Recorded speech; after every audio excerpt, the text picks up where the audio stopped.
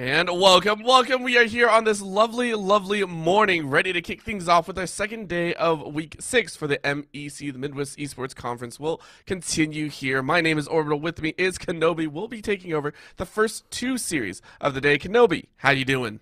I'm doing great, Orbital. We had some great games yesterday, and we're starting it off with a banger today. First versus second, Grandview Vikings versus Purdue Northwestern or Northwest rather. I cannot wait to get this one started. It's earlier in the morning, but it's still going to be a great day.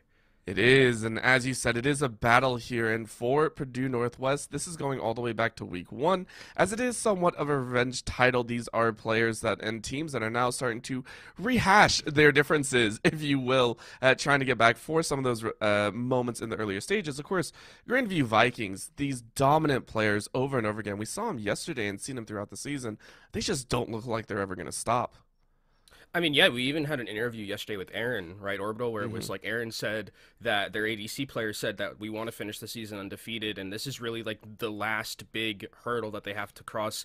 There is a game that they have to play later uh, against the Drury Panthers, but I think this is going to be their hardest test going forward. Is if they can beat this, I think that it's a much easier path to get to that undefeated uh, regular season that they would like to get to. So this is really where I think they need to show out because this is the second best team that we have here in MEC, and if they can really, you know, cement themselves against this team, I think there's almost no stopping Grandview Vikings going forward. It's going to have to be someone really, you know, pulling out some crazy stuff to do it.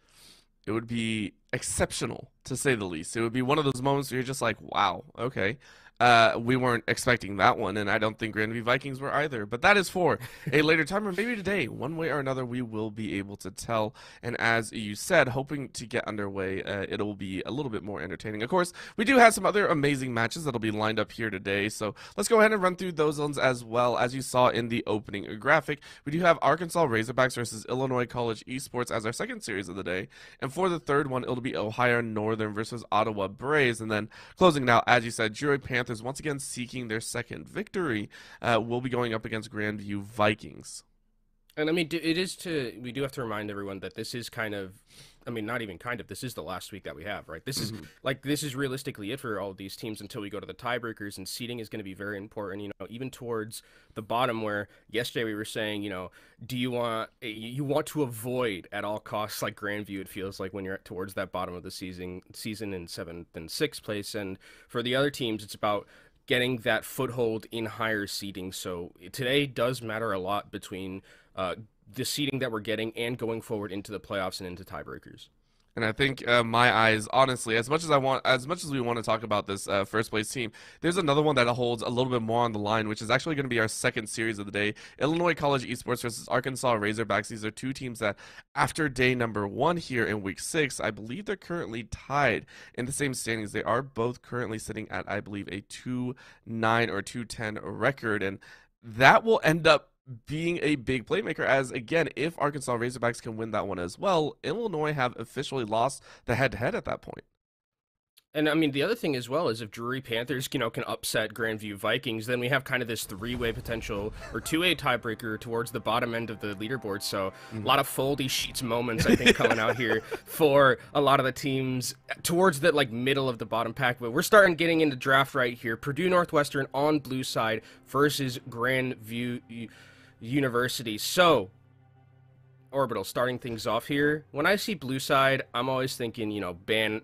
Zeri on red side, you know, ban those ADC picks. We saw yesterday Grandview Vikings when they played, three ADC bans went down to Aaron. So wonder if that's going to be something that we see going forward. You know, are is Purdue Northwest going to be able to pinch out a lot of what Aaron wants to do on that ADC role, or do they have some other ideas? You know, just more general bans. It could be the general or the specific one way or another. PNW hopefully has some sort of plan. Of course, it will be the Udyr taken out. Uh, Sink saying, eh, I don't really want to play that today, and I don't want to first pick it, of course, so might as well take it away and just not give it over to Polthro. The Zeri ban, as you said, GVU giving a lot of respect over to that potential pick. It is higher priority than the Jinx currently. Of course, I do expect to see a Jinx ban at some point in the draft, if not picked yep. up within the first two, and the Gwen ban. PNW really hammering those high priority picks. that's a Prankuru ban too. Like Prankurus should not be allowed to ever get Gwen, and that's the, that's definitely Purdue Northwest doing their homework right there. Also with the, I mean, Gwen is immune. Yeah, you can see it. Gwen is immune. That is the meme that we're going to not be seeing today during this game. So there's the Jinx ban that you were talking about, Orbital. So actually, it's interesting. It's more GVU this time who are pinching out the ADC pool. And we even heard from Aaron yesterday in the interview where he said, like, oh, I've been playing Jinx and Aphelios so much. I like playing other things. And really showing that, you know, they're not really worried about having these power picks ADCs not in the pool right now. They're fine with, you know, going down towards the Vayne, towards the Ezreal, to Jhin and things like that. It's, uh, it's one of the prices of power, we should say, of having the spotlight on you for a little bit too long. You get all your champions banned out, then you get shadow banned, and then you get banned around second time, and then you're just like, well, I guess I'll play at APC, and then those are banned later. Eh, it's a, it's a whole ordeal for some of these top tier players. Oh, the first world or first class League of Legends problems here. The Camille ban away though, that is going to be two sent to the top side, and now a support ban following behind. That is going to be the Karma ban out. So lots of focus on that bot lane. Poner and Udon Beaton are going to be the main focus. PNW have a chance here though to pick up your ADC or support, whichever one you like to go for, if you wish. Hecarim is also up as well. That's mm-hmm. another thing that I think is definitely risen in priority towards some sometimes that B1 spot. You could obviously still pick that affiliate or like an or something like that, but it actually is going to be the Xin Zhao. So I mean, still a very powerful and potent jungler at the current moment. Definitely has been terrorizing i should not terrorizing but just like standard mostly like this is everyone can kind of play Xin Zhao and everyone thinks that it's a good pick so definitely something to kind of like be a stable pick inside that jungle this does leave open though the uh, ability for the Hecarim to go over to GVU, and we saw yesterday Colthrow extremely adept on that, but Aphelios Thresh is going to be locked in. So this is where I get scared because you've given Aaron now a very, very strong. Like this bot lane is very strong between Aaron and Pluto now. Aphelios Thresh, one of the strongest bot lanes we have in the game right now, and ooh boy, I'm for Purdue Northwestern. You got to have some sort of idea how to get rid of this in the bot lane. And it's coupled with the fact that GVU actually targeted that bot side. That has to be taken into uh, account as well all odds are against you now. PNW, we might see a sacking of the bot lane like we saw in some of the other series, and it does kind of feel like that. The Ezreal, yes, is a strong pick, but it does tend to give itself more to the defensive posturing. You have the Arcane Shift, you have a little bit more defensive yeah. work to play with, so picking that one up here, not too terrible. The question is, what are you going to pair with it? So many opportunities.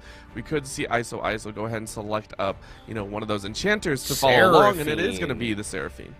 Seraphine. Okay, so this is interesting because this feels a little bit like a comp that would have really liked Hecarim as the B1 jungler here. Mm-hmm. Because I think like if you have Hecarim, like you could have gone like Ezreal Yuumi, and Ezreal Yuumi does like okay into Aphelios Thresh, but Seraphine I think is still perfectly fine in terms of like an enchanter here. So already Purdue Northwestern bringing out some of the big guns. It is also a flex technically. You can just you can just put Seraphine inside of that mid lane instead of just putting it to the bot lane as a support. So I think overall what I like from the draft already is that there is some of that flexibility from Purdue Northwest. And for GVU, looks like Syndra, just a solid mid lane pick.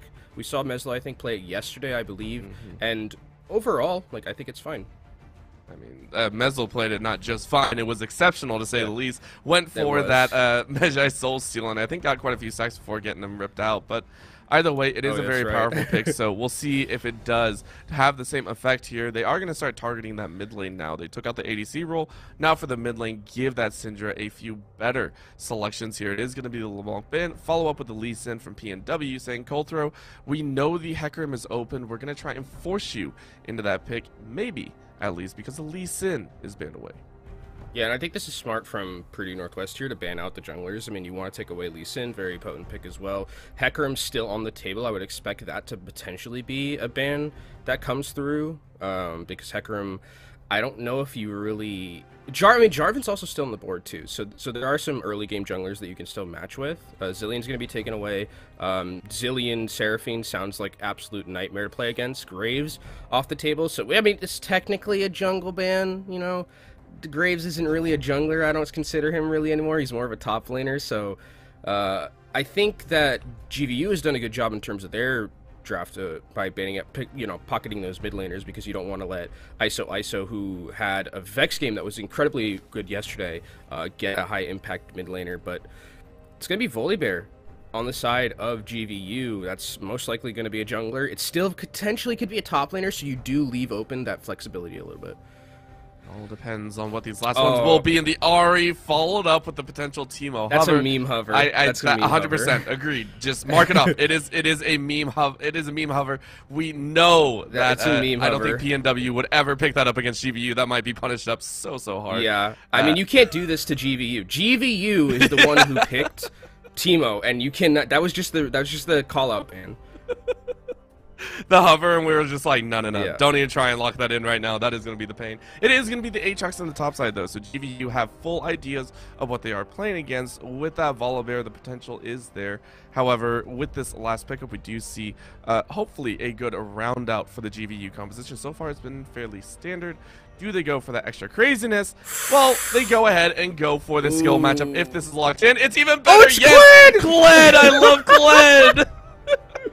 I can't remember the last time I've seen a Kled, but this matchup in top lane sounds miserable to play against if you're an Aatrox. I can't like you already have like the with the trap on a rope, you have that 50% reduction with grievous wounds onto Aatrox of all people. it sounds awful and Aatrox always is uh is has a tough time dealing with champions that can just like get onto you and dive onto you. So I love this pick from Prankuru coming in that top side. To be honest, though, all around the rest of the wait, that's a that's not an MF. That's Ezreal, I think. Still, right? Okay. It should Uh, be. I it hope. should be. Uh, okay, Okay, so yeah, yeah, that is Ezreal. I was like, I was like, what happened? MF I haven't seen in so long, but it is Ezreal. So I, I think what Purdue Northwestern's composition has pretty well is they do have some like nice on-demand engagement where you come, you know, you have an Ezreal. You, or you have a uh, sorry, you have an Ahri, you have a Xin Zhao going in, Seraphine with charm, so so strong with her encore. On the other side, though, there is quite a bit of peel for the Aphelios, which I do like. You know, you have the ability with the Thresh to pull Aphelios out of any of these sticky situations that are going to be coming from Purdue Northwest. So overall, I like both of these drafts. Uh, I like the fact that there is bo- uh, that GVU also was able to get Volibear to match the Xin Zhao a little bit in terms of the early game uh, ganking potential. So I like everything. The Kled is the best part, though. I mean, orbital. It's it's the best part. It. I cannot believe we got an, a Kled in the year of our Lord 2022. I have. So I'm gonna go off on a tangent here. I have a buddy that I I somehow have the knack of finding top lane one tricks that give me a glimpse into power picks that they love to run and just have a blast on. Kled is one of them, and it is terrifying what a good Kled can do. Not only can you dominate the top lane, level one, level two kill threat. The threat of roaming as soon as you hit level six is even more terrifying. Like if he has even a, a, a bare significance of a farm lead, he will roam and kill you. He'll invade and everything.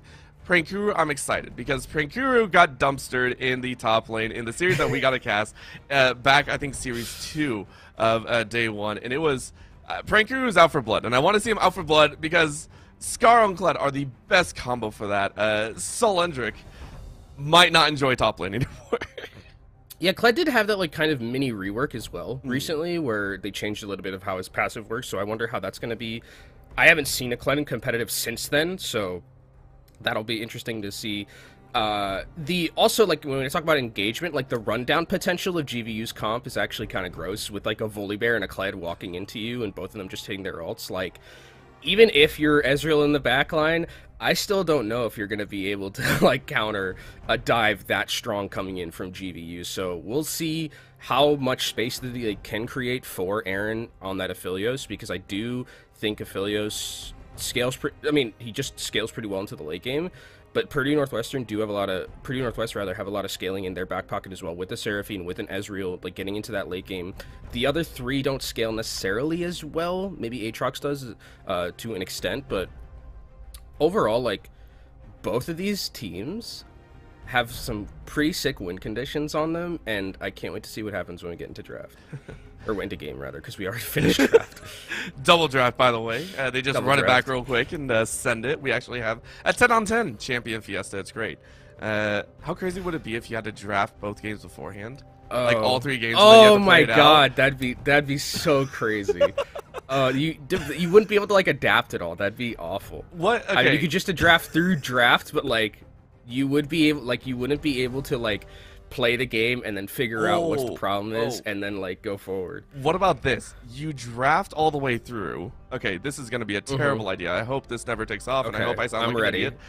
You I'm ready. draft all three or five games, and then uh, whoever loses gets to pick the next draft and side, kind of thing, or a mix up of that. How? Like you get to pick the compositions and all that, and you get to force the opponent to play some random champions that you didn't want to. Like all of that, just weird stuff. I don't know. Oh, you're right. That is a terrible idea. It I a terrible idea. This is why I'm not on the right design team. This is great. Uh, or I mean, tournament design At for that, that, point, at that point, we should just have it be Nemesis draft. Yes. At that point, That is what I'm Like, getting just- at. I love Nemesis draft. It's hilarious. That is it. That is my entire point. I, I that would be really. It's like if what if you started off game one Nemesis draft and it's like you just play the rest of the series for fine, uh, fine from there. Oh just man. everyone just gets picked like bad champions like Garen or something.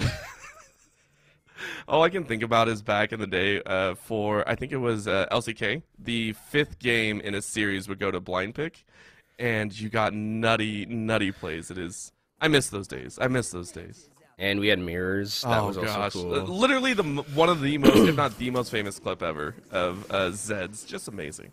Just The Faker one v one, yeah. Love that. Uh, we As, won't get uh, any of those anymore, sadly.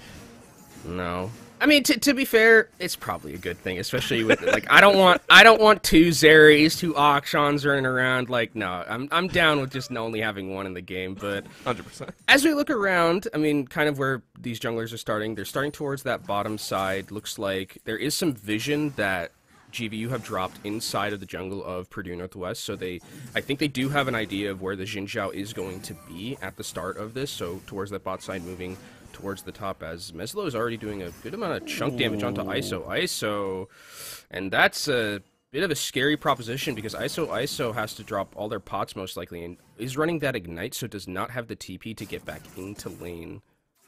That one, that one hurts a lot, and I, I will say I personally do like the Syndra into the Ahri. You have a lot of good lockdown potential. In the early stages, you have way more kill threat, and even with the ultimates up, you have more kill threats. So, I think Meslo came out a little bit ahead in the current lane matchups here. Of course, in the bot side, we do see the level twos coming out. Udon, Beaton, and Poner are going to try their best to keep poking out. However, Pluto is on the receiving end of that painful setup, and just the camera still loves watching ISO ISO get poked out. That is rude. I mean, to be fair, Meslo's doing like a really good job of. It sounds a bit memey, but hitting spells. Like it's hmm. important in a matchup like this where you don't want Ahri to basically get a free lane. You want to have some sort of pressure put onto them so they aren't just spamming Q on the wave the entire time. And Meslo's doing exactly that. And ISO ISO, as you can see, is chugged all but one of their corrupting pots. Still, I mean, Meslo just keeps hitting these shots and doing so much damage, especially with the Aery and not the Electrocute playing for lane a little bit more in that poke. It's a problem. It is an excessive problem. You can see there both of the junglers are actually rotating up and saying, well, we're going to try and help out a little bit, but with the rotation to cold throw, it actually forces Stink out. So as much as they want to, PNW are going to be stuck on the receiving end of all of this, except maybe for the top side as Solendric is pushing up past that midway point. And as we see what the junglers have been doing just at the start of this, it's weird we haven't seen a gank just yet. It seems like we were full clearing mostly between Volibear and between Xin Zhao, which we don't see too often. These are usually junglers that like to get on the map and impact them a little bit on the earlier side, but you can already see I potentially spoke too soon as Volibear is moving towards the top side. Aatrox very susceptible to ganks, as Prankuru is actually able to hit the bear trap on a rope, but it looks like the Volibear is not going to stay here for that much longer. Just shadowing, mirroring, making sure that Xin Zhao is not going to do any funny shenanigans, and I hit that reset. It is also worthy to note that Coltero has so far uh, been 2 for 0 in terms of getting to the lane first. Uh, it has been Stink actually trailing behind. And that again still bodes in favor of GVU. They're the ones having that pressure first. They're the ones that are allowed to play upwards, that are allowed to play like they have a jungler because they do. And the rest of PNW are going to have to kind of work with that in the back of their mind. Where is this jungler? And I mean, the opponents are still playing like they can be as aggressive as they want to. And we do get on the top side. Prankuru is going to go all the way in. This is so, so low. The Ignite goes down. Yep. And this shotgun to finish it off, Prankuru makes it look so simple. I mean, this is this is the power of the counter pick, right? Where it's just Aatrox always struggles on champions that can dive onto you, and what is something that this champion in Kled is good at doing is just getting onto you and making your life miserable, especially with the Ignite and the. It's just a matchup that the Aatrox can't win. Um, unless he gets six, and Prankuru does a good job of understanding his breakpoints and takes down that solo bolo. The Aatrox luckily has TP to get back to lane. Is just gonna walk it because Oh. they can. But ooh, here's the Pluto. Look at that damage going down. The exhaust can work, but they're just going to go in. Can't get the Q off, though. Aaron doesn't follow through with the kill. So it will, be- will be Udon beat on surviving with just a sliver. Yeah, Guardian really helped out right there, able to keep them alive, but it's going to have to be Seraphine backing in. Toponer doesn't have too much mana left right now, so this wave is going to be a bit of a struggle bus to clear, especially now that it's going to be under turret and it's cannon wave, and I they could potentially go for a dive here, but with cleanse available on the Ezreal, I think it'd be super, super greedy. Don't want to go for that chance. And again, you just wanted the plate and walk away with a little extra gold. And I mean, you couldn't get the kill, but you can extend that gold trade. I believe that's an extra 80 gold into both of their pockets. ISO ISO still in the receiving end. And when you're only level 5, it's a damaging problem. But Meslo actually missed the scout of the week. And that shotgun, unfortunately, goes a bit awry. I mean, I mean, it's it's fine. Just the ability to poke out the Ahri there, and just you know, force to start you know chugging some pots. Because again, the way that it's been going so far with Meslo, he's been able to poke out ISO ISO extremely well. As Frank is going to try again for another engagement, solo bolo again. Yeah, might as well. They're fairly low, but with the level 6 on Solendric, I don't think Praker really wants to go hard for it. Again, you want to wait for the Ignite. That'll probably hit at about level 7 or 8. Going to be plenty of a chance for that. Dude, Meslo is. Oh, here we go. Now they just hit the dive button. Coltero is going to jump all the way in. They're going to get the slap. They're going to get the thunder, and Prankuru is going to get a second kill. I mean, this is Prankuru doing to Solendric what happened to him in game one last yesterday in that series, right? Where it was just like getting bullied, and right now that's exactly what's happening to this Aatrox. I mean, having to start tier two boots, uh, tabbies or not tabbies, plated steel caps, you know, uh, it's always not a good feeling. As oh my god, Iso's dead probably here. Oh, Pluto went for the hook, and I gotta give him a whole lot of respect for that one. ISO ISO just a little bit out of range again. The tier one boots I think was the uh, was the speed boost that was necessary. Whoa! Oh, and that- now oh my bot god. side. Aaron forcing a flash out of Poner as uh, that was an arcane shift a little bit too close for comfort. Yeah, that's this is one of the other scary things as well, is where it's like we've been talking about Prankuru in the top lane so much, but I mean this has basically essentially been a free lane for Aaron and for Pluto in the bot side, and you can already see that I mean Aphelios is 20 CS above the Ezreal right now. There hasn't really been any type of kill threat whatsoever because just early game Ezreal Seraphine doesn't really do much. And when we talked to Aaron yesterday, they were just like, "Yeah, we're totally fine with just sitting in the bot lane and farming, farming it up until late game. That's exactly how sometimes they like to play." And it's what's happened so far. There hasn't been any, you know, focus towards this bottom side, and it's let Aaron and Pluto just have a really easy lane. And on Aphelios Thresh, that's always a little bit scary when they're able to scale up for free towards that mid late game. The Aphelios goes unchecked, and that's what you have to deal with there. It's going to be quite painful. That's going to be another stun there in mid, but look at the raw damage. A charm does land. So you do get to trade it back. Oh, extra tower shot for Meslo. Extra Q for ISO. ISO, both mid laners down to quite low. Aaron also getting chunked out quite heavily. And all attack to follow forces him at about 25%. And now the poke is starting to come online for the bottom side, so Aaron can't necessarily play as aggressive as he was before, but it is still going to be a point where Aphelios is in the lead and can keep on that lead as, again, in the top side, Prankuru is trying to go in, has the Ignite, that's Yep. Solo Bolo, another one Orbital. It is another one, and in the mid lane, we're getting a lot of action as well. Good flash Oh, good the flash. wall. ISO ISO is going to follow through onto Meslo, and Stink is allowed to pick that one up. Now the resets come in. It is going to be a charm, and the power of the Ahri comes through. Rework OP. A nice jungle 2v2 coming in as, uh, again, on the bot side, we just have fights everywhere. Oh, the Charm, the Encore! The Encore is going to do a lot of damage and force them to walk forward, but now the through Moonlight Vigil Flash ult. Aaron says, bring it on home. Single kill for the Aphelios. Aaron actually has the most confidence in the world right there. With that flash, just like point blank Moonlight Vigil, that was absolutely sick from Aaron. And this Ezreal now is going to be even farther behind. Just an unfortunate situation there that True Shot Barrage wasn't available for the Ezreal in that moment because guaranteed, if the True Shot Barrage could combo along with that Encore, that's a double kill for that bottom side, but it gets turned completely on its head, and now you can see actually, it looks like we've had, yeah, it looks like we've had Prankuru go towards that mid lane just to catch the wave and push it out, and Meslo's gonna go top side and grab all that waves. I love that decision from both these teams, understanding that like, you know, we can get the most amount of efficiency between the lanes, and after that, after catching that wave, it's just gonna be going back bot lane. So, really good decision making here from Grandview University as the Kled is now 3-0 and 0, and significantly ahead of this Aatrox, I would say, overall. the Aatrox is gonna be going just just either leave me on an island, let me play the game, and let me play Farming Simulator, or uh, help me. Those are the two options right now. and between the two, I don't know which is worse or better. Honestly, it's it's a scary thought. Grandview going ahead, setting up the top side. The shining light is again ISO ISO, and uh, Stink had a phenomenal 2v2 trade in that jungle side. So maybe if you can enable that Ahri to start roaming, maybe you can start looking for other potential opportunities in a 3v1 or 3v2. I mean, Ahri will always be an X factor in a lot of these because you have essentially four flashes in your kit. You have Charm, which is incredibly powerful, and I mean, you can't click on Lantern through Charm. So if you can, you know, find someone like the Syndra or like the uh, Aphelios in the back line, that's definitely a possibility of like where they can completely turn a fight on its head because Aphelios is going to be a lot of the consistent damage that you have with this composition. Uh oh. Solendric getting chunked out again. That is uh, just the precursor to disaster. I feel like in the mid lane, of course, ISO ISO was calling Instinct, saying, "Hey, they're chunking out pretty heavily." But because they have chunked out, it means that ISO does have the advantage to push for that potential second dragon. The second dragon will be incredibly impactful as oh, oh. ISO ISO able to dodge away from the scatter of the weak. That could have been disastrous if that would have hit.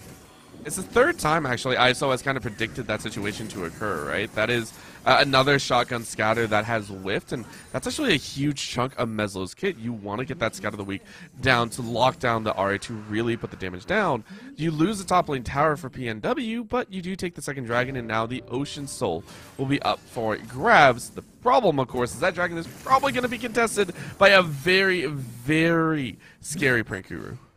Yeah, I mean, now once the second dragon is down and TPs are going to start becoming unleashed, it, I, and Prankuru actually timed this really well where he's going to have TP at 14 minutes when they do become unleashed and when potentially another fight breaks out in the bot lane, whereas Solendric isn't going to be able to match that. So definitely keep an eye out for those TPs in the upcoming, you know, skirmishes that we might have towards the bot side or even at Rift Herald, which is going to be coming up relatively soon. Not too, you know, short of a time before we do get that next dragon, but now I think we're just going to be waiting here for both of these teams for that to come up. Topside is completely bursted down by Prankuru with the lead that they had in the early game, and here, I mean, if you're Solendric, you just have to kind of take it on the chin and just farm your way back up to relevancy, it feels like, because you do have to be somewhat impactful in these team fights might be looking at a bit tankier build, right? Ensuring that you can stay alive in some of those fights. Wouldn't be surprised to see some of those uh, some of those armor magic resist pieces coming out here after you already have the late cast. Stink is going to go over the walls, start clearing out some of the rest of the jungle with the help of Udon, Beaton, and Poner, who so far are still trying to struggle to find their own spot. 117 farm on the Ezreal, about 20 behind Aaron right now, and Holding steady again, the Essence Reaver has been built, so at least you have the mana refund to try and throw spells back. Yeah, and this is the start of the point of the game where all the mythics are starting to come online. As Pluto gets a nice hook, but the cleanse is there from Toponer to get out of that one, and that's a cooldown that's going to be gone, so Toponer has to play a little bit more safely. While you can still Arcane Shift, you don't want to get caught by any of that CC. So ISO doesn't get stunned out though, so that does mean nice that Meslo is completely available to get killed and ISO ISO picks up a second stink, tagging on for an assist.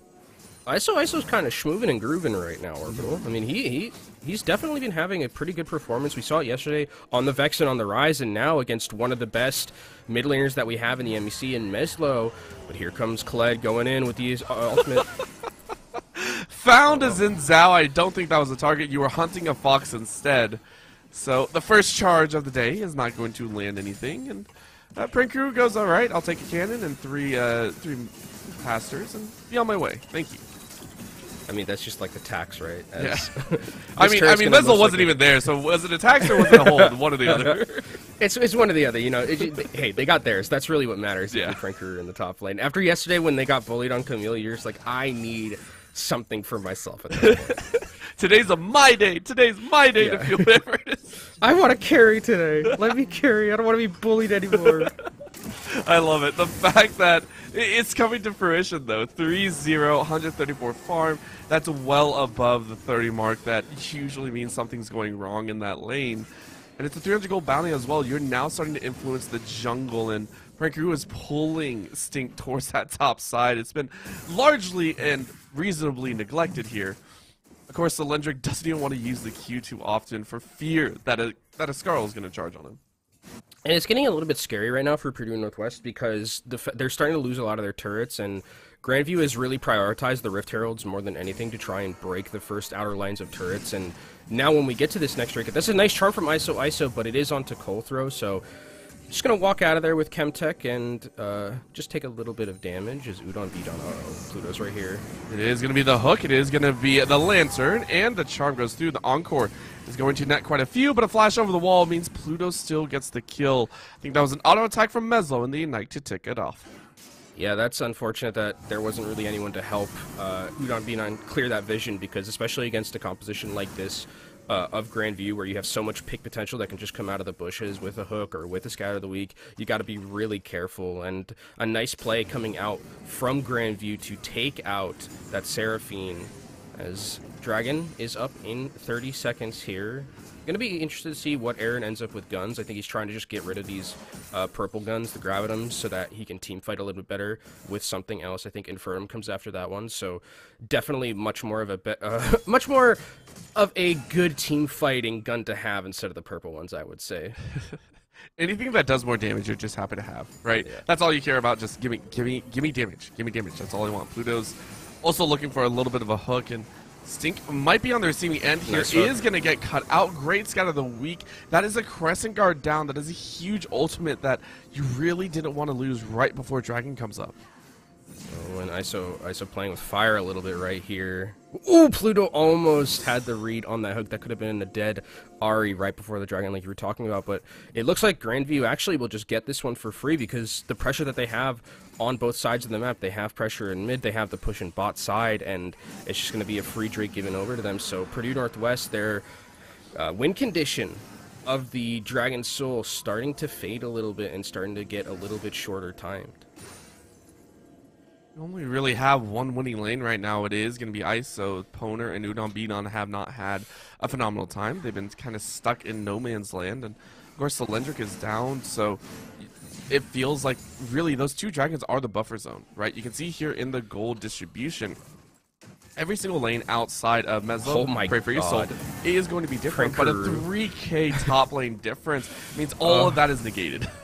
That's brutal. I mean, it's, it's kind of what we uh, what was expected in draft, right? Where this was like this is a counter pick that Prankuru just wants to smash the top side with this, and it's worked out so incredibly well. And Purdue Northwest just haven't had an answer yet to deal with the Kled, especially in the side lane where there's not really anyone that can contest a Kled in side lane right now. It would have been Aatrox, but Aatrox is kind of irrelevant at this point with how as much of a deficit that they're in.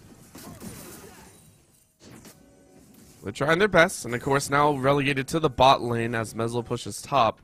It's the jungle duo, Prankuru and Colthrow, just hunting around for a specific kill. They get a little bit of a smite down. I think actually came in from Stink, who uh, was allowed to pick that one up graciously by Colthrow, I might add. And Everyone else walks away. PNW have got to realize though that their jungle is no longer safe, and they got to start traveling with a few more members. That's just a volley sent out from Aaron that tags down Poner, about down to 75%.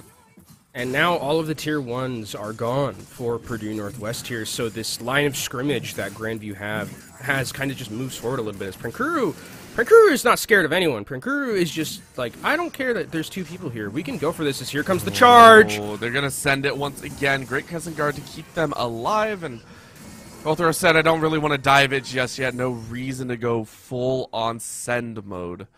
You draw the ultimate once again. Stink is losing that ultimate pretty much on cooldown here. And it's unfortunate too because you really want to have those for team fights. It is a relatively short cooldown compared to some of the other alts as Bear Trap on a Rogue connects, but nothing will come of that. And it is a relatively short cooldown, but you definitely want to have them before team fights more than anything because those are going to be the moments where you want to have it to stop the Kled from being able to charge in like that, alongside things like the Volibear as well. That combo seems extremely deadly as ISO ISO takes a bit of poke, and to be fair with how much he got poked out in the laning phase and how well Meslo has been hitting their spells, ISO ISO has been doing kind of the has been really the star for Purdue Northwest, keeping them afloat. But to an extent that it's still a 6k gold lead though for Grandview. There's only so much you can do now as a singular player, it feels like, right? And especially considering most of the kills that came through, yes, they were fancy, but it was always Meslo on the aggression, right? It was always Meslo trying to get that stun down, and it was a counterattack to that stun. So really keeping eyes on that. In, in that essence, I think Meslo's done a fantastic job as well. Drawing pressure to the mid lane, only dying twice considering the pressure that's been laid down by Stink it's worked well. Meslo in these compositions was not the mainstay, was not the reason for their win, as we, or as their potential win, I should say, because um, I keep thinking that Pranku is just going to take over the game. It might happen at some point, but I, am just so scared of Kled that it, that's what's going through my mind right now. One of the things that I like about this build is actually Meslo is getting aggressed on again from ISO. ISO dodges and dashes. Here comes Meslo down. And the Ignite.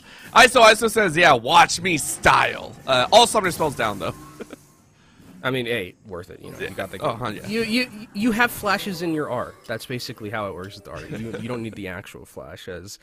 I mean, the, the mid lane has been the biggest bright spot for Purdue Northwestern. It's been off the back of ISO. ISO, Meslo has kind of been taken out of the game to an extent here. Can't side lane against an Ahri, but the unfortunate thing is that the side laning on the top side is just extremely in favor of Prankuru against this Aatrox, and realistically, they're going to have to send multiple mem members to try and kill Prankuru at some point, but because it's Kled, you can just R out of there. Like, you're totally fine just walking out normally a no flash champion would be that. But yes, the the charge is just like, yeah, screw it, I'm out, peace out, I'll see you later. I'll I'll it's see like you in the top side next time. It's uh, I'll see you at another time. But at this point, you don't have to worry about that because the dragon is coming up here in about 15 seconds. And Prankuru is pranking them right now. Charm goes down. That is going to be a root. Everfrost holds him in place. But look at that. Prankuru ate everything and said, I don't care. I'm still alive. They're going to try and flash in. They're going to try and get the kill. They do lock down oh, the encore. That's one. Are they going to fall through? ISO, ISO says, I want a bit more. The reset should be there. ISO, ISO should have one or two more charges. Charm goes out, misses, but they just charge on Meslo. Remember, Meslo has been picked on all day. And Poner takes the kill. That is going to be a 3-0 wipe for PNW. Purdue Northwest take a solid team fight win and look to get their third Drake. That was an amazing team fight from Purdue Northwest. Just all things considered, it's all off the back of ISO ISO with the huge Everfrost. The charms were immaculate as well.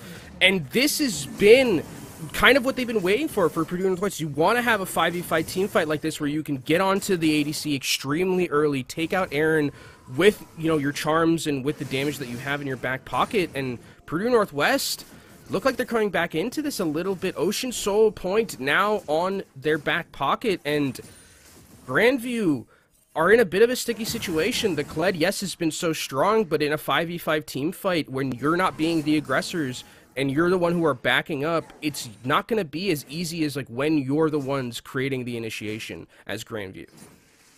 I think it also goes to stand. The rest of Grandview chose not to follow up on the engage.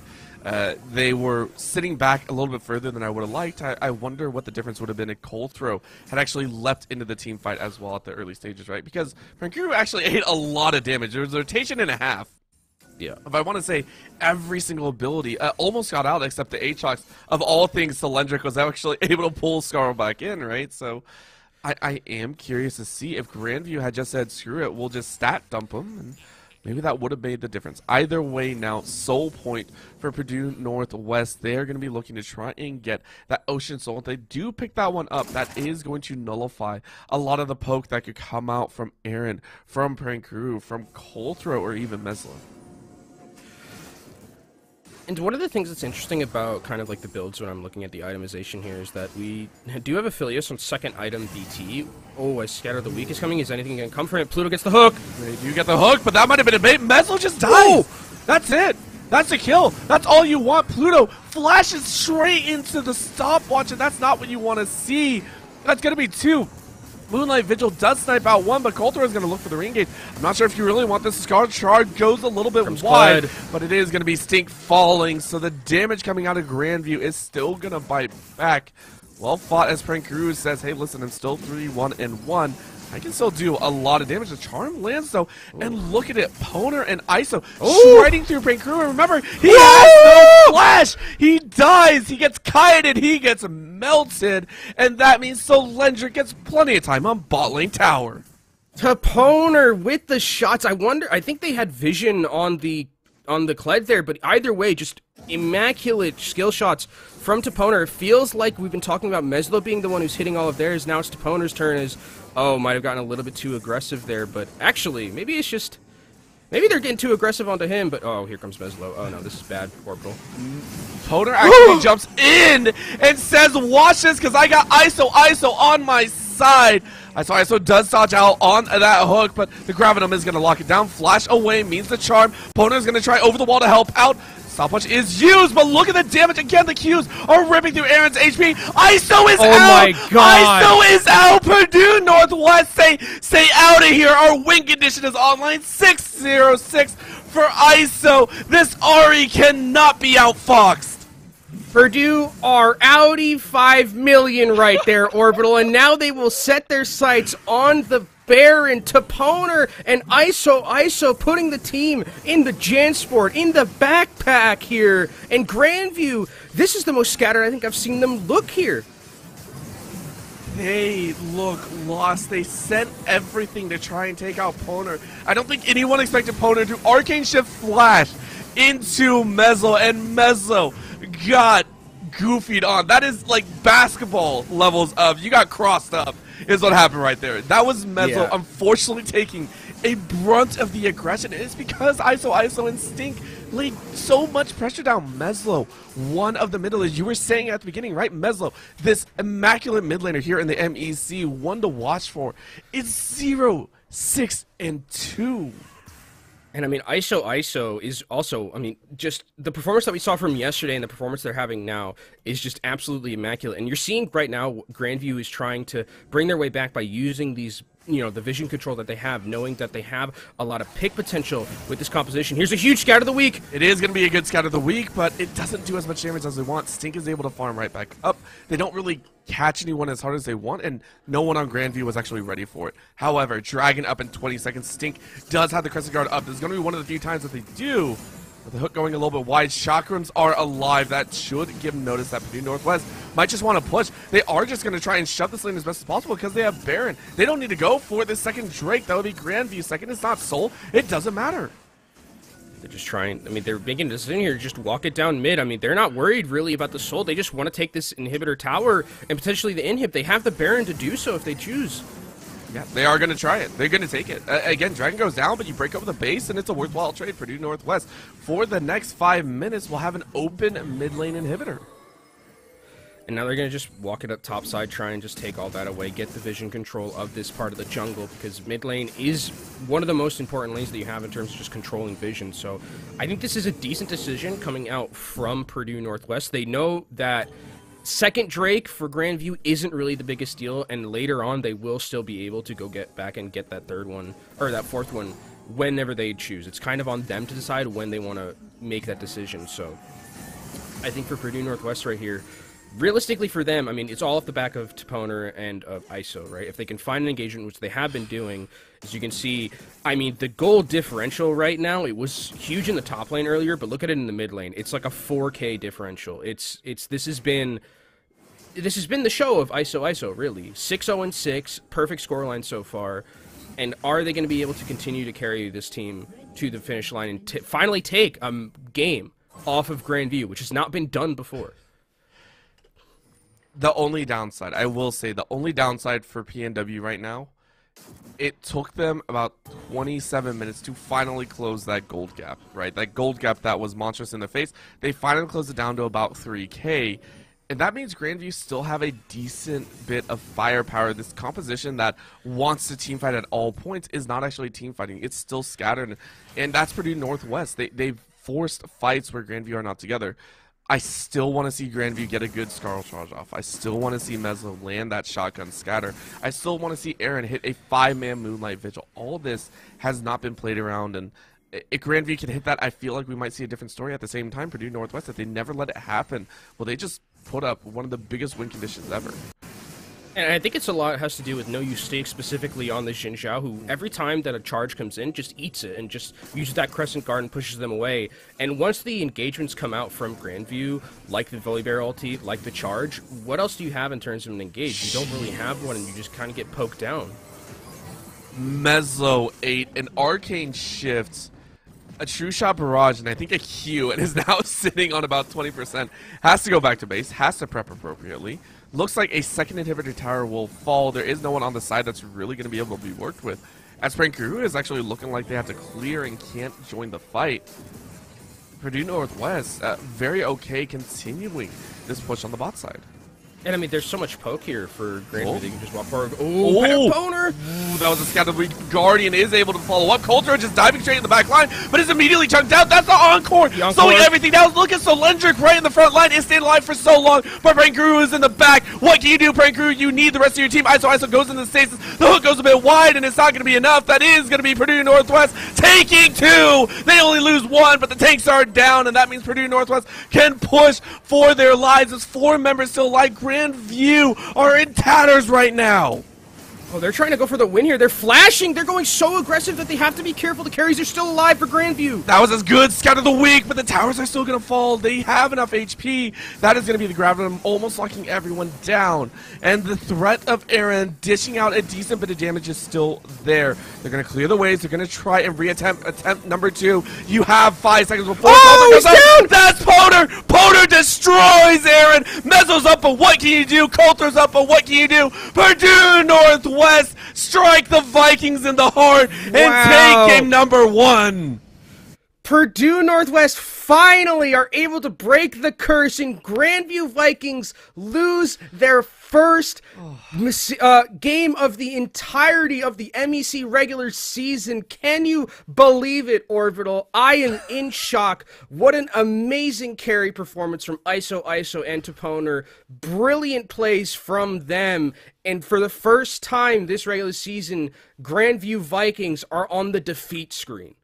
It that one is gonna sting. Hundred percent. No boba for GVU. No boba at all here right now. uh, but it, it, can't be said that GVU just rolled over and died. Prankuru in the top side. Phenomenal yep. job taking over that top. Uh, it was the bot lane. Aaron still farming out so well, but no enablation. There was no on switch. It felt like the composition was still stuck in standby phase and it was GVU that have to try and figure that out for game number two. Of course, this match would not have been possible if we cannot have those fantastic sponsors here with Unified. Uh, thank you so much to Atlantic, Tapalti, Skulls, and Gangster. All four of these amazing sponsors have given us such a wonderful show and allowed these schools to show up and show their skills here. If you are interested in going ahead picking up some awesome Unified gear, you can go ahead and find it on the Skulls website. Just search up Unified tab and you'll see they got shirts, pants, sweaters, everything, because that was hot. You might not need it now, but I mean, you'll need it in possibly the coming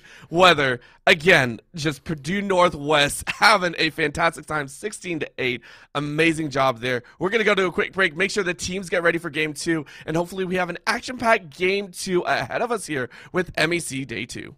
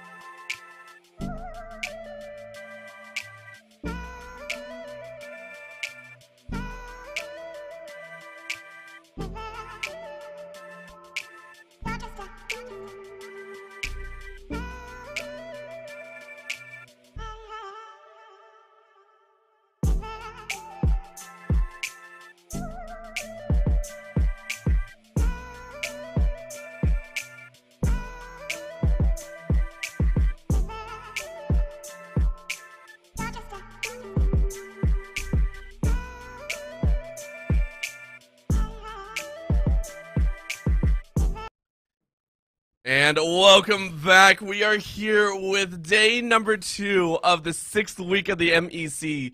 And Kenobi, I'm so happy I got to step in for this week because, my gosh, was game one an absolute banger. ISO, ISO, with some help from Stink and Poner to round it out. PNW able to topple GVU here in game number one.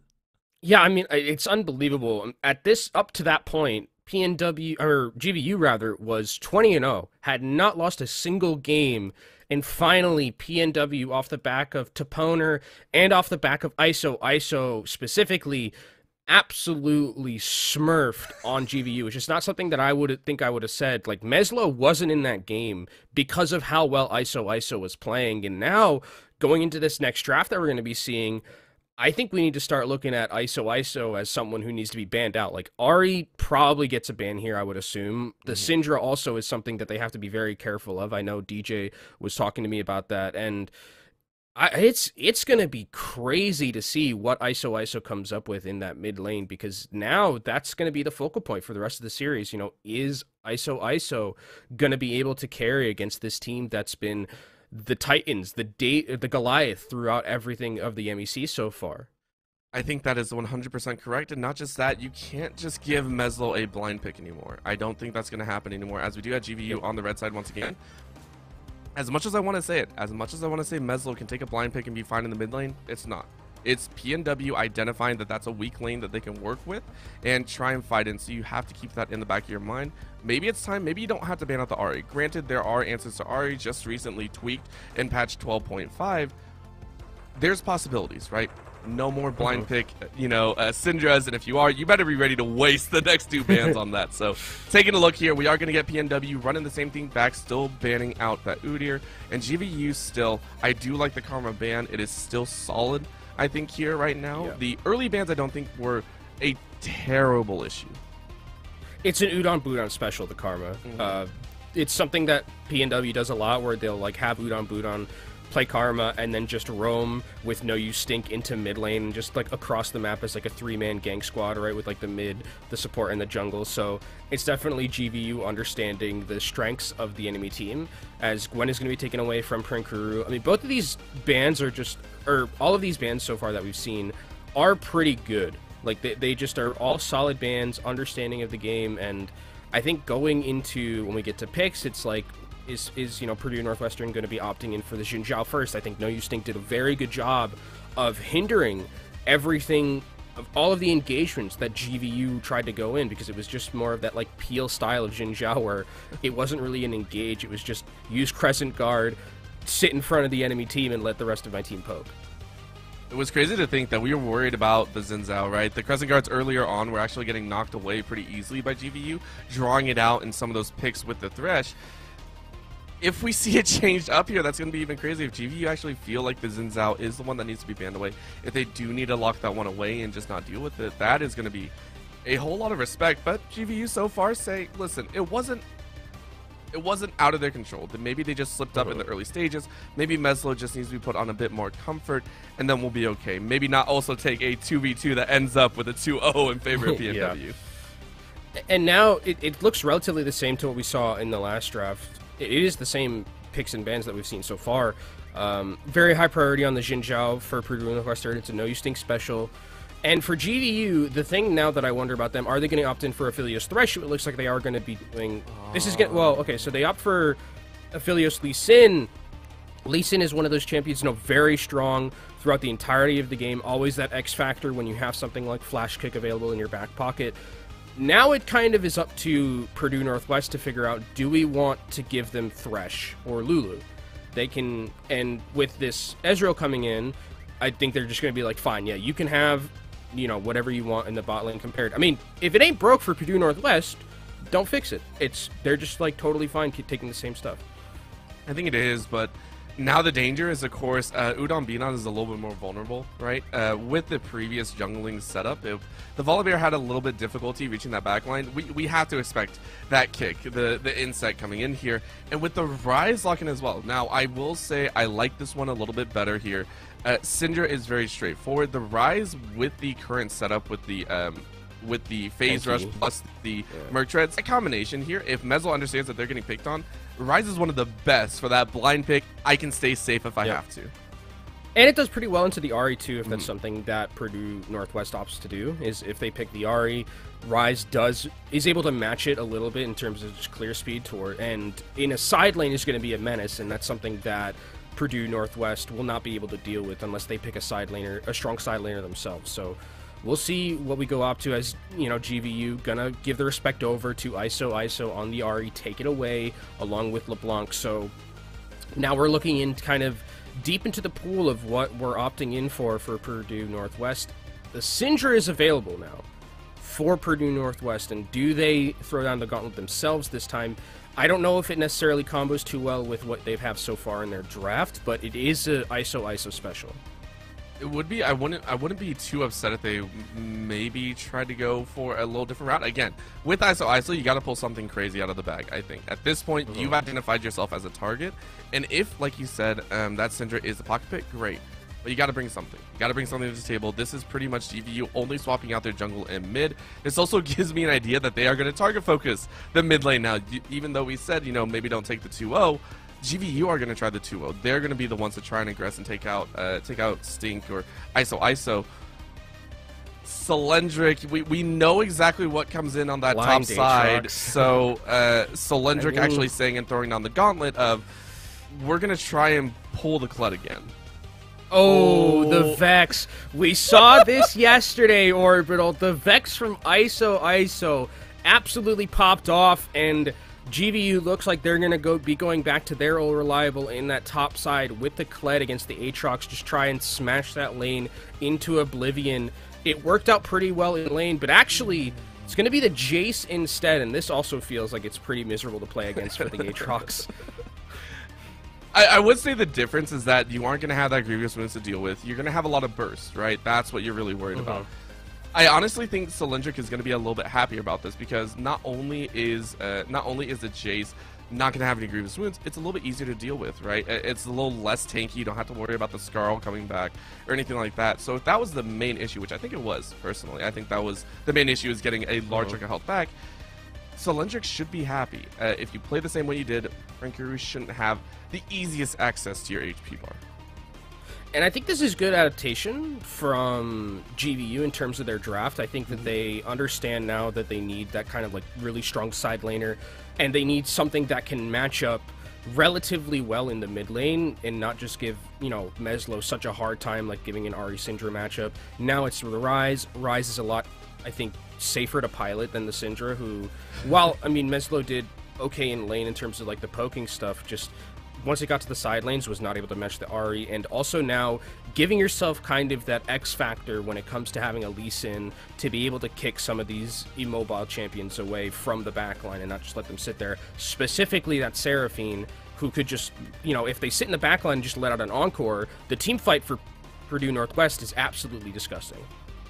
We've seen it once or twice already, and it's it's gonna be up there. So I'm very very excited. What I do want to see a bit more of as well is the Poner and Aaron being unleashed a bit earlier. So these are both players that we know can carry. We got to talk with Aaron, right? We always refer back to that interview of him kind of talking about the fact that Pluto gave so much, you know, always helping and trying to get Aaron involved. I want to see Aaron more involved, right? Like we saw maybe one or two really good Moonlight Vigils. The Flash Moonlight Vigil was strong but it only happened once or twice. I want to see GVU try and enable Aaron to be that win condition. I want to see Aaron allowed to be unleashed on PNW. And I mean, the thing about this is, is that we saw in the last game where Ezreal kind of got a free lane. I mean, there were some like skirmishes and stuff, but realistically, like there isn't too much. I mean, there is a kill threat from like you know Gravitum into Hook or something like that, but realistically, the Ezreal, especially if they're taking cleanse, is very safe in this lane alongside the Seraphine. So Ezreal will, unless there is some like significant pressure coming down there from Colthrow, will get most likely another like free scaling lane. And we saw how good Toponer was in the back end of the last game when they got a free lane like that. Was like 100 to 0 at Aaron with like one arcane shift and a Q. So it's pretty crazy. uh, that we're seeing some similar drafts here from both these teams, and I would expect bot lane to go relatively similarly, but the 2v2 in the jungle and mid definitely does change the dynamic of this game a little bit, especially with Meslo on that Ryze. I am expecting a lot of combos to come out. I'm also expecting ISO ISO to have a fun time and really watching that mid game. But as you said, that early stage is where we're going to hope to see it. Stinking ISO ISO, uh, if you remember, got a fantastic 2v2 off, was able to chase in, take two kills, and we're not really sure if GVU is going to allow them to do it here. Colthrow on that Lee Sin is well known for getting away and well known for getting over some very tricky terrain. I'm going to be keeping eyes on that one. I, I, gotta ask you, Kenobi, though, taking a look at these lanes, where are we expecting GVU to really lay down if it won't be that mid lane? If mid lane is not an option because uh, Meslo, well, we'll we'll take a look there. Uh, I'll actually come back to that once we get underway and really see that early game. As we are going to go to a short break, we're going to ensure that we give you a quality broadcast here with the MEC because we want to ensure that you at home and you at Drury University at the land that's currently going on are enjoying your time as much as possible. We will be back in just a few.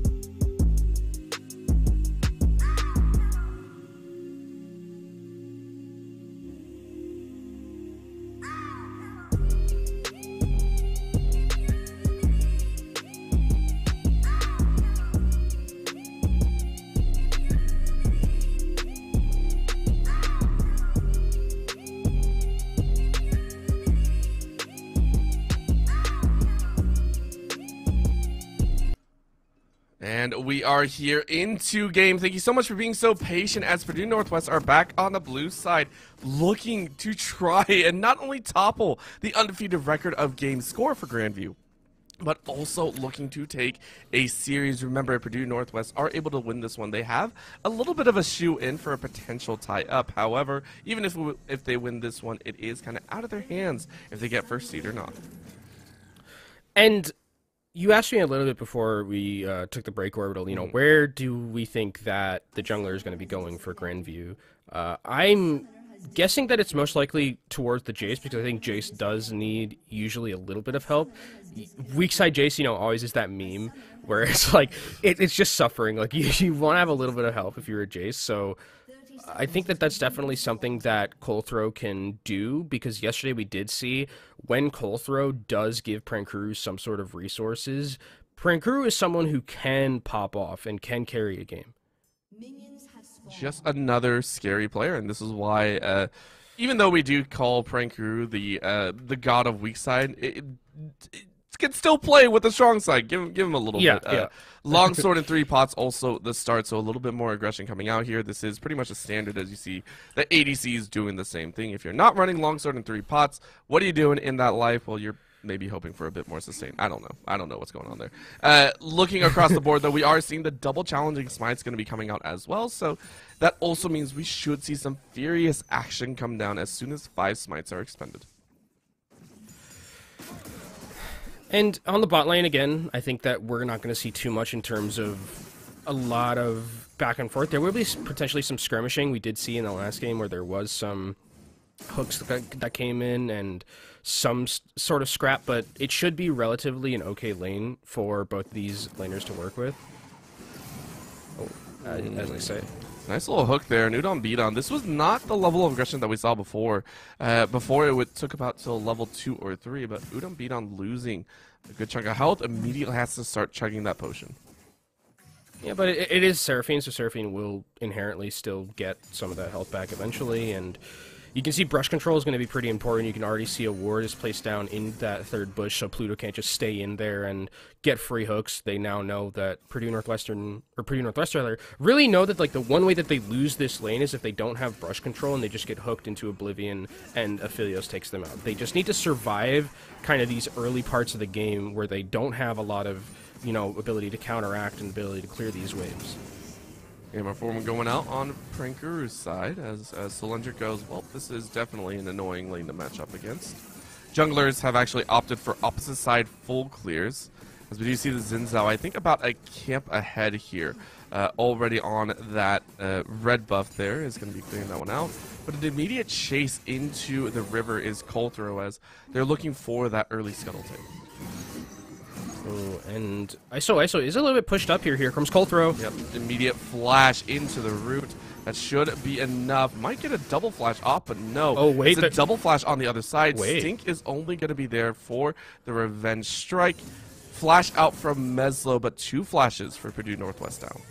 Really good W from ISO ISO to survive that gank because that could have been extremely scary, but there was a flash that was out from Meslo as well, so this is a potential for No You Stink to come and recon and redive, and same thing with Colthrow as well as with flashes not available in the mid lane for both of these mid laners. It's definitely a juicy target for both of the junglers. Extremely juicy. You can even see the fade in from Prankuru. They are hardcore making sure that control of this top side of the river and jungle is under their control. GVU making sure that they are prepared for what could potentially come. Prankuru landing a nice empowered shock blast on Solendric, who is so far, this time at least keeping pace. At this point, I think we saw about a 20 CS difference between the top laners. I mean, yeah, but it was much more of a counter matchup with the Colette. Like, that was mostly like a vacuum answer, it felt like, and Jace will be relevant, you know, later in the game with team fights and stuff like that. So I think that this pick of the Jace definitely helps a little bit more when we go towards that mid-late game. Uh, as we see again, the junglers still just mostly shadowing and full clearing, not really doing too much in this early game. But now, the poke is going to be start to become a problem for Grandview in this bottom side because now the, you know they have all their levels on Purdue Northwest, and Ezreal Qs are going to start hitting a little bit harder. It's not a fun time when those mystic shots start taking a good 200 HP out of you. It's a very painful time to hold on to. It is a slow, slow rotate. You can already see the gold still stacking up very nicely. No one's gone too out of their way. Everyone's been pretty happy with the current setup, and you know, gold flowing into Grand View's side. Only about a 300 gold difference between the two teams. And you can see Xin Zhao now is towards this top side. I mean, the the lane state of top is kind of how it's going to be for a lot of this because Aatrox into Jace doesn't it doesn't lose as hard as Aatrox into Kled, but it still is a bit of a tough match. Of you know, Jace is very good at just con, you know lane dominance, especially against champs that are melee champs and can struggle a bit against the range melee differential that we have with something like a Jace in that top side. So really at this point if you're Aatrox here your job is to just survive right? You don't want to be in a position where you were last game where you're just so far behind that you have to bring yourself back to relevancy at about like 20 minutes. If you can get out of this lane like relatively even which Solendric is currently I consider that a huge win. It is, and considering Pinker also has to uh, follow through on that early, early heal cut, it is going to take a chunk, about 800 gold out. That is going to be a hook, though. They are going to go straight in, and That's all of a dead. sudden, Stink is a dead. Retribution has been called in, Solendric might actually fall here as well, as the ultimate has been worn down. Crew gets an empowered shock blast, is going to draw the flash out of Solendric. Looks like a solid win for Grandview University as they take first blood. Yeah, that's good vision control. I mean, one of the things that Grandview did really well as Meslo's actually trying to take down ISO in the mid lane. One of the things Grandview did so well in that last game was they abused the vision control that they had and got a lot of key picks, like we just saw, with a Thresh coming out from Fog of War, with things like a Syndra. And one hook kind of means death for anyone, because you, you know, hook into Lee Sin Q, into the root from the Ryze. Basically, if they catch anyone, it's a guaranteed kill, and we saw some of that, and it's going to convert it into a Drake for Grandview, so start ticking up that stacking of those Drakes as your win condition. All that in mind, we are taking a look at a pretty solid move towards the latter stage of the seventh minute. Items are coming out. We do see that Merc Tread build from Meslo, and top lane, No You Stink is going to go ahead and make a visit. Prankuru still has nice. Flash. And it's just that simple. Again, since Electric doesn't have Flash, and No You Stink, I think was still waiting for their Flash. Mercury was just like, "Come on, I listen. I know I bullied you in the past, so let's let let's let bygones be bygones, right?" Good golf swing from Prinker there to get rid of the Xin Zhao, because that was definitely a kill coming if that wasn't in that position. But does get the flash taken away, so that means it's a little bit more even now in this top side.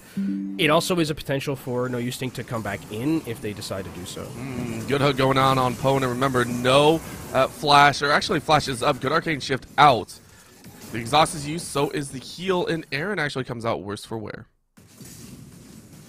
Exhaust not there, but it's interesting that they aren't taking cleanse this time because Toponer took cleanse in the last game, and there are still there is still a, quite a bit of lockdown against like you know a thresh and a Ryze. So takes the exhaust instead for a little bit more of that combat potential. As in the top side again, Prankuru is up 10 CS, but it's you know, with the minions that are coming in shouldn't be as much anymore. And I think Solendric has been doing a good job of just staying alive, as actually here comes No You Stink.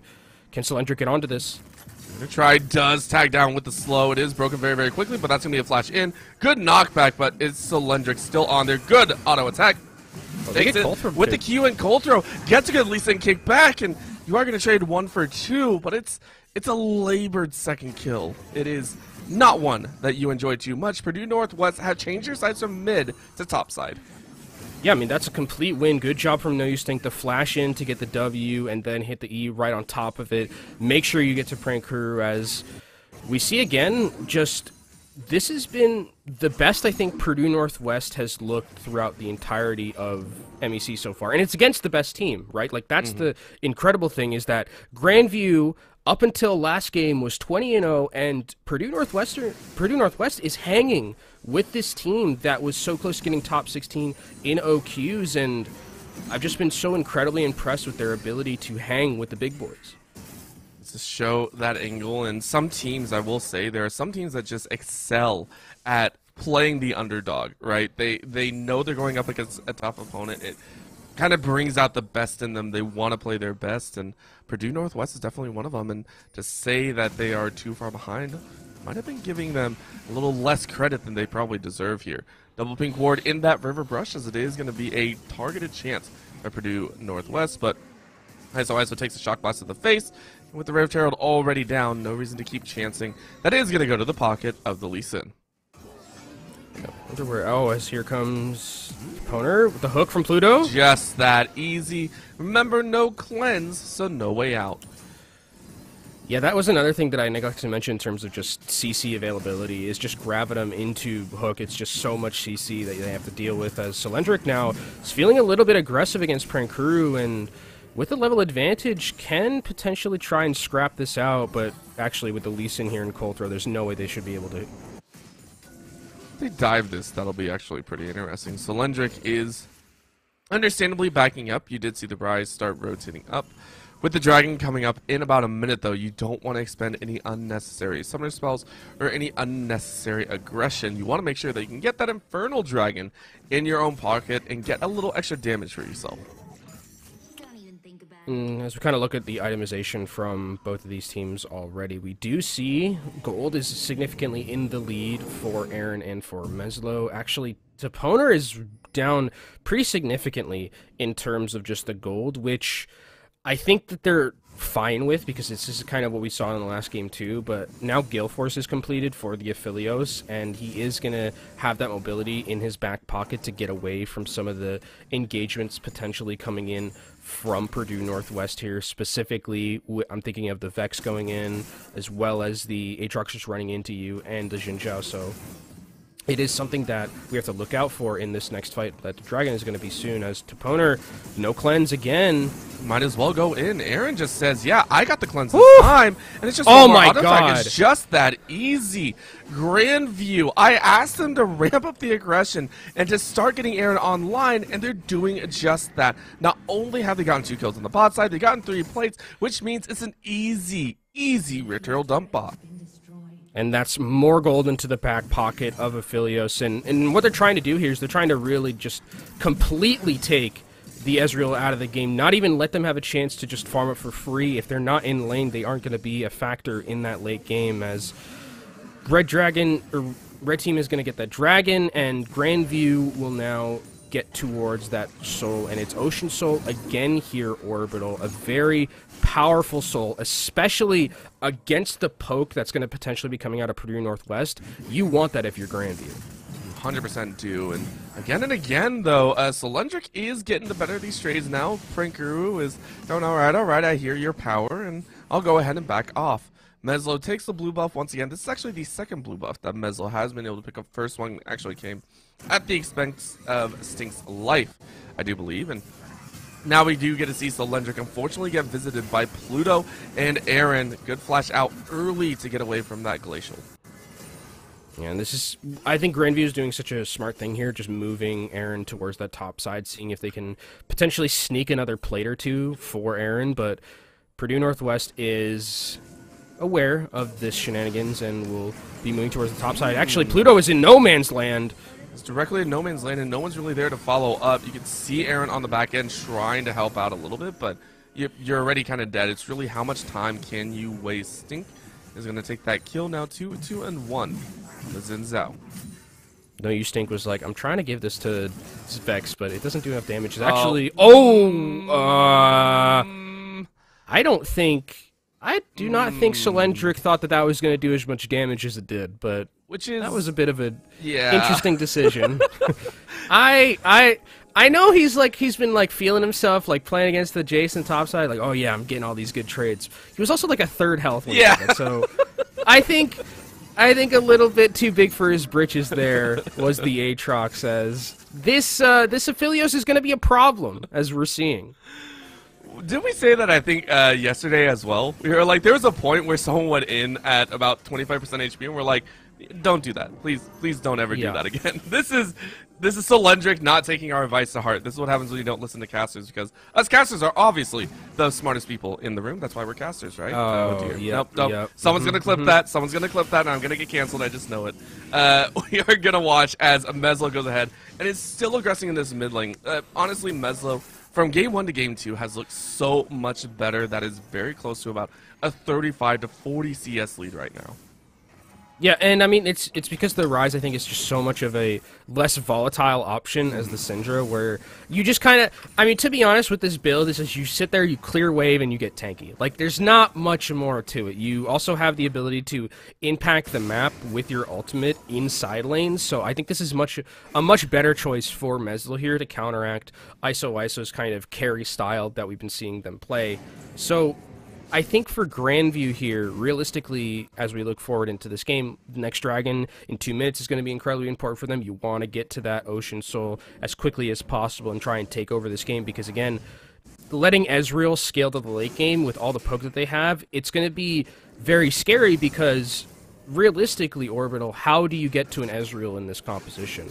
Right? It's like, it's mm-hmm. Lee Sin kick is like the best way of like your engagement here. So they need to really just get that Ocean Soul so they don't get poked out as Meslo's going to the top side and that's a lot of damage. Oh my god.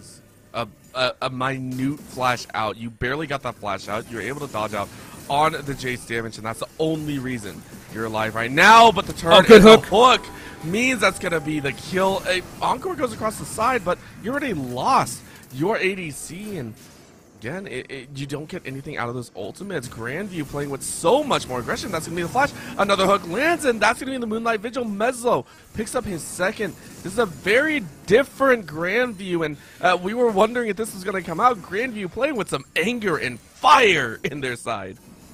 This is a much more proactive Grandview too. I mean, the fact that they're like flashing to try and get these kills, you know, making plays all across the map. I think that this has been such a good job from them just taking what happened in that first game and not letting it repeat itself, right? They mm. last game they kind of just sat back a little bit, weren't really pl- being the aggressors a lot of the time, and now they're really just taking the initiative to Purdue Northwest and really asserting their dominance. And the gold lead now is around 6K, 5K really.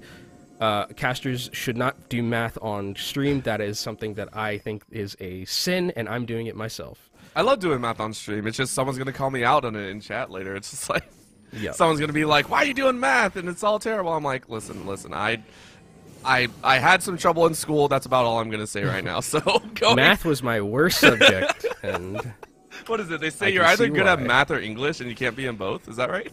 Well, that's why casters become casters. Yeah, there we go. we're not we're not mathematicians. I tell you that for sure. Oh man, that is. Uh, don't look at my grades, please, please, please. Uh, sec- third dragon. Uh, man, I can't even do math on one, two, three. Oh my lord. Third dragon in the game is currently spawned. Grandview is already on top of that one, and we said it right. This Ocean Soul will be so dangerous to play for, and Grandview are already on Soul Point. Yeah, it's it's a bit of a scary situation as well because you take away a lot of the ability of Purdue Northwest and their ability to poke you down. This is going to be a objective bounty soon completed, but I think the thing now for Purdue Northwest and the way back into this game is they do kind of have to just scale their way up and let Ezreal get to you know two or three items to become relevant. Potentially find like a pick with ISO ISO on an engagement, but beyond that, it's pretty scary because of the fact that they're looking down the eight ball at like three dragons. The fourth one will Uh-oh. come eventually is Toponer. Oh, Uh-oh. might actually just get blasted. Oh. Wait. Oh. Oh. Meslo ate about two tower shots, and I think that's why we actually see him so low. If the tower wasn't there, Poner was dead. yeah, that was that was a bit scary because that would have been a shutdown given over to the Ezreal, which is what I was talking about. Is like Ezreal needs to get to a couple more items. You don't want to give him an extra 600 gold to do that. So uh, Meslo playing with fire a little bit, but staying alive as Toponer is just going to do what Toponer should be doing for the rest of this game until he gets to that item spike, is just farming up, making sure that they're staying safe, and kind of drag this game out because sure, Ocean Soul is going to be a big deal in about three and a half minutes. Baron's also going to be up in uh, 40 seconds, but you really want to be able to do what you did last game, which was just sit from afar and continuously poke them out with your Q. All they want to do. That's all they want to play for. Setting up, though, it is going to be a long, drawn-out bout, as Purdue Northwest are not going to be allowed to do that as early as they did prior. Taking a look at the goal difference now, we are seeing, as you were saying, don't do math, but it's still about a 4 to 5k difference.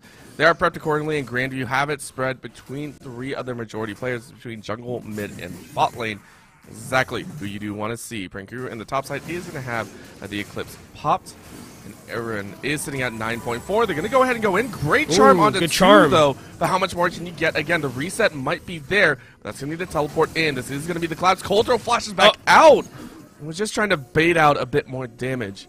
New Northwest steal away one. It's only on the support, but at this point, any gold is good gold. Yeah, now they can just take vision away because they know that there is no support there and no threat of the hook just coming out of Fog of War. So this is going to be Purdue Northwest getting back onto the map a little bit right here. And also, at this point right now, Dragon is going to be the breaking point as Cylindrical is pushed forward. Prankuru really not going to be able to, I think, hit the solo boa. Mm, not really, but uh, is just trying to soak up a bit more mana as uh, Prankuru realizes that they don't have as much mana as they would like. Uh, but that's going to be oh, the jump no. in. Aaron said, hey, Gale Force, yeah, that's... uh. What? Can't back there. Yeah, you don't back in the middle of the lane whenever Aaron's kind of pushing down the lane. Yeah.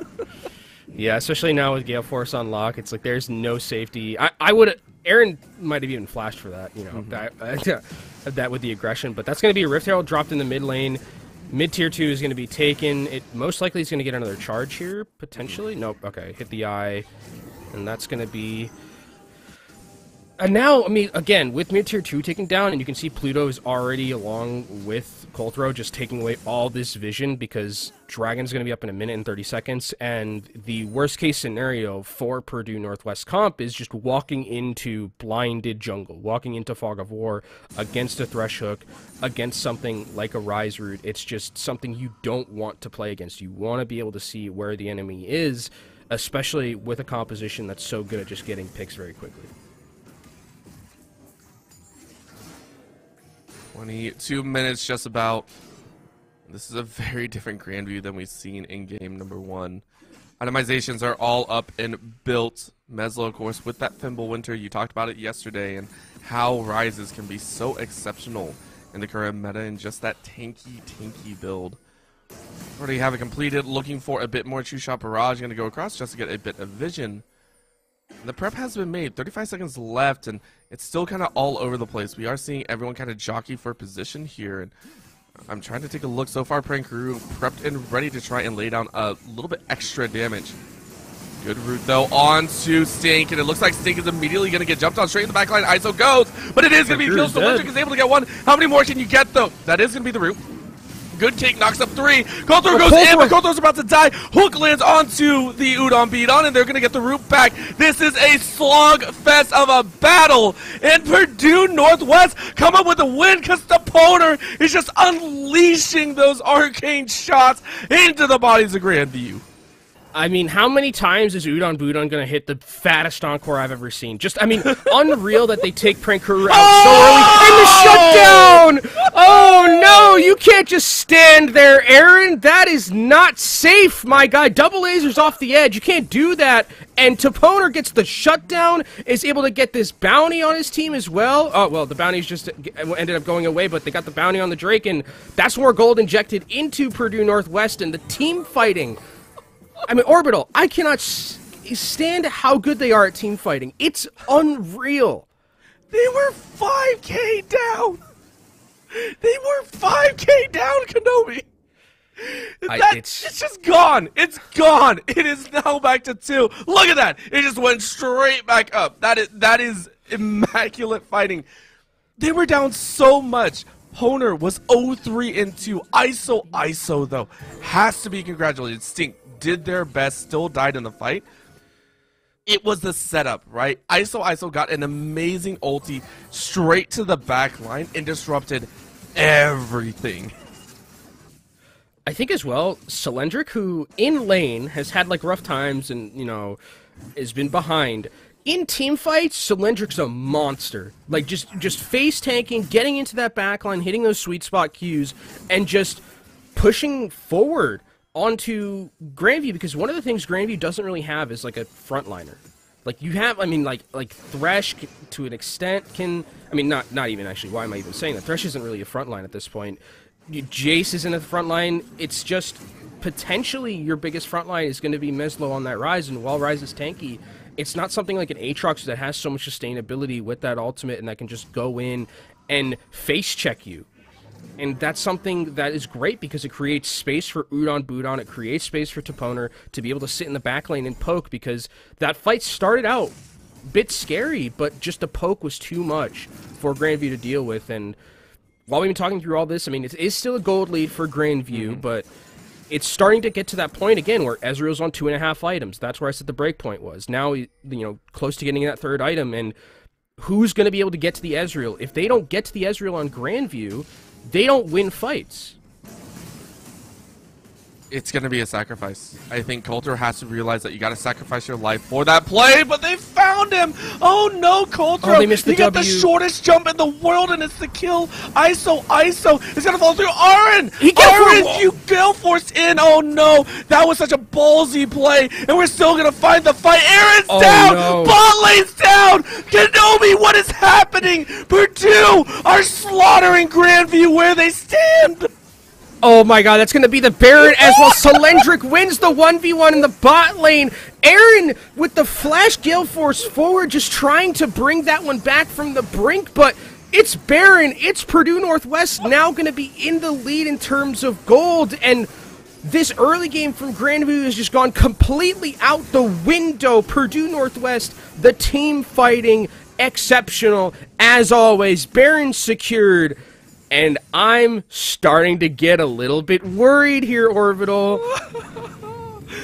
I. What is going on? I don't know what's going on. My voice went about two octaves too high for the last note, and it's just. PNW came out of nowhere with that. And again, it's on ISO.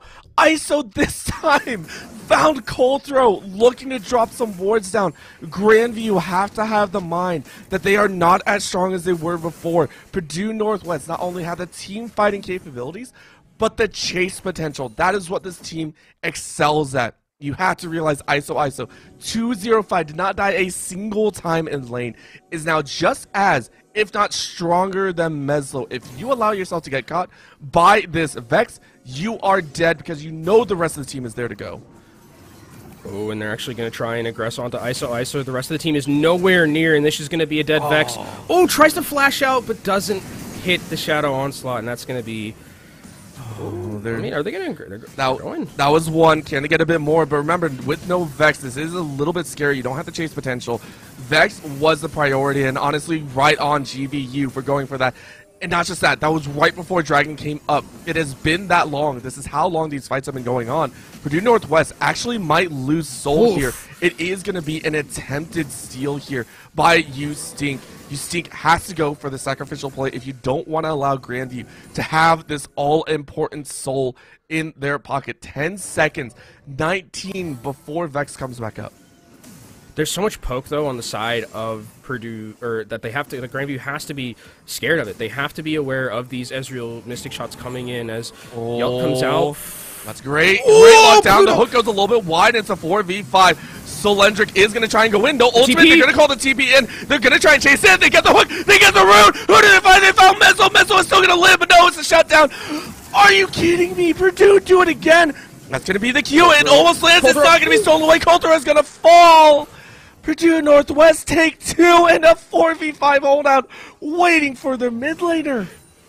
I mean, this this this is looking like it's the moment finally here. It, it, this is with the Baron in play. They're starting to get these souls, starting to get more regeneration for themselves. If, if Purdue Northwest gets Ocean Soul, I don't see a way back for Grandview. Just the amount of poke that Purdue Northwest has is so unreal here. Oh, and Aaron, he's caught. He gets caught, is able to get to his rest of the team, but look at The the, damage! damage. That was an ult W. This is why people hate Vex right now. And that's that's alt W without death cap. ISO ISO is close to getting that death cap online and could potentially, if they hit Aaron with the shadow assault, one shot them. And it doesn't matter if there's a lantern available to you because you can just hold it and wait until you have that cooldown available to you to d- dive in.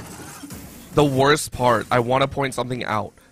Aaron had a stopwatch in pocket. They were gonna get, try and go for the oh. stopwatch, potentially even look for a little bit extra, and, and that's this is the find on opponent. This is actually a very good catch, I think. However, look how long he actually survived for. He drew enough time for the rest of Purdue to actually start pushing on the top and mid lane. Yeah, I think that's good. They're sacking that for the top of mid lane. They did get flash and exhaust out of the Ezreal, so that is a big deal. And they lose a lot of the poke potential. But actually, Oh, they found. Aaron. They found it again. Aaron's, Aaron's dead. dead. Aaron stepped up too far on the back end. There was a teleport. Meslo tried to get in, but it was routed by ISO. ISO. There goes the shadow. It goes a little bit wide, but it, it was still there. Aaron, the third time this painful scenario keeps happening. It's gonna be the ADC dead once again. I mean, it's just, it feels like every time Grandview get a win, just somewhere else on the map, Purdue Northwest is getting another win. And sometimes even a bigger win. Getting that kill onto Aaron is such a big deal. Again, just hindering the Aphelios from getting to that point where they're going to be able to carry with four, like, with four items, with five items, and I think that, again, the thing that's so good about Purdue Northwest is just their ability to just go on to someone. You know, with a Xin Zhao, with an Aatrox, with a Vex, just rush at someone. And Aphelios, if there's no Thresh in their back pocket, what other peel do you have? You don't have any. It's just the Thresh who has to keep Aphelios alive, and there's only one Lantern. you also have to feel that Grandview are getting a bit too antsy here. The plays that they're making a bit too aggressive, too gambling. And I was saying it at the beginning, right? Aaron had a stopwatch in pocket, bought it, had to use it, and sold it. That means no GA for the time being. And at this point, I feel like, that's what you kind of need you need a way to stay alive after you get bursted because no amount of trying to stay alive with the lifesteal is going to help. You can see there the gold lead has swung immensely back into Purdue's pocket from a 5k deficit to now a 3k winning side. That is an 8k difference that they have molded over the last 12 minutes and you can see the pings are coming down towards that Baron, just trying to get as much vision as you can around this Baron, threaten it as your win condition, but they do have to be incredibly careful because on the other side, Dragon Soul is going to be available in a minute and 30 seconds, so there's going to be this kind of back and forth decision making that Purdue Northwest is going to have to make to decide if they want to go for, you know, if they want to stop Grandview from getting Soul or go for the Baron. It's a test. And at and at this point, Grandview are just struggling to find an answer. It's it's the final final page of the test, and they are struggling. It's a, it's a long paragraph answer. You got to write at least four or five sentences, and they're stuck on sentence one. They did the rest of the test. They had such a good early game, but closing it out is the problem, and time is dwindling down. You can see the itemization three and a half right now, about to be four for the opponent. I do believe that is going to be an LDR built up. Now actually catching up to Aaron's build path it's going to be scary. If Aaron dies one more time, I feel like that's going to be game because at 32 and 33 minutes, death timers are in the 40 to 45 second range. Yeah, and now Dragon is up in 38 seconds, so that's going to be where I think this this game is going to be decided here. If this is a win for Purdue Northwest in this team fight, I think death timers are going to be so long that they could. Oh, win, but Aaron! Oh, oh my God! ISO! You isolate the ADC, and they're just gone. I can't. Aaron just didn't get to play League of Legends right there. That was brutal. I mean, ISO. Who else can you ask in this moment to just secure yourself a dragon? They're going to be able to get it, and then can potentially convert this into a Baron on the other side. Purdue Northwest look like they are poised to take the first series away from Grandview here. They have a 4K gold lead to work with. Truck this on over to the Baron and start taking that one up. I'm I'm in shock. I am in shock with how ISO is playing. It's it's this is now a horror game. This is a terrifying horror game that off screen you have to watch for oh. a shadow out of the fog of war. They're baiting it. And pray you don't get hit. This is going to be baited a little bit. Now, I, I do believe there is some uh, some visual bugs that sometimes can give you the cue, but I don't even think you can challenge it. This is going to be Prankuru shooting a shock blast in. You get some information, but it has to be Lee, Colthrow. Colthrow has to oh, steal. Lee, Lee's going to try it. It's down to about 4K. They actually pull off. They say we can't challenge because they just want to go kill again. They found Prankuru. ISO's just on a rampage. 5 1 and 5. It's all ISO. I mean, it's all ISO all the time. ISO is absolutely oh, no. unreal. Oh no! Forward. Aaron, Aaron misses Moonlight. Aaron jumped in. That's gonna be the dark passion being used. They found him again. He does get out. He uses the guns and the flash, but Meslo's left alone. Meslo's the other one that you want to catch. Meslo has to get over the wall. They do get out. ISO looking for it, but this might have been a little bit too deep. Stink is gonna jump in. Does have the GA. No one falls just yet. It's only Prankuru at the very early start, but this time you burn every single summoner spell on priority members. Purdue Northwest have earned their keep. The Shadow Assaults are so good from ISO, and you can see he's just zoning, waiting patiently for the Lee Sin wherever they're going to try and come over that wall and try and take them down. Colthrow has to be the hero here and try and steal this. The Q has timed out. You got to land another one. Are you going to go in? They're slowing the timer down. Rest over the wall. You do not get it, so Colthrow has to get out is able to stay alive. Rest of the team was there to try and help out, but you burned that flash. There are only two flashes left on the side of Grandview for the next, I would say, about three and a half minutes. Pluto and Prankuru are the only two that are allowed to flash away. I mean, fantastic zoning as well from ISO there. I mean, it feels like we're talking about ISO the most, and with good reason, because ISO is just doing everything correct, it feels like. Laning has been great. The way that they've been taking these team fights, the picks coming in from the Shadow Assaults, just absolutely unreal from ISO, ISO, and now in 2 minutes and 30 seconds here, Orbital, that's where this game can potentially turn completely on its head and we'll decide who the winner is because that's going to be the Ocean Soul. And I think whoever wins that team fight is going to be able to take this game. And I mean, with the way that the team fights have gone for Purdue Northwest, I definitely think that they are going to be in a great position to win. When you look at the other side for Grandview, no flashes besides Mikuru and Pluto, none of the rest of them have any flashes. No Lee Sin flash kick is going to be possible. Aphelios doesn't have their flash or cleanse. No flash from Meslo. It's going to be a fight that, in terms of summoner spells, Purdue Northwest is going to have an advantage of on top of just their ability to team fight. And I want to say, with the ability, summoner spells, everything, the levels are also dipping into Purdue Northwest's favor. You look down the line for Purdue, level 18 on three members, level 17 for Stink, and then level 13 for Udon Budon. Yeah, that's that's normal. Udon Budon, yeah, you're a support. You're fine. You're matching Pluto. You can see here the gold, though, being leveraged so heavily in their favor, and I think we can take a look here. I, I That, that scoreboard is just having a lot of fun. 16.1k for Aaron, who is still topping the boards, but the Poner just feels like they're outputting so much more. You can see that it feels like bargain, but the lower cost build for Ezreal allows them to be so much uh, to be online so much faster. And I mean, as well as like he's he's still pumping out a lot of damage. Like it's one four and seven Ezreal, but he's still like hits like a truck. Like if he hits one Q onto Aphelios specifically, like Aaron's just gonna melt. But Aaron is starting to, you know, is about to have five items. Is opting in for the Hex Drinker, I think, is their last one. Or no, just has the Hex Drinker in their back pocket. But I think the the Vamp Scepter is going to probably go towards that BT most likely, and we'll just see which one he decides to complete first. I think BT would be good because you get that extra shield and survivability against all this poke. So, as the Baron pushes forward, we still have to keep our eyes 30 seconds on that dragon here, Orbital. That dragon, the fight around it, will decide the outcome of this game. You are flying blind. If you are Grandview, they're going to throw it up, though. Flash. You got oh. flash.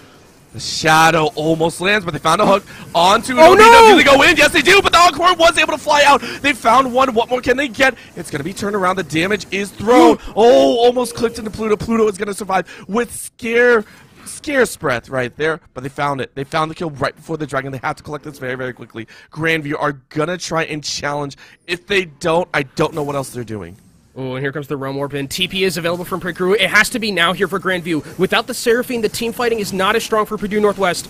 They're gonna go in for the seal. Do they get it? No! Oh, it's Ezreal! He got the soul! He got the soul, and now the fight's gonna break out. Down goes the GA, but Soul and Solendric is gonna go straight into the back. Aaron is very, very low, but the chase is on a different side. ISO still has raw damage, and it Aaron's looks like Purdue are closing in the ranks. That's gonna be three. That's gonna be four. Triple. Four to Poner. Pluto is trying to run away. The TP into the face is gonna call the game. Purdue Northwest are absolutely in it. They have walked in. They gave us a show. They took the soul and are gonna take a 2-0 victory. Grandview Vikings. Their assault has not worked. Their perfect record slaughtered.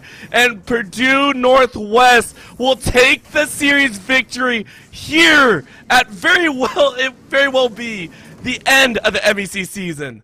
Purdue Northwest, David beats Goliath there, Orbital. What an absolutely unreal performance from them.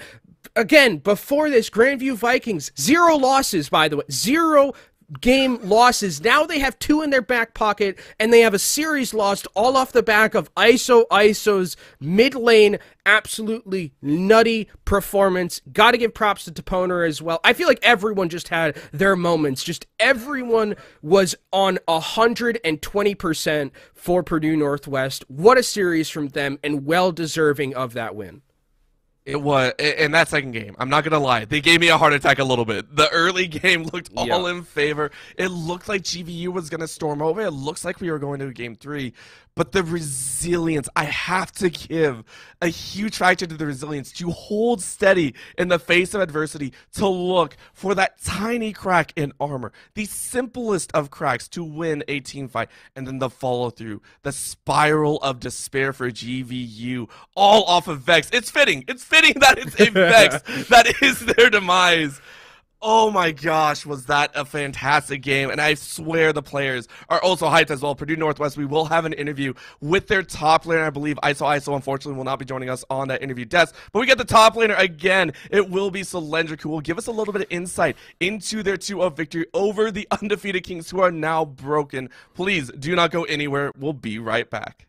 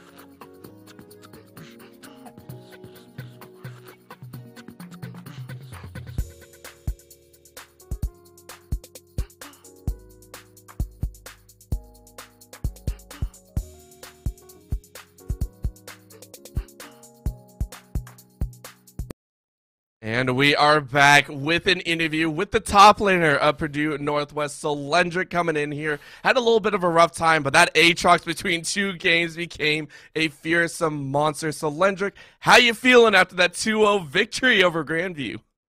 I'm feeling fantastic, actually. I've been dreaming about this for the last two days.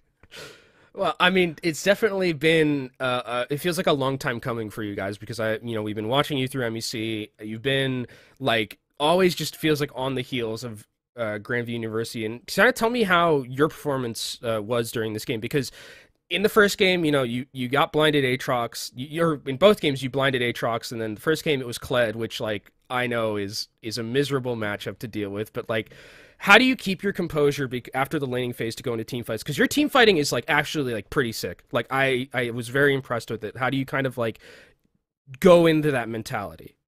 Well, if I'm gonna be honest, it all started when I joined play in general. Uh, my coach, uh, who teaching me everything as we go day in day out, taught me how to be defensive, how to keep calm, and I have to really just give all the credit to my coach, because that's the only way I keep my mental. I know it's gonna be fine. I can trust my teammates, and I know we can just work it out. If I'm weak side, it's fine. I've learned how to do it, and we're just gonna take each step one at a time, and then get our way to victory. And those steps were perfect. I mean, game one, we saw you come out of the gates, really taking it home after kind of a slow early game. Game two, Grandview really turned on those burners, right? The Jets were on in the early game, but I mean, it seemed to shift. And, and you guys, how has that mental spread across the board? I mean, we have to talk about ISO ISO, right? The picks coming through. What were the comms like during that? You must have been going a little bit wild. I'm gonna be honest. ISO ISO, his calls are fantastic, especially for team fights. We're pretty much going off of him when he's directing those. He is by far like the best team fight player we have on our team. And just managing all that, we can we know to trust him. I mean, yeah, it definitely seems like ISO ISO is a def, is a person who it is good to put trust in. Now, I I do want to ask you, Solendric, and be as like be as like filtered as possible when you tell me this. What was it like at the end of the second game when you guys won the fight by Ocean Soul? Like what what were the comms like? Like how hyped were you guys? You know, you don't have to tell me everything because we obviously got to keep it PG. But like, to walk me through a little bit about your thoughts in the comms there.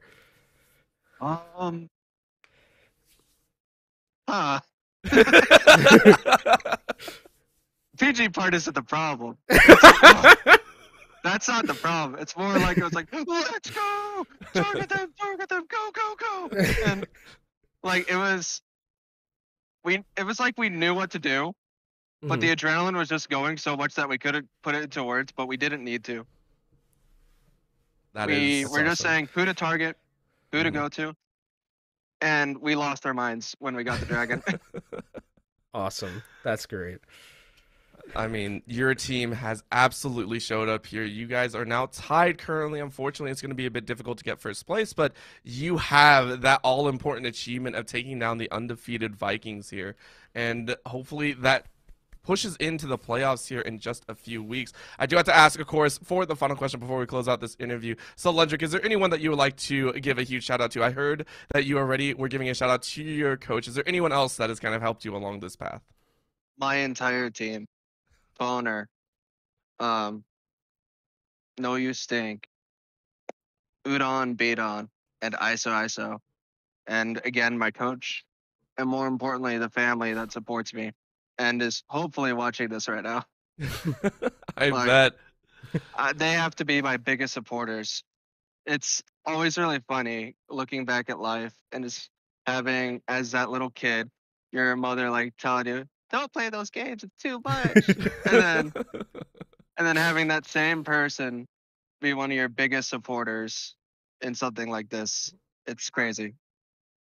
I 100% agree again. Congratulations on the victory. Go ahead, celebrate with your team as you guys have crushed it here in the week six matchup. Again, Solendric, thank you so much for the interview and congratulations on the victory. I hope you all have a nice day. Thank you for having me. You too. Of course. And with that, we'll go ahead and close out this series number one. But if that series is any indication, we have way more games to be played and potentially more upsets on the path as our next series of the evening will be Arkansas Razorbacks versus Illinois College Esports. It'll be a rematch to see if Illinois College can go ahead and get a little bit of a tied head to head score. Don't go anywhere. The MEC will be right back in just a few minutes.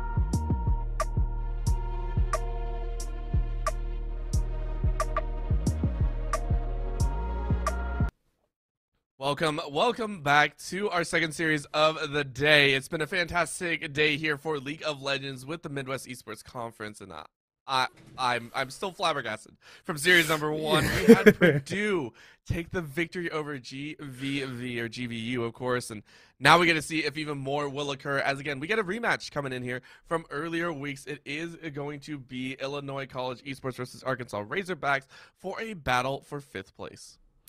And I mean, the thing about these two teams is we did see you and I casted University of Arkansas yesterday, Orbital, and we did see um, some difference in terms of how they played both of the times. We did see a Jinx that got, I think, at the end. 20 kills, I believe I look at trees ended with that. So, uh, a lot of quirky Jinx. And I think that you know, for both of these teams, there is still a lot to play for in terms of that seeding, like you were mentioning, right? I think they're both two and nine, uh, and they want to get kind of that edge over the other one. I think this is going to be a very close series between these two because University of Arkansas looked so good yesterday, and I think Illinois College also had some good moments in their matchup. So overall, I think this this should be kind of a decider of like who's a little bit above the pack in like that fifth place, right? Like right in the middle is where I would say that this is where most of this will go. It is. It is going to be that chance, and also in the head-to-head before, right? It was uh, the Arkansas Razorbacks. That was their only win for a time being. That was their only win. It was over Illinois uh, College, and and that's going to be looming on the back of their minds as well. With everything pretty much on the line, the tensions are running high. And as you said, looking at that bot lane, that Jinx came through one too many times, and I think I like trees is someone that we really have to look at as being kind of that focal point. We were talking yes. about the mid lane being there as well, but I, I, like trees. Played out of their minds, was capping, uh, getting caps all over the place with all those kills and yep. making sure they were carrying with that jinx. Yeah, I think I look at tree. I look at trees had four triple kills in their game yesterday, which is a lot. You usually see like one or two of those, but on Jinx, I mean, anything can happen as soon as you get those resets and kind of really get going. So I think I look at trees with someone who I was really impressed with. Kid Quill, I was also very impressed with as the jungler coming in, who had a magnificent uh, performance on Jarvan specifically. I think that the way that they were able to get into these engagements, help out the bot lane as well, I think it was all really, really fantastic from their jungler. And I think that jungle early game play is going to be impactful in this series as well. It is, and looking over for Illinois College, uh, this is a squad that unfortunately they also had to play against GVU, I believe, yesterday. Yeah, that was that was and, a very yeah. painful one, and so yeah. at this point we know that they can be beaten. That's still not standard. That is not a standard situation. So Illinois College still looking for one of their victories as we do get into draft here. It is going to be University of Arkansas on that blue side. And it is going to be Illinois College repping that red side to kick things off here for this first game of the best of three. And with kind of these drafts and what we're looking at, we did see in the last uh, in the last series that we saw between uh, University of Purdue Northwest and Grandview University is that there was a lot of priority specifically on Xin Zhao going first. I don't think we'll see that this series necessarily. I think what we saw from University of Arkansas yesterday is like the Jarvan is the one that likes to go first. So I think Jarvan is definitely something that both of these teams have to look out for. Hecarim and Udyr are also things that are creeping up in terms of priority, as you can already see Udyr taken off the table. That's definitely something that is coming back into the meta, which I'm I don't know if I'm happy about because I wasn't the biggest fan of like the full clear, like always, you know, jungle meta like that. I don't know. I liked it because it meant my lane did not get punished until like level three whenever I pushed without any uh, so I mean, know, okay, you a... get that. You get that. That is true. That is true. You do get that. that that's just me though. That's just me. Hundred percent. That's just me. The Anivia though banned away by IC saying, "Hey, listen, we don't want Lazy Lambo on that champion that can really disrupt some of those team fights." But a double jungle ban. Arkansas Razorbacks giving a lot of credence and credit over to that Xin Zhao that, of course, in the first series of the day played a massive role, so Holmgren is not going to be able to pick that one up. And I think as well with whenever you play against University of Arkansas, as you can see already in the bans, there's an Anivia gone and there's a Veigar gone. You have to respect Lazy Lambo on both of those champions. Those are like pocket picks specifically for Lazy Lambo. And it's interesting because you always have to think about how difficult it is to ban against University of Arkansas because of the fact that you leave over so many good power picks, especially going over on that B1 side. Like Veigar and Anivia aren't really things that you usually think about B1ing. and now you leave open like a lot of the AD carries specifically to go there as well. It could be Aphelios, Jinx, Zeri, a lot of these high high priority junk or ADCs, or you leave open Hecarim, which is another thing that we've seen B1 a couple of times. It has been, but of course we know what Arkansas does like to try and run. This is again a standard for a lot of those supports. A lot of them that like to try and not show their hand as much either. The Karma will be first picked with a flex between top, mid, and support. I still think that is going to go into Sir Tuttle's hands as he has played it in his previous series. And I think on the other side, we do have to mention that there is now the ability to take Aphelios Thresh is like a possibility. Hecarim also now is something that can be opted in for. Lulu's not here, so that means that one of these one of these teams will not most likely get an enchanter in that bottom side because usually you see Lulu comboed with like Jinx or comboed with uh Aphelios is the other one as it's Hecarim and Yuumi, a extremely deadly combo in the mid late game, and this tells me also that like Ezreal is probably the next option for temporary uh, or for the next pick in like the ADC, you know, Yuumi Ezreal is good, can stay in lane perfectly fine. Yuumi Jhin, I think works out well too, but this is going to be a very strong horsey galloping through Summoner's Rift. Kenobi, Kenobi, do we think that's a mid lane Yuumi? No, there's no shot. No, if it's mid lane Yuumi, I walk off this desk. There's no. You way. heard it here. If I see put temporary on that Yuumi, it I- will be out, and I- that will yep. be a I just- hilarious I leave moment. the desk. I mean, We're I- done. I- see ya. Headsets off. I have heard that there is like whispers of dark tech and dark magic of like Yuumi going top lane or mid lane or something like that. But yeah, I don't know if it's I don't know if this is the time for something like that, right? As on the other side, just a very standard Jinx Jarvan. You know, we did see we did talk about Kid Quill being extremely potent on that Jarvan yesterday, alongside basically I think the same bot lane that they had with which was the Jinx. Uh, it was Jinx Lulu instead of Jinx Karma, but Jinx Karma also very strong um, abusive in lane as Ezreal locked in to go alongside the Yuumi. So very standard draft already from Illinois College, and I mean same thing for University of Arkansas. It feels like everyone's getting what they want at the start of this. It's just their comfort, right? Coming in with these lock-ins is also a very mirrored matchup uh, as well so far. The mirrored picks so far, meaning you can't pinch a singular pool unless you're very confident in your mid or top laner. So far, it is going to be pinch of that mid lane. Still, keeping with the theme of the day, which is Lazy Lambo gets to hopefully not be lazy, as uh, it is three bans thrown into that mid lane so far. Arkansas wondering if they should target that top side or not. Whichever one they do ban out will most likely be left for counter pick. I think is the way that it's probably going to go, just to make sure Usopp in that top side does get the matchup that they want. And one of the other things as well is like Malphite's being taken off the table, so that's mm-hmm. that's a good ban because like Malphite with like Hecarim and Yuumi sounds miserable to play against, to be honest. So like, mm-hmm. I think it's a good ban. I think as well now you're going to continue to pinch the mid pool for Illinois College here. Viktor was something I was thinking about that could combo well alongside this. There's four mid lane bans for Lazy Lambo. That's how much respect they've put into him, and now you're left with like kind of not necessarily the most potent in terms of the mid lane, especially now with Ahri being off the table. This leaves you with like Syndra, Orianna. I think would be a decent pick here because you can combo that along with uh, the Jarvan, like a ball delivery system. You still have the option, yeah. So there's Orianna, I think, and then in the top side you have something that can dive in with. I, I think now you need something that dives in with the Jarvan if you're gonna, be, which like Ornn, I think I wouldn't mind something like that. Ryze, I think, is a fine pick, but Wukong is definitely something else that works well. I think Silver Dream actually played the Wukong to very good Yes, efficiency in the did. first series of the day uh, before. So this one should have been kind of on our radar, but still, that that leaves the same situation up on top side. Usopp is going to get a great counter pick, and we saw this one as well. I think we saw Darius run rampant over previous years. I think it was specifically uh, Arkansas that also did this. Uh, Arkansas, Yeah. I, I think, um, basically got a counter pick, and Silver Dream said, "Hey, I win."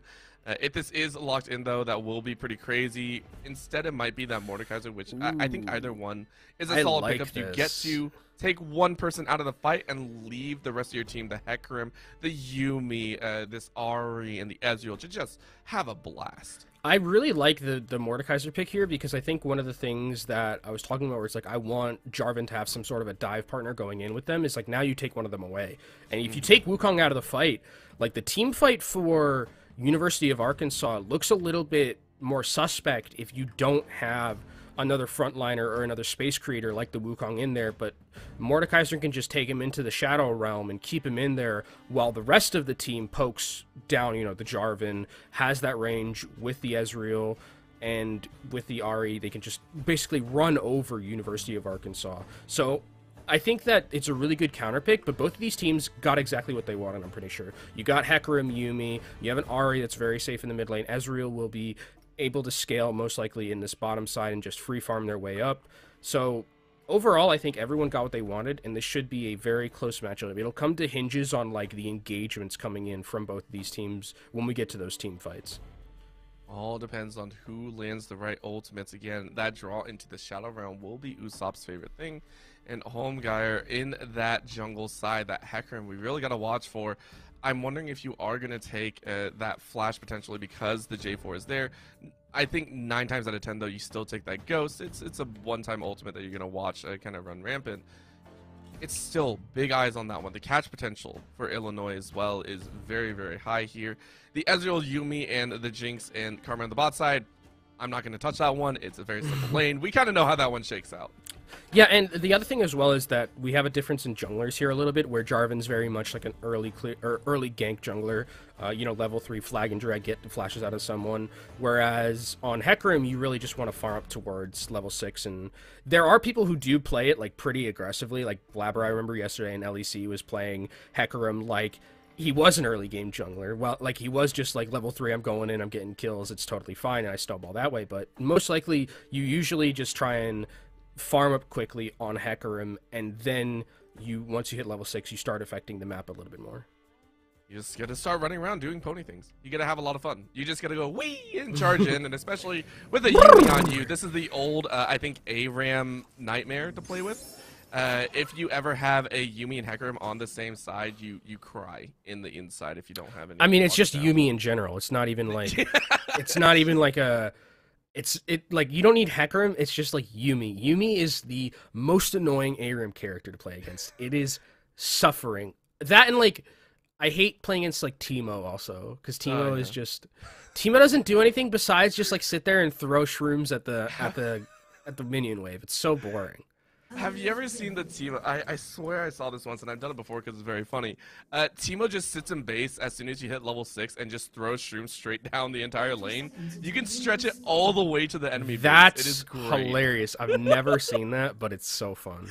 it's the dumbest thing I think oh, I've ever done. One of the things I've done so with someone is I saw this I saw this combo once where it's like you play Thresh and you play Sion, and oh, Sion. So Thresh hooks one of the minions, and then Sion ease the minions, and the Thresh yes. follows it, and then you flay them backwards. It's so fun. There's so many fun combos that you can have. I swear. Um, ARAM is the best game mode. Let's let's just be real. Can we get can we get ranked ARAM? Just screw it. I dude, I've been saying, dude. Oh my god, I would play so much ranked ARAM. Oh man, I I I am if you're talking about ARAM, my my thing that I am upset that they didn't bring in is the fact that we could have had 1v1 and 2v2 maps specifically, and it never got greenlit. I was so upset that that never came true. Also, while we're at it, bring back Twisted Tree Line. And uh, yeah, but don't worry about Dominion. I think we're okay with that. Yeah, yeah, I'm fine with Dominion. we're good. We're good. All right. Nemesis so Draft Two. oh man, looking at it though, we are taking a look here as the early start to the game is pretty much what we expected of course, as uh, we do have that Hecarim running that Ghost. It is going to be fairly standard, but an early little Bush Cheese as Subsidize is going to get tagged up does mean that that Potions might be getting chugged here early. And while it is relatively strong for Ezreal Yuumi, like in lane, and it's relatively safe, it is susceptible a little bit to a dive. So that is something that they will have to worry about. Jarvan coming in here, a lane stacking up, and then taking the Ezreal out of the equation for the lane. That is something that we have to keep an eye on going forward, especially with the Jarvan pathing towards that bottom side. Hecarim, just doing what Hecarim does in the early game, full clearing, making sure that they're getting all of that XP, resetting their camps on time, and then looking for gank opportunities. Slow and steady sometimes wins the race. Of course, on the top side, top side, Usopp is uh, trying to lay down the beatdown. Silver Dream is uh, having some fun getting the mallet on the top of the head. And, uh, keeping up in CS though, so for all the bullying that Usopp is throwing down, Silver Dream should have a fairly healthy wave to CS up under the tower. I mean, this is kind of what Wukong just has to deal with in the early game, just getting, you know, losing lane, essentially, is what happens, because it's not fun to play Wukong in the early game. Once you hit level 6, that's really when you become a champion, get that Divine Sunderer. It's really, that's the breaking point for someone like Wukong, is actually Mordekaiser, as you can see, has left the lane and gone and put a ward towards that top side, so they will know where the Jarvan is at all times, know that Jarvan's most likely towards that bottom side, and can give that info to Subsidize and his partner in the Union. Subsidize also just trying to eat up that damage, or hoping not to, I should say. Scuttles will be taken, uh, respectively, by both junglers, and so far it's been dead even, right? No real standout moments, no real standout tags. It's been that quiet start, and I feel this does lean into Arkansas's favor a bit. Again, they do have fantastic scalers. They have a really good time here, and Temporary actually is going to have to Ooh. burn the flash as it is going to be Kid Quill making the first entry. Yeah, that's well played from Kid Quill, getting flash for flash. They're always better to trade the mid laner's flash for a jungler's flash. That's something we take it nine times out of ten. But here comes Holmgar in. And that'll be the ignite, but Oh, he blocked! back means that it's gonna be shut down. Oh, Kid Quill No might fall way. here. The smite does nothing. It doesn't heal you off a minion. Hunger takes that first blood. That was crazy too, because the dive was coming in from the Jarvan with the flag and drag, but it was stopped by the Hecarim and by the charm of the Ahri, and it en- ends up being a one for zero for the favor of Illinois College here, and now they'll push in this wave and. Jarvan's now a little bit behind. Sure, they did get the flash, but they're losing a kill, and Hecarim will take that and will start to snowball like we know Hecarims can do. That just that set of events right there has to leave Kid Quill a little bit worse for wear here. Again, losing out there, went for the first game, got the flash, and then temporary burning that ignite early, kind of scared Lazy Lambo into cheating down towards that bottom side. Great effect being put in as it will be about a 600 gold lead for Illinois College, and that'll be the Hecarim actually going back for pretty solid items as you see Kid Quill being forced into that Ruby Crystal and Longsword. That's all you're allowed to really pick up. And Hongar actually hasn't even backed yet, so Hongar's just like, I'm just gonna farm. Like, I got a kill. I know I just gonna be able to clear so effectively strong, and my camps are all reset, so why don't I just go grab those camps, get them to reset, and when I go back, I'm gonna have a huge buy and be so far in the lead of the Jarvan, because he's not gonna be able to keep up with me. So close to level six already as well. Like that could be, that could be Kid Quill getting a very nasty surprise. Uh, around some of those global objectives. However, the lean towards that dragon first.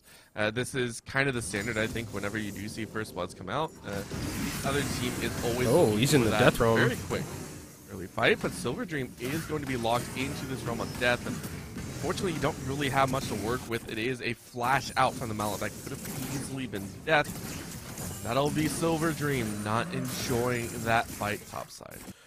And through all that, all this, I mean, Holmgar still hasn't backed, which is interesting. But with the dragon going down, he's like, okay, well now I can just go into the Jarvan's jungle, and they actually are going to look to potentially dive the top lane. You can see Ahri is moving up there as well. Here comes Holmgar.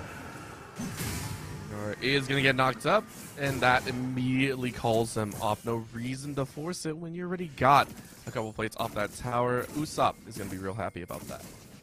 Yeah, and they're still staying up here. I mean, I- I'm shocked that Holmgar hasn't backed yet. I mean, with the dragon being taken, Holmgar's kind of like just trying to take as much as they can away from the Jarvan right now because they know like the Jarvan is going to be relatively behind in terms of just the wave clear that or the camp clear that he has. So I think now this is when Holmgar will finally start to get that back, and he's going to be very rich on this Hecarim.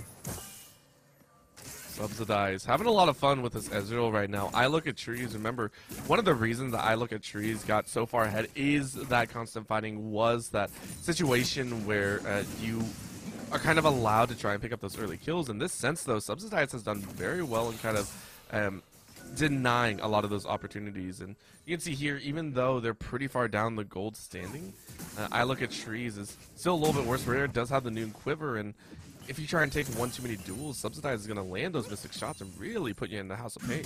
Yeah, and I mean, realistically here, if you stay even, that's pretty decent as well as you can see Homegar still towards this top side looking for a potential engage onto the Wukong. Oh, the E is out. That's not good for Silver Dream. The clone's not going to do too much either, and you don't have much. Nice. The fear brought back, and they're going to go ahead and try and dance it out, but don't want to take the chance again. Usopp did have flash, but at this point, the tower's hurt just a wee bit too much. Usopp, though, did go the Bramble Vest. I would like to point that out.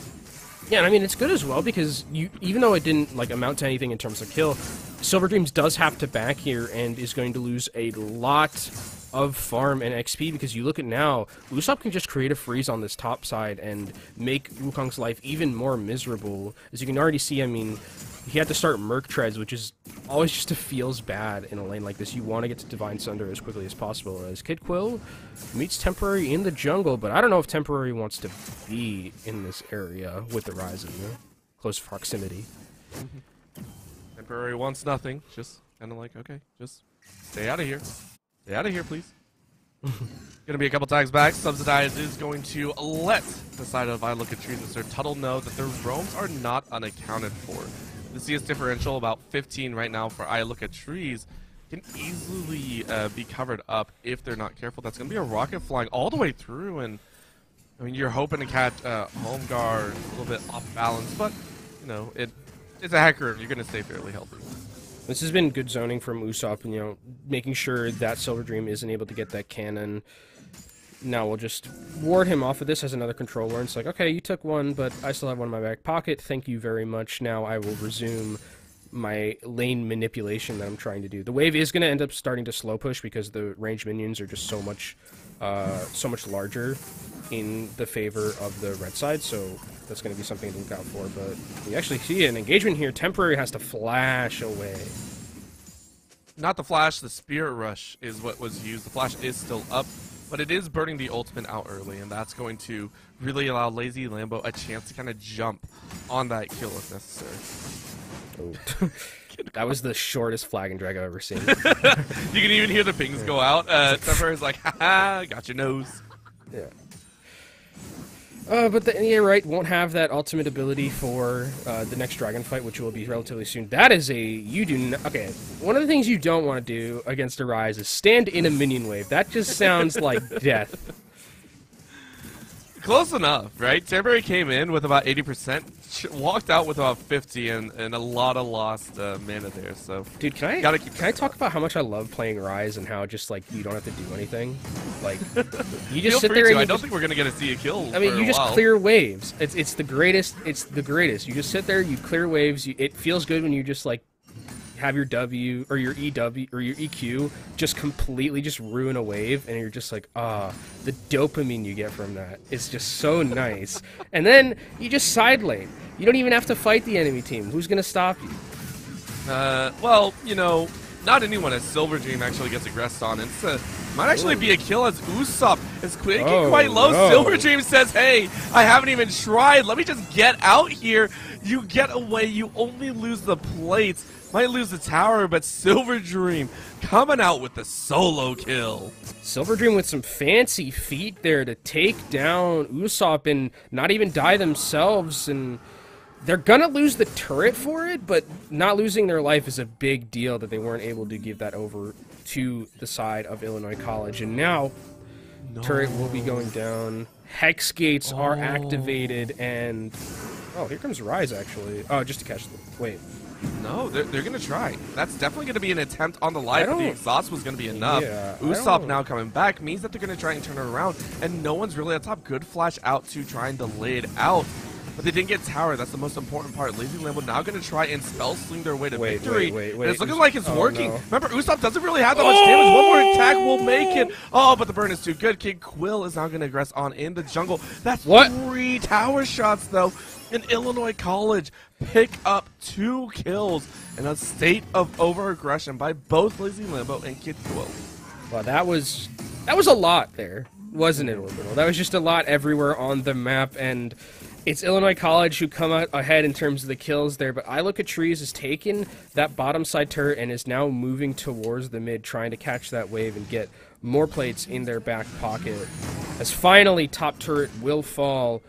And just in time for Rift Herald to be up relatively soon here for both of these teams. Now, if you're University of Arkansas, you can start, or Illinois College rather, you can start getting that vision control towards this upper quadrant of the blue side jungle. Just a interesting set of circumstances there. Arkansas feeling like they had the play, and honestly, Silver Dreams did a really, really good job. If uh, if Lazy Lambo hadn't gone that aggressive, I think they would have still had tower. They would have still had an opportunity to try and get that first brick on the bot side. Just interesting overall. I'm very curious about uh, kind of what the calls were uh, right there for the side of Arkansas. Illinois College, of course, being able to reap the benefits. One kill on the Mordekaiser, one on the Hecarim, and one on the Ezreal. It's only temporary. His mid lane carry that hasn't gotten a kill yet. And just zooming out a little bit in terms of what we have in itemization completed, we do have the...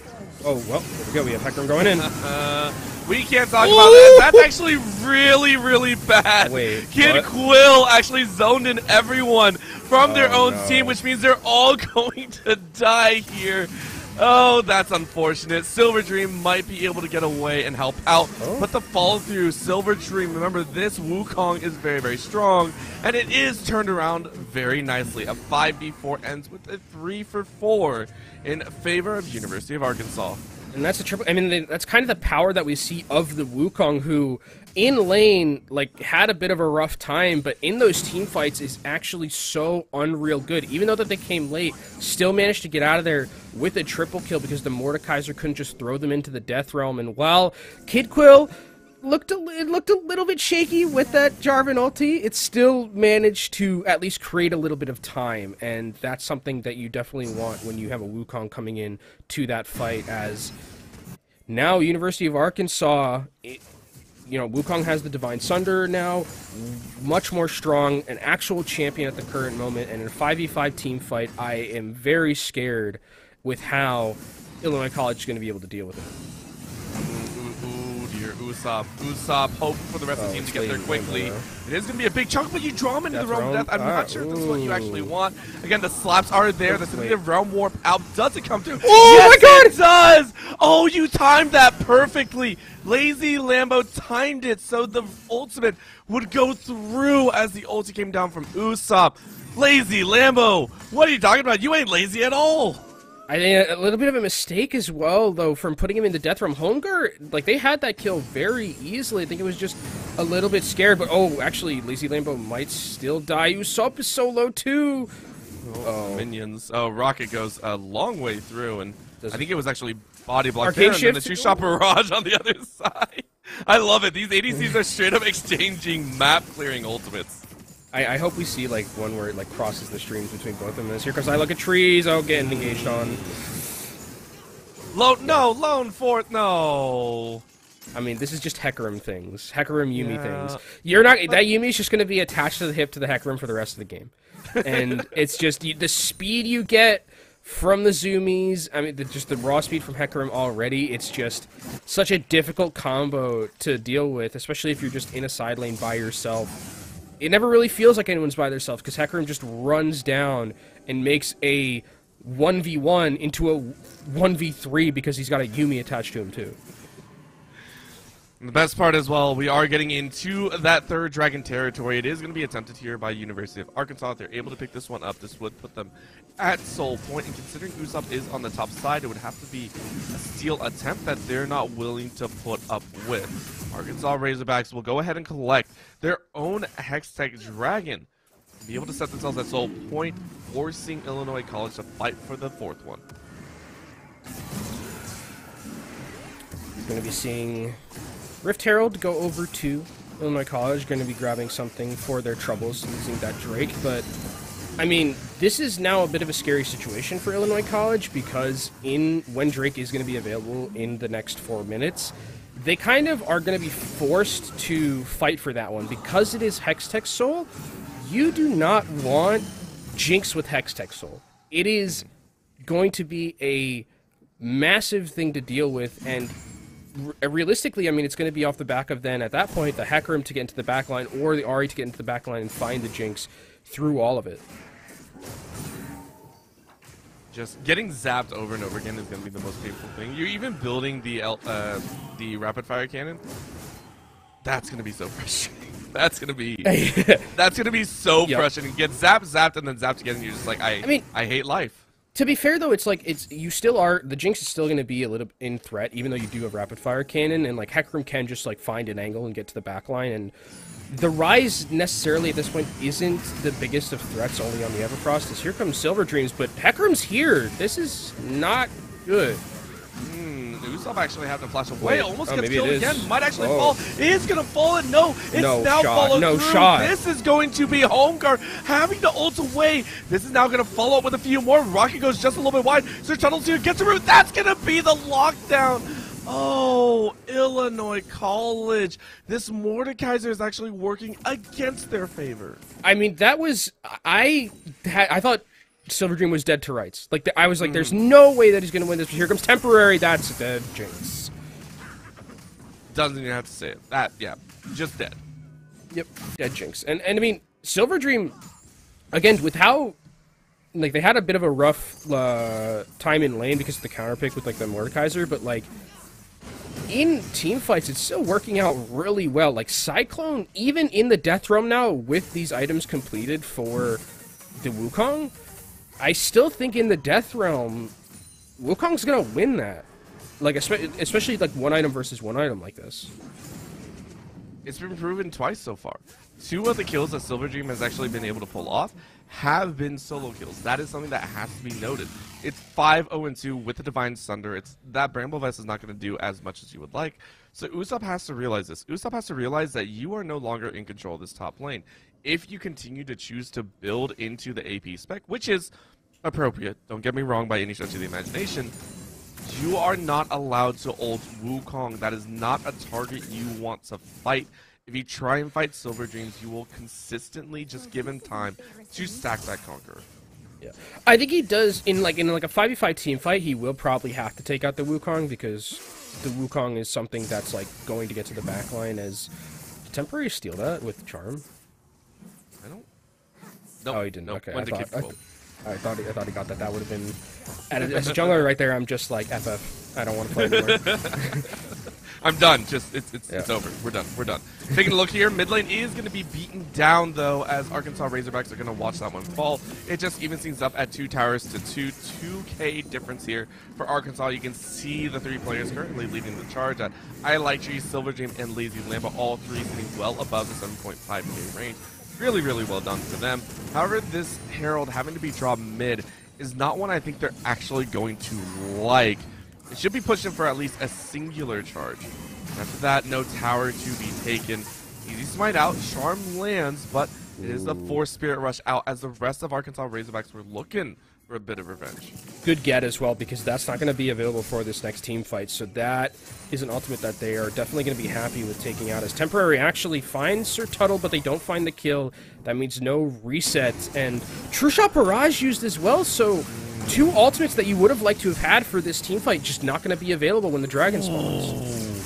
And Lazy Lambo dashing out of that flash, and that is going to be home guard dead. This is an all-in attempt by Illinois College, and it backfired amazingly well. That is going to be Arkansas Razorbacks shredding through the opponents as they steal away an ace and look to claim the dragon as well. Yeah, I mean that felt like complete desperation there for Illinois College and like forcing the issue where it's like they use those ultimates early. They know Dragonfight's going to be up soon. We need to make something happen in the mid lane, and unfortunately, they just did not have the staying power to deal with it. University of Arkansas will now take this for this turret. Will go back, get Hextech Soul, and this game becomes even more of a tough hill to climb for Illinois College going into the late game.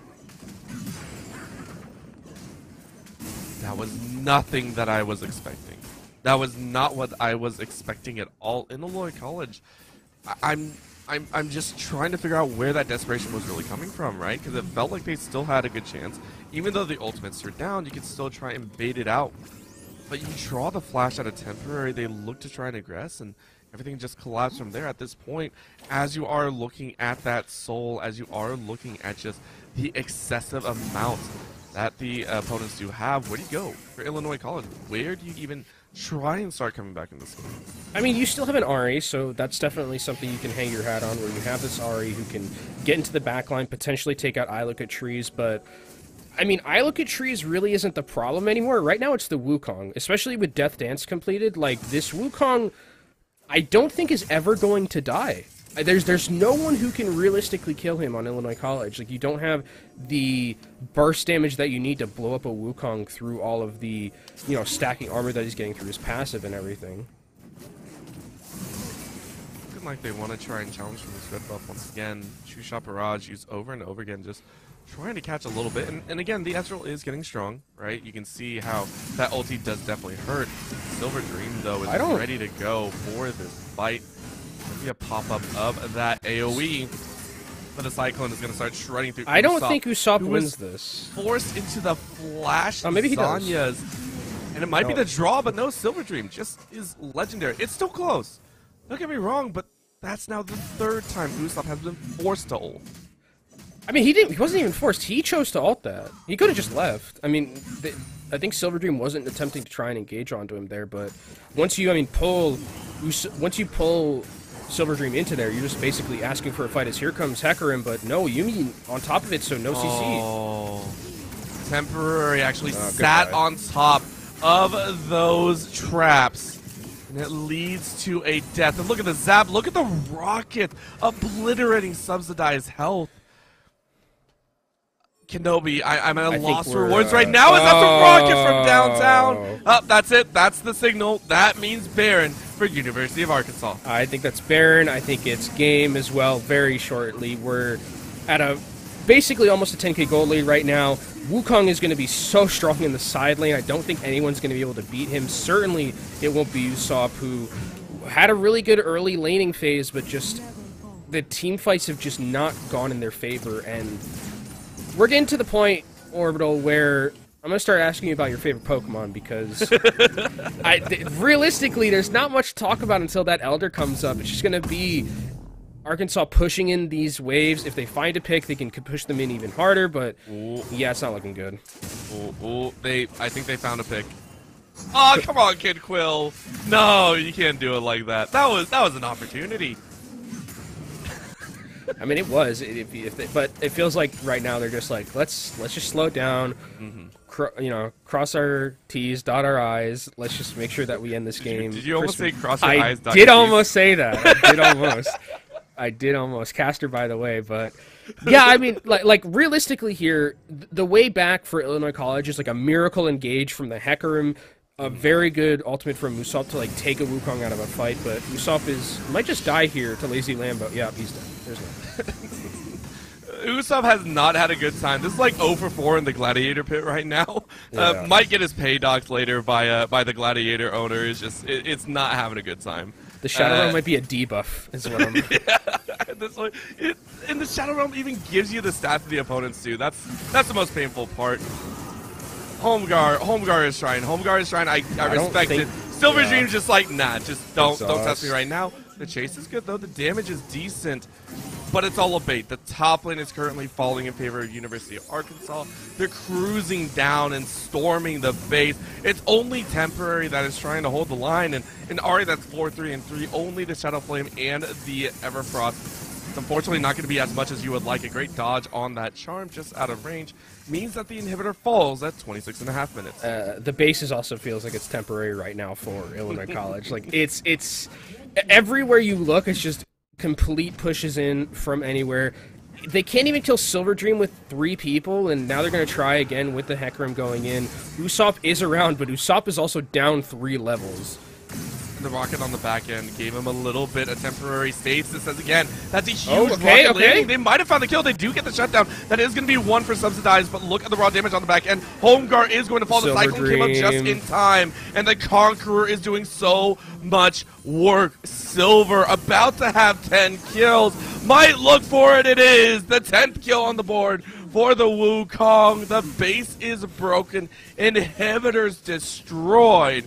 And even more so to come. It looks like University of Arkansas are willing to continue pushing. They have no reason to stop as the Baron buff is still on for another 10 seconds. Teleport to keep the minions healthy. Kid Quill, um, Kid Quill went in just for a little bit of style and actually allowed Subsidize to get an extra kill. It should be over though. This should be the finisher. It's gonna be the root. It's gonna be the Everfrost to close it out as Lazy Lambo takes a fifth for themselves as well, and it is only right that Silver Dream gets the killing blow. Silver Dream with a phenomenal performance on the Wukong in that top lane. 10 0 3, I believe, was the final kills for him on that scoreboard. And what an 11 0 3. So got one more kill on the back end. But man, what a it, I don't want I, I don't want to say top canyon, but it it was pretty good when it came to those top lane fights that we were having. Wukong just as soon as it got like that triple kill in a team fight, it felt like the Wukong just like took hold of the game and never let it go. Big props towards that top laner for University of Arkansas who take a 1-0 series lead. What's even crazier, I have to add on top of that, is that the Mordekaiser was the counter pick. We were seeing Yeah. that Mordekaiser as an answer, and rightfully so. In, in some instances, that Mordekaiser would have been great. But taking those early challenges, those fights not going in their favor, as a Mordekaiser, you have to be ready for that. You have to be ready for the opponent to be able to juke out all of your abilities. Yep. And it happens. Silver Dream making it look like it's going to be a golden dream here if they're able to take off this second game as well. Please don't go anywhere as, again, more MEC action is going to be coming towards you thanks to our lovely, lovely sponsors here. We have so many fantastic names bringing in so much awesome action. Atlantic, Tipalti, Skulls, and Gangster, thank you so much for all your support. It allows uh, Unified to also bring this amazing League of Legends actions to you over at Drury University who are enjoying that um, that current LAN event. You can go ahead if you want to get any of the gear and support Unified. You can see it over there on Skull's website under the Unified tab. You can get a jersey, you can get a sweatpants set, you can get a sweater, you can get a flag, or even arm guards for your arms that might get cold while you play uh, in your room or anywhere, even in other LAN centers. I think uh, they keep the temperature really, really nice and cool to make sure the PCs don't overheat, of course, and all that fun stuff. Of course, we're going to go to a very quick break. Get ready for game number two, as well as Illinois colleges. They look to try and push us to a game three. Don't go anywhere.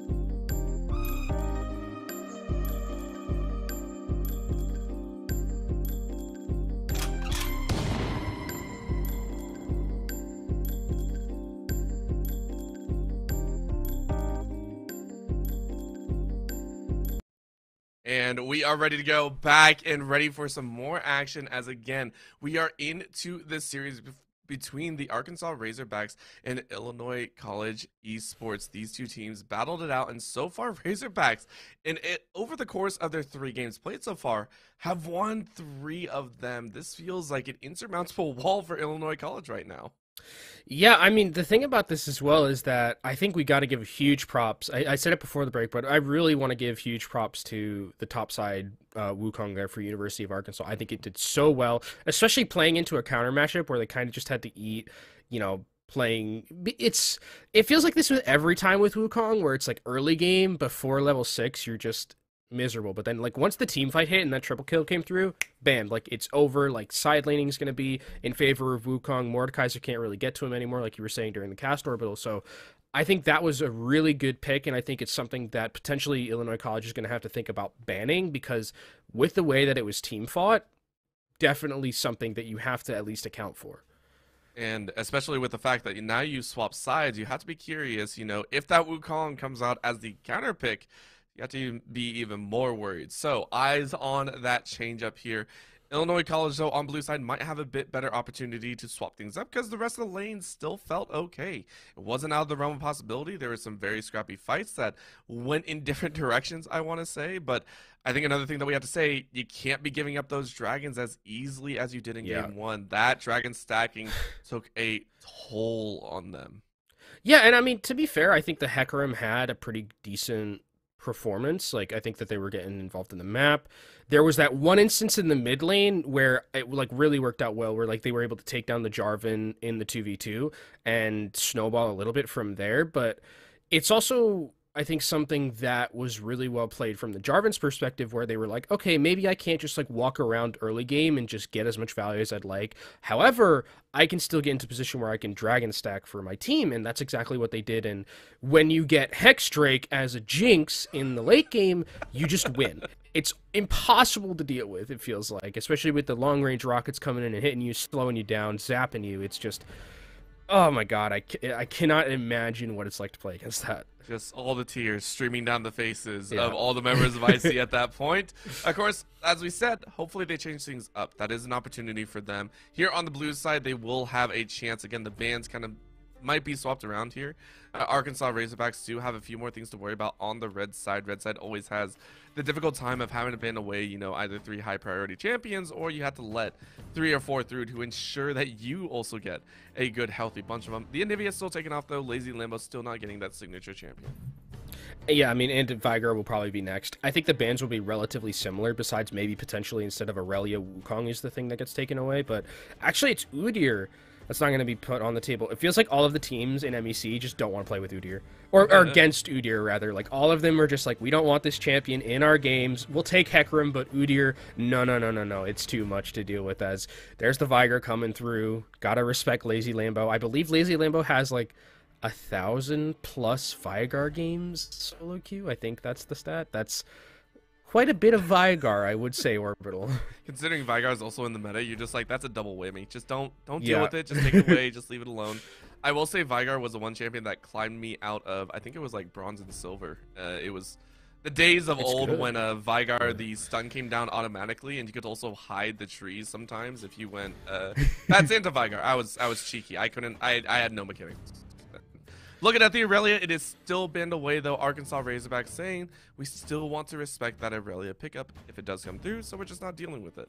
And there's also another respect ban from IC, taking away that Wukong, knowing that Silver Dream, very proficient on it, 11 0 3, carry performance, and don't want that one in the back pocket. As Hecarim's taken away, which is, I also think, good. It's like Hecarim and Udyr are two junglers that I think you can very easily be one, and it'd be incredibly strong uh, going into the game. So I think it's very good of University of Arkansas to ban those out, but they will be giving away the Karma triple flex, very easy to be one, uh, can be comboed with almost like any ADC. It feels like so. Really nice start off to this draft for IC. I'm curious if they do go ahead and maybe lock in that Lulu. It is open this time around, and because you get you those huge Lulu. pickups, you might as well lock it in. Uh, I look at Tree, Sir Tuttle had a decent time in that bot side, and sometimes had an okay time. It wasn't all powerful, but yeah, you might as well go ahead and lock that in. Just say we had that opportunity. But again, it, it feels so. Oh, the kill bot lane, it's here. Okay, This so now gauntlet thrown down too. Yeah. This is now it's like what do you pick here because you can't pick an immobile ADC. If you pick an immobile ADC like Jhin here, you're you're suffering. You and like even like if it was Caitlyn Karma, if you get hit once, you still just die. So it's a very volatile lane to deal with, but I think you leave Caitlyn open. Caitlyn's an option. Does have some sort of self peel in their back pocket with the 50 uh, 50 caliber net. But now it's like, what do you pick? You can't pick Jinx here because Jinx could just lose lane and lose the game very easily just by getting hooked once and getting Tristana on.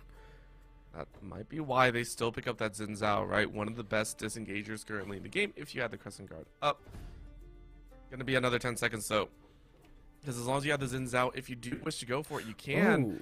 They're gonna drop the Camille. So this was banned out in game number one against them, and this is actually really, really important if you want to try and lock down that uh, that Tristana. One of the few Yeah. things that can deny the rocket jump away. I think they're trying to.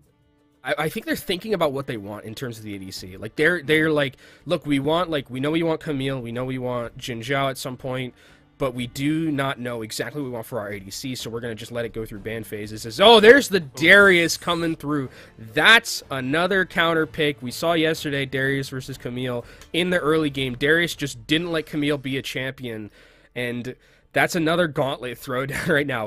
What I'm seeing already from University of Arkansas Orbital is just very volatile, aggressive picks coming out from them these first three drafts. Picks. It's also very confident, right? These are champions that Mm-hmm. normally you wouldn't give or pick up over the preferred right now, right? You give up the Jinx, you give up uh, the Lulu combination. That's a surefire one to take home, eh, or at least it feels like it. This is University of Arkansas saying we can play a different, a little bit different style and still get away with the win. And IC have got to realize that they have to realize that they're probably going to be pressured from minute two or three, and they have to pick appropriately and ban appropriately. Caitlyn banned away. You don't want to let that range advantage get the better of I look at trees. It is going to be the Sejuani ban denying that all in engage, and I do like that out of IC. And I think here for University of Arkansas, you're going to start. I mean, you obviously pinch the AD pool. I think is what you do. I think Jinx is probably an option here to ban Aphelios. Something else that could be looked out for. There is the potential that I think they might want to potentially ban Galio because of the fact that they have Camille on the other side and Xin Zhao, which are good two delivery systems for a Galio option. But it's actually going to be the Ahri, so a very standard, you know, really good middle pick, I think, right at the current moment. Like with the, setup you have, the four flashes essentially that you have in your kit, very, very easy to pilot, I will say. Be a simple solution to an otherwise difficult problem that they have right now. Final ban coming out here. You can pinch that jungle still, and it feels like that's what they're going for. Again, Kid Quill didn't have the most phenomenal time, and it is going to be the Nunu ban. I, I I feel this might be either a nod to Kid Quill's match history Yeah. or something like that, but I could definitely see it disrupting some of the plans. Again, the speed that a Nunu can bring is very frustrating if you're not used to the snowballs. I mean, it's also good for dive because like if you're diving onto a Nunu, like Nunu just hits R and it's like you just stay in there and you're you're not going anywhere. You just stay in the ultimate and you die. But that does leave open the Jarvan that Kid Quill is just kind of known for at this point, especially in the last couple of games that we've seen it. Um, very adept at being able to get early flashes out of laners, and now it's it's up to IC to figure out like what their ADC is because I mean Zeri's still on the table, but I don't think you want to play Karma Zeri into Tristana Nautilus. It's like what do you want to what can you play here that doesn't just get insta killed by this composition and it's oh I don't know if that's it. Yeah, this is it. This is the safe. This is the safest thing. There is no other ADC that you can pick that like doesn't immediately just die to Tristana Nautilus. This is the safest you can go. It gives like it kind of takes away the power of like the bot lane being able to kill you, especially if you take cleanse here, which I think you should because you can cleanse arcane shift out of any all ins. And if the hover is this Vladimir, that'll be really interesting as well. Uh, They need it AP. They do need AP, but I'm not sure if Vladimir is going to be the full answer. It's going to be the swap to the Corki here, and saying that they're going to go half and Viktor? half, just trying to lay in a little bit of poke. Corki Viktor, I think, is an option here. I mean, Orianna, yeah, just Corki Viktor, just yeah. It's it's the rest of the draft was spicy enough. We're just gonna the, the last two we're just gonna save as being you know just standard resident sleeper Corki versus Viktor. We've seen it all. We've seen it a ton of times. We'll see it again here. Just lock it in. Yeah, there we go. Okay, and now we can finally look at both of these drafts. And I mean, I like I like the amount of engagement that we have from Illinois College here, and the amount of ability to create space for the Corki and for the Ezreal. And they kind of have a similar win condition, it feels like, to like Corki Jinx late game, where like Ezreal in the late game scales pretty significantly. University of Arkansas, they do have a couple of good scaling options on their team where you like you have a Tristana, which scales very good into late game. You have a Viktor, which also can pump out a lot of damage into late game, but beyond that, like Darius is like Darius feels like it's an answer directly to the Camille, and if the Darius can just smash Camille in lane, make Camille irrelevant inside lane, it's going to be much more of a difficult situation for Illinois College to win this game. And I think that also has precedence into the rest of the season as well, even into playoffs, because if Silver Dream can actually pull this off, that means that IC currently have a, a, weaker top side to be able to be played around, and other teams are going to pick up on that.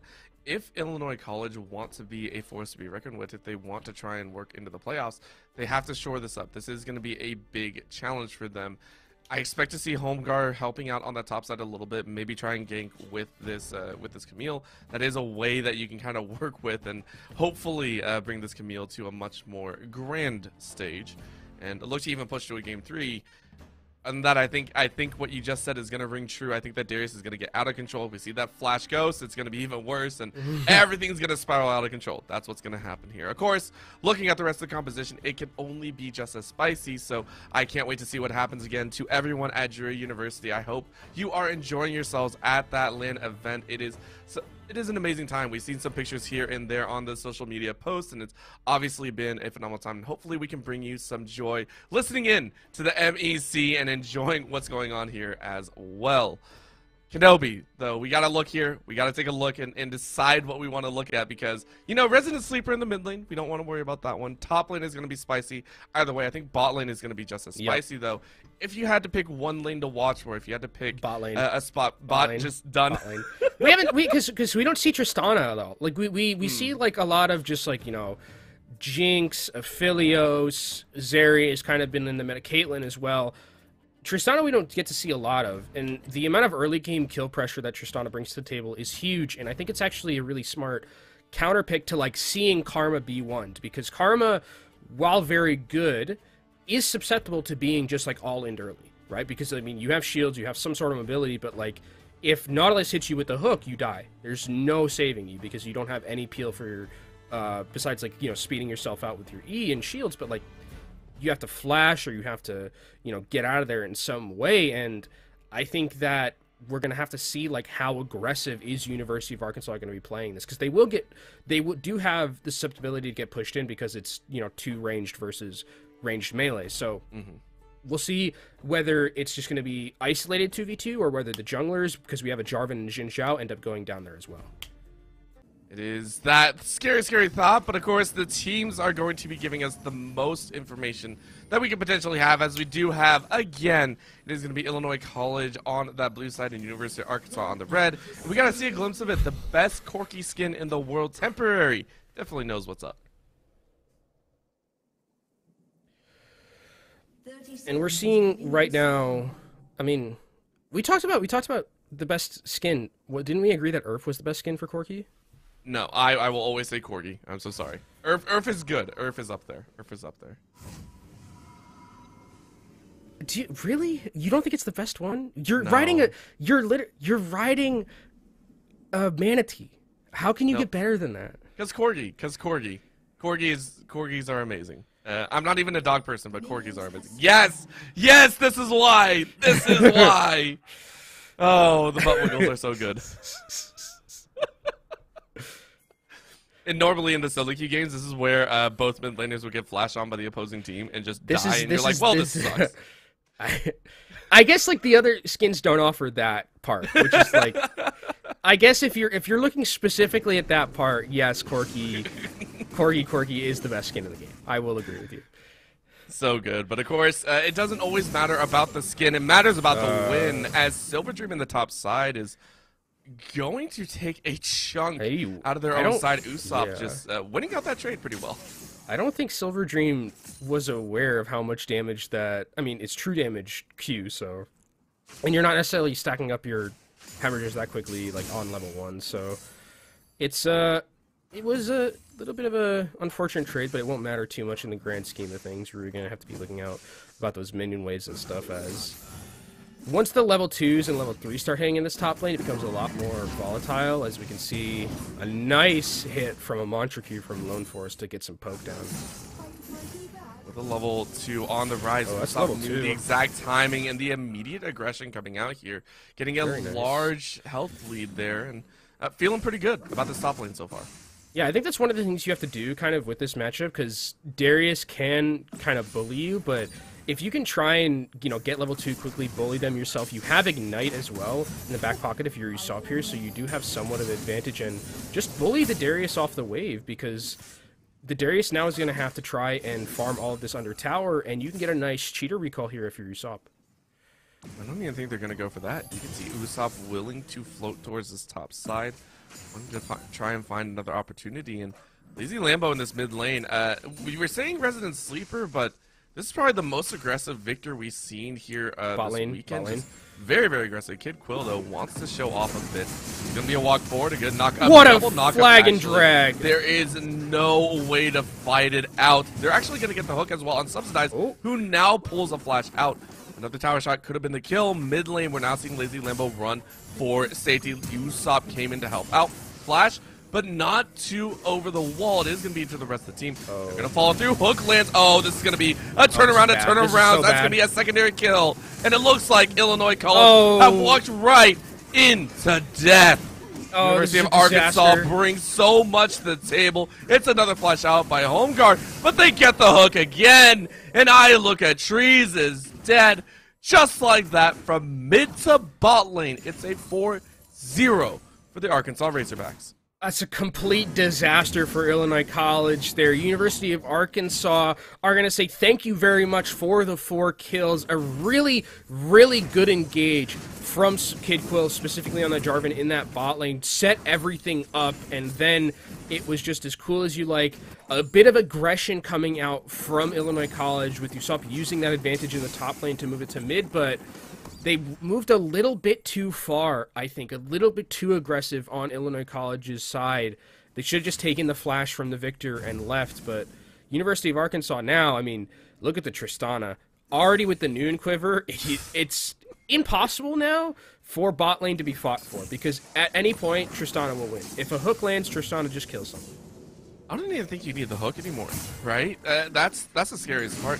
A Tristana with Halo Blades and, and any sort of level lead will cause Subsidized to falter. Without uh, without heal and without Ignite, you don't have a way to really cut through, and that's why Subsidized and Lone Forest are sitting a ways back, trying to get this cheater recall off. Might be able to pick up uh, a, a little bit of a Caulfield's Warhammer, I think is what you're aiming to pick up. No, just going back for the tier, you want to try and get that one as soon as possible. I can agree with that.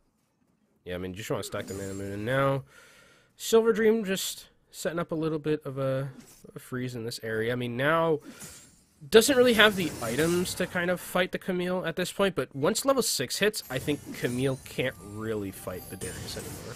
Because they always have to be worried about the threat of the ultimate, you know, stacking all those hemorrhage stacks and then hitting you with an execute. So it's going to be a little bit of a scary situation for Usopp. It is slow pushing into him, luckily, so he will be able to farm this up relatively easily. But Darius has somewhat of a CS lead right now and is level 6 before Usopp is level 5, so Usopp has to be very respectful here of Silver Dreams. that death really, uh, really changed up the name of the game here. And that's a scary thing. Again, University of Arkansas, they did it once and they're gonna do it again. This time, I, feel at a much earlier pace. As soon as the dragon pretty much spawns, you're on that. You're dragon stacking, and you get a little bit, ar- a little bit extra armor and magic resist. That'll help with the poke coming in from the Corki and Ezreal. It's gonna go down. Infernal will be our second dragon of the game. Uh, turret plate going over to the Tristana as well, so more gold into the pocket of the ADC, and this is something that University of Arkansas did last game too, is stacking those dragons, using it as a win condition. Mountain is the one that was just taken. Infernal is going to be the next one. That means that unfortunately, Orbital, there's a possibility that we get Cloud Souls. So, oh, actually misses the E, but uses the R, and here comes Homegar. He's going to burn the uh, the ghost at least, and that's enough to deter Homegar and Usopp from going any further. That is one of the benefits of running Ghost Flash. You have two ways of escape very close, but a nice E to give that movement speed for Lone Force. And I wonder if this is uh, something that Homegar will try and come back to in this top side because Ghost isn't there, and then maybe potentially you can get a flash out of Silver Dream. You can see he's very deep in the jungle, but Kid Quill also understands that there is that Xin Zhao in that top side, so he's just going to go and take the red buff. And actually, with the bot lane rotating, they might give this one over to the Tristana and make bot lane even more of a miserable nightmare, it feels like. That would be so rude.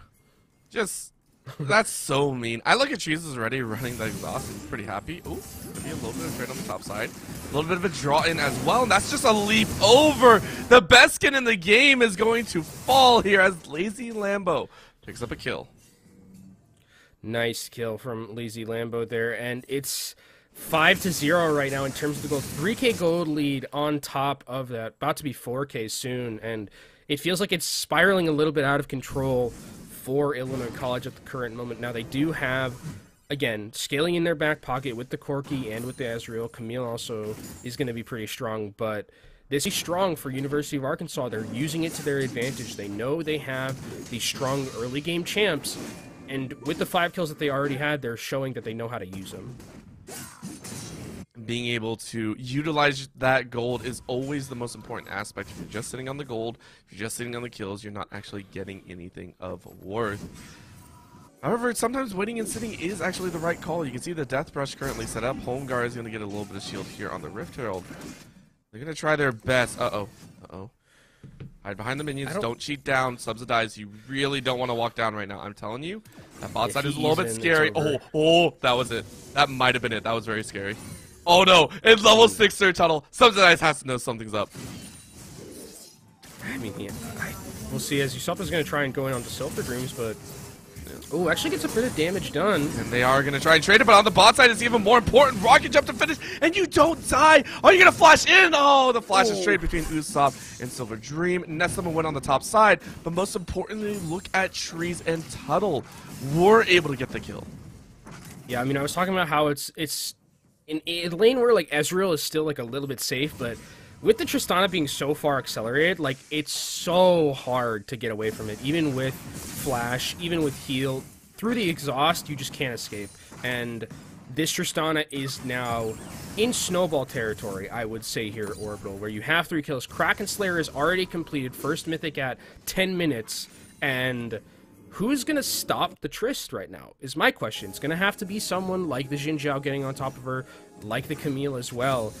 Luckily enough, Usopp has been doing a really good job in the top lane, not letting the Darius snowball and win the matchup so hard that it's irrelevancy. So I think that the top lane is really where Illinois College can bring something back, at least, and bridge themselves from the mid game to the late game, where Ezreal and Corki will eventually be really good.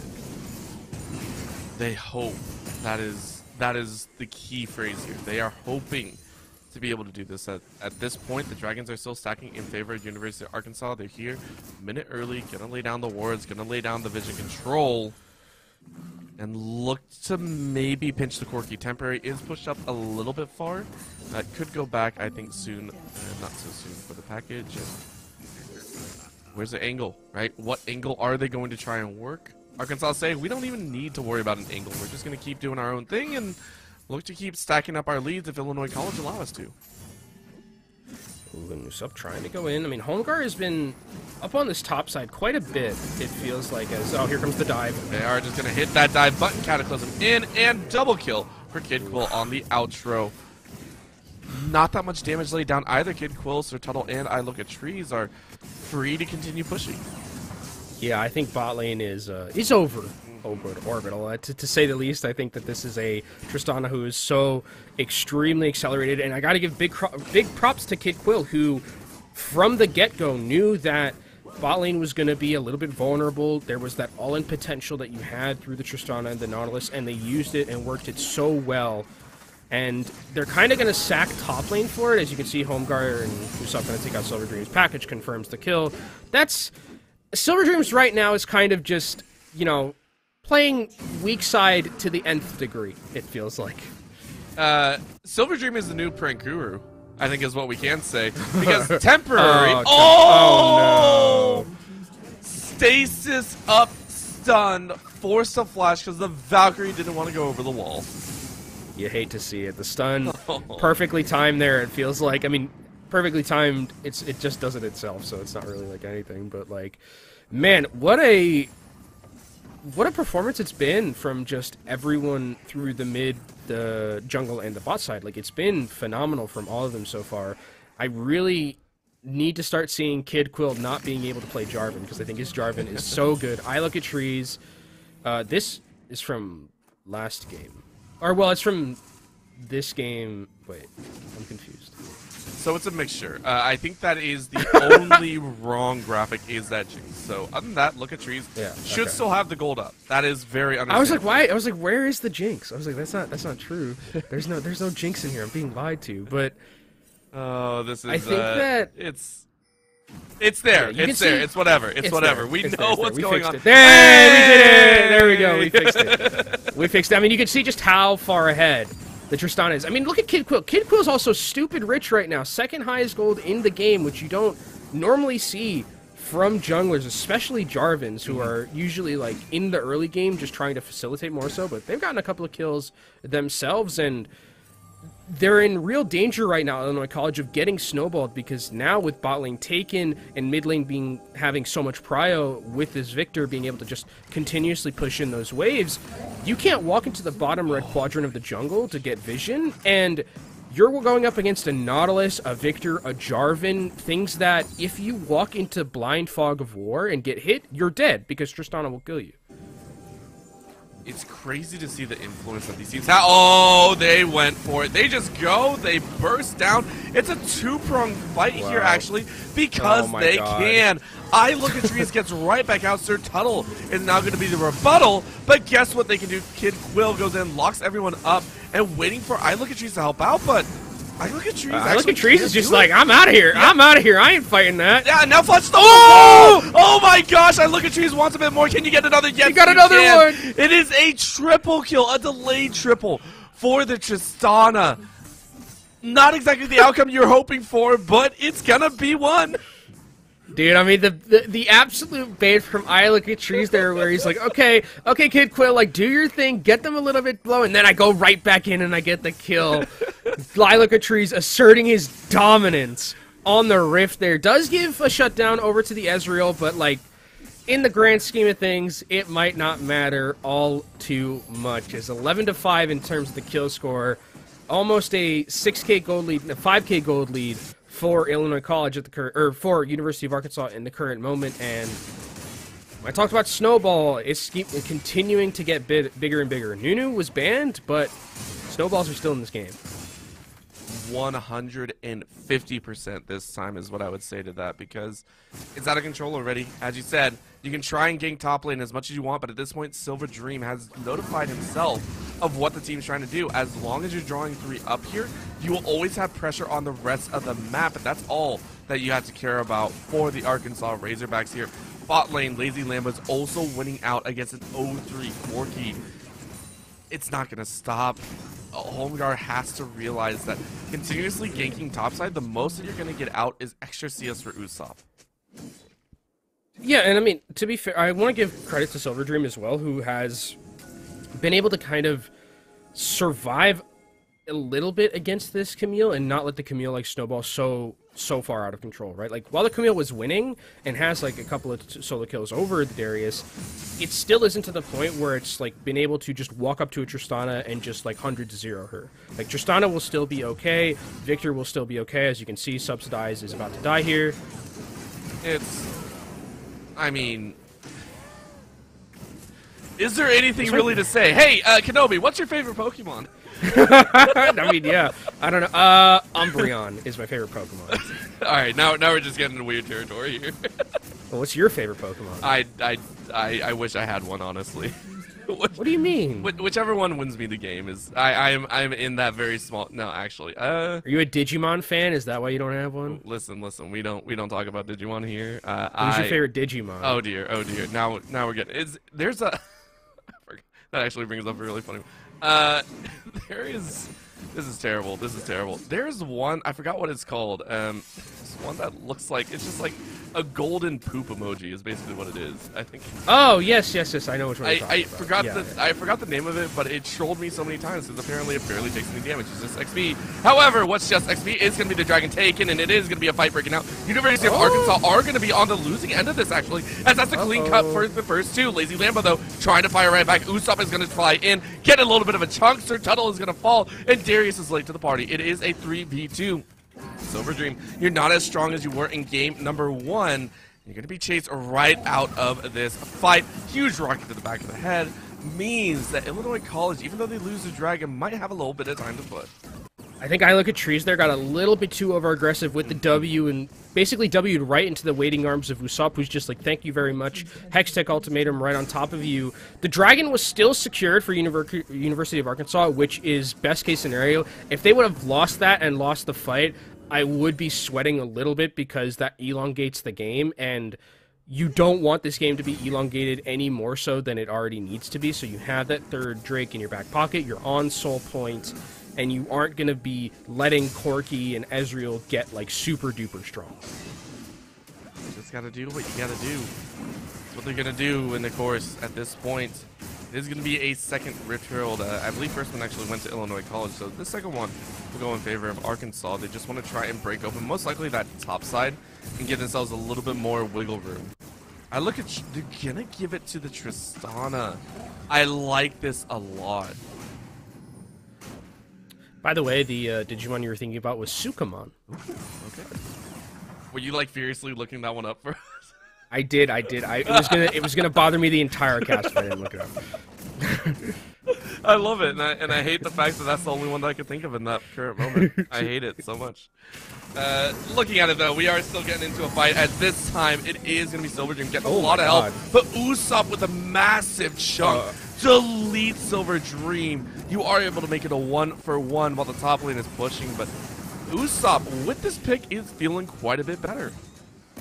And the chases actually might be here. They are pinging very aggressively for it, but with the pop blossom, they should be able to get out no problems. And I mean, through all of this, Viktor is getting a lot of push in that bot side. While yes, the Camille was able to trade one for one, one for ones, especially if it's the Darius for the Camille, are always going to favor University of Arkansas because you've let Lazy Lambo just push out, get more gold. Lazy Lambo's already extremely strong in their own right, and getting them more gold in their back pocket, especially with the Viktor who's so far accelerated over the Corki, is always a dangerous scenario. Never, ever going to be out of danger, of course. Recalls come through, though, as Illinois College have to be aware that in two minutes they'll be fighting for the soul. And again, that is one thing that you really, really don't want to give over. You want to be able to duel out. They've had opportunities. They have not really had a good stack so far. But if they can catch University of Arkansas playing a little bit too aggressive for their own good, the opportunity might arise once again. And I mean, the thing about we're waiting for is going to be that Ocean Soul. I think realistically here, there won't be too much fighting, or unless there's like a bait here and they tend to sit here and see if they can catch anyone, potentially thinking that they might be doing Baron. But beyond that, I think Dragon Soul is going to be where the next team fight breaks out. And I'm going to be looking at I Look at Trees, you know, where are they going to be in this team fight? Because if they get enough space, they will just melt someone down from the inside. But they have to make sure that they aren't getting dove on by the Camille or by the Xin Zhao. They stay safe and play it to where they use their W if they know that they can secure a kill for sure, or to use it as an escape tool. Escape duels or not. Wandering into the jungle to clear out the vision has started for University of Arkansas. Uh, Christmas tree has been lit and keep eyes on that back end pink ward that they have. Uh, very, very deep into enemy territory. That is going to give a monumental amount of information who's coming from bot side to pinch, who is not. Homegar getting zoned away with the Camille and that just shows the level of respect they're hoping to go for. Kid Quill, though, eating a Mega Rocket and uh, temporarily dropping to 75%. Yeah, I mean, you can see so much vision control is here for University of Arkansas be on this quadrant of the jungle because they know that if Illinois College face checks, they have such an advantage because you're face checking again into Nautilus, into Jarvan, into so much burst damage that you just get plopped if you aren't in a good position to get out of there with any flashes and it looks like this Ocean Drake is going to be up in about 10 seconds. Their Usopp is trying to make something and push out this wave in the mid so they have an avenue to move forward with vision. There's no way that they're giving this one up, is it? Like, they, Yeah, they can't. Well, it's to Oh. die like now. Yeah, and they're calling the TPN They're quite zoned. Yeah, late, they and can't- the package is going to be late as well. This is done. It's Oh. over. It's granted to University of Arkansas. How many kills can you get back? And it's pretty much none. The laser just leads health bars in the back line. cow. Usopp trying their best to follow through, but it's a wash. University of Arkansas allowed to follow through the flash Q. You can't outflash that. It is lazy Lambo with the explosive Viktor play. I mean, it's so easy for Lazy Lambo too because it's a fantastic Jarvan ult Cataclysm from Kid Quill, and you just put the laser, put the W, put the ultimate in, on top of that, and it's just going to melt through those health bars. Baron's going to be secured on top of Ocean Soul for University of Arkansas, and for Illinois College, it's a very, very tall mountain to climb to try and get back into this game, and I don't know if they have the equipment here, Orbital. They're gonna have to free climb it. That's the worst part. It's free climbing. It is so dangerous if you fall. And the worst part is someone's actively kicking rocks down on top of your head as well. That's what's happening here. University of Arkansas are constantly throwing boulders down over and over again. And it's not going to stop for as long as they push. This is going to be what feels like that final push. University of Arkansas have a chance, but instead they've collected a lot of gold. They got a lot into the inventories, and they want to continue in a safe fashion. They're going to recall here and go ahead and purchase up. You can see it. A full Void Staff just joined in Lazy mm. Lambos. That that is gonna- from He's zero gonna do to so much damage. He's gonna do so much damage. There, I mean, there's a Hexdrinker on the on the Xin Zhao, but like beyond that, no one else is building anymore. There, this is going to be a Viktor who, if you step forward even a little bit, you're just gonna get melted. It's just you won't be able to play the game. I'm, I'm, I'm just, I'm trying to think of a way for Illinois College to get back into the game. I'm, I'm, I'm looking at all the options that they have. I'm looking at who's currently at where, and no hear- one. okay, here's the thing. yeah. Here's the thing, Orbital. Let me let me let me walk you through. So you have to now. I think like the way back into this is you have to elongate the game, right? You have to get Corki to three items and Ezreal to three items. That's like how you get back Oh, into this. oh. Is temporary might get caught out here. Lazy Lambo, going for it. Yep, that's a dead. And Corki. So back to what I was saying in terms of getting back into this is actually we don't even get time for that. No, no, we don't because Illinois College feel like they can Oh, take a okay. four and five and they get one. But how many lives are they going to lose on the back end? It feels like everyone. I look at trees, flashes in because it's a flash to follow. The reset has just been made. They're going to get the exhaust down. They're going to clean house, and just like that, there's nothing. We were about to talk about the temporary, but the present is here. University of Arkansas take an ace, a second ace of the game, and only lose their jungle. They're going to push to win. They're going to solidify their second series victory over Illinois College and solidify their fifth place seeding. University of Arkansas pay homage to their week one or two victory on top of some beautiful fountain kills. 26 to 10 is the score. As it's a 2-0 sweep for the Razorbacks.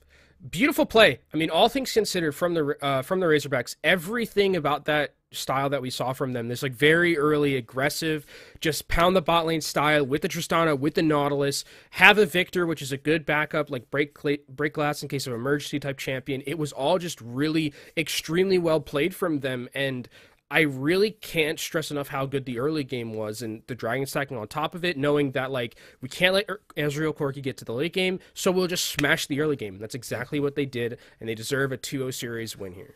They do, and I mean, I, I think that second game even brought out some more things that we were on uh, we were not expecting. Right, that bot lane 4-0 that occurred was something that is very difficult to pull Yep. off. It's uh, to be able to say, hey, we just want to fight. We have a little bit of damage from the tower, but to swing it back and say, hey, we can still take that fight. Yeah, bring him on down. Let's go ahead and try it out this duel. It takes a lot to be able to pull that off, and Arkansas were able to do it. I, I want to ask you though, uh, for this series because there's so many amazing plays in uh in the series of Purdue Northwest. We knew who the who the star was. We knew who it was. It was ISO. Had an amazing time. Yep. For this series though, who would you say deserves an MVP if we Hmm. were able to lay it down? Because everyone had so many phenomenal plays, but there had to be one standout player, right? I think I mean it, it's there. The weird thing is I think everyone had like really good moments. I mean, Silver Dream carried in game one. I think Sir Tuttle also was like a really impactful person on the entirety of the map. I look at trees, took a lot of leads that they were given. So I don't think it was like one singular person. They all had their good moments, and I think that's definitely something that University of Arkansas can hang their hat on. Where it's like we had you know, we had a moment where it's like it's Silver Dream's turn to carry. It's you I look at Tree's turn to carry, the Viktor's turn to carry. So there wasn't necessarily for me throughout the series one specific person. If there was like a most consistent player, I would give that to Sir Tuttle because he got Jarvan twice, and his Jarvan is absolutely nuts.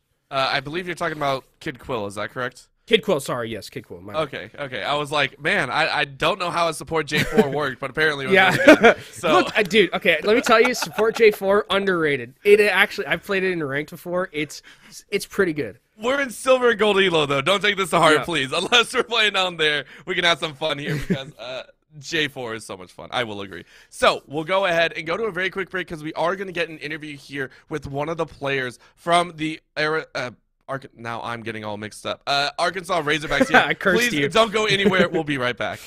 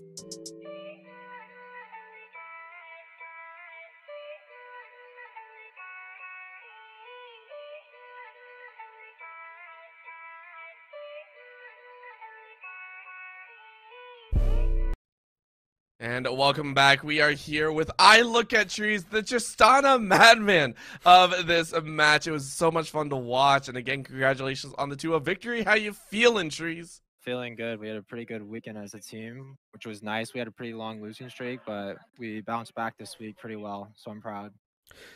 Yeah, so I mean, let's let's kick it off like uh, Orbital was talking about the Tristana. That was something that I, you know, I've seen a little bit of like Tristana Nautilus crop up a little bit here and there. But talk me through the decision making of getting that one because it was kind of insta snapped after you saw the Karma. Was that like an answer where you're just like, we want to just smash bot lane because they're picking Karma and we don't want them to scale for free, or Yeah. what was the thought process?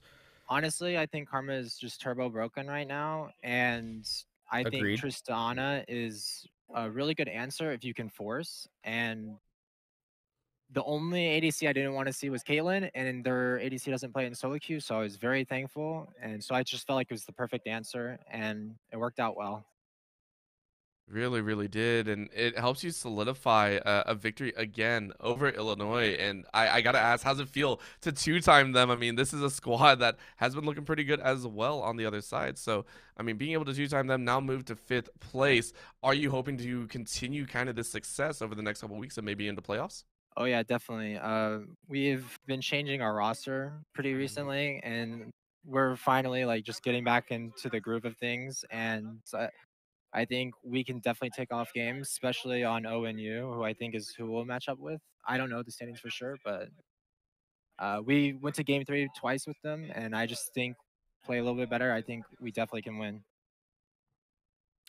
Uh, so going into like the drafting and kind of like the the scouting that you guys were doing, who is the one who really, um, for your drafts, who's the one who kind of like sets the tone for it? Is it your coach? Do you have like someone, or do you guys like kind of like pick and choose like what you think is like the best? How does the kind of communication work in draft phase? Um, we have a coach who's not in person with us that talks it with through it with us, but then it's typically me and Lazy Lambo as well talking. We know pretty good, you know, a lot about most lanes, and so we just try to stick to a comp that works really well together, that fits his style that we want to play, that's good into the other team, and we try Mhm. to do that consistent. Do you do you always expect Anivia Veigar to always be banned? Like just like, no matter what, are you guys just like always penciling that in? It's like, look, they can't. Lazy's not gonna get Veigar and not gonna get Anivia, and if they do, we just win. Is that kind of like how you guys are thinking about it a lot of the time? Uh, yeah, that's kind of how it feels like most of the time. I the few times we've gotten Veigar, I don't know if we've dropped a game off it, so I think teams just insta ban it. I think it's the right call and uh, very, very worthy as we saw how strong your team is overall, even without those picks. So, again, congratulations on the victory. Trees into the rest of the squad for taking the 2 0 on the series.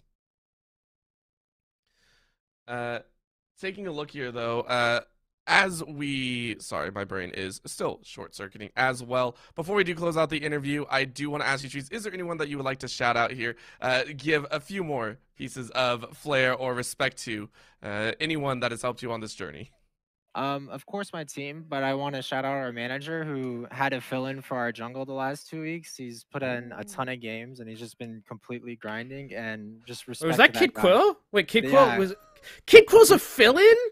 He is a fill-in for the rest of the year too, and he's Oh just my absolutely God. grinded and total respect to him. That Jarvan was tight. Like the times that I saw it, that was some. You could have fooled me that that was a fill-in manager playing. yeah, that's amazing That's that sick. is amazing huge props to kid quill then because i mean i think both of us on the desk here gave a lot of props to that j4 play so again uh trees thank you so much for the interview and again congratulations on the victory you help hopefully you guys have a wonderful rest of your day thank you, y'all too.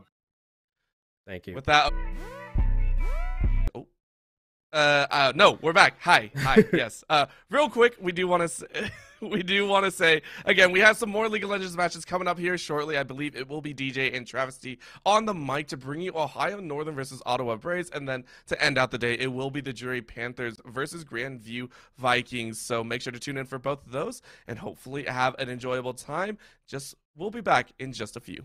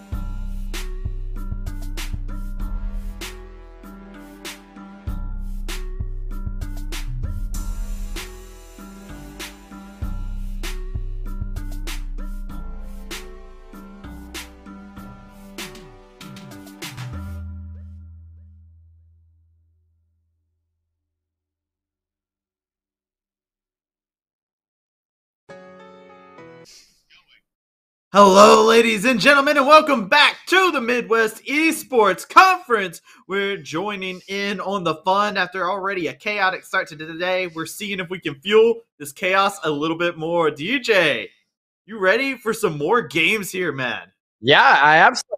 I mean, but, speaking of chaos, that's a awfully fiery Elden Ring, uh, Elden Ring logo you have behind you. Have you?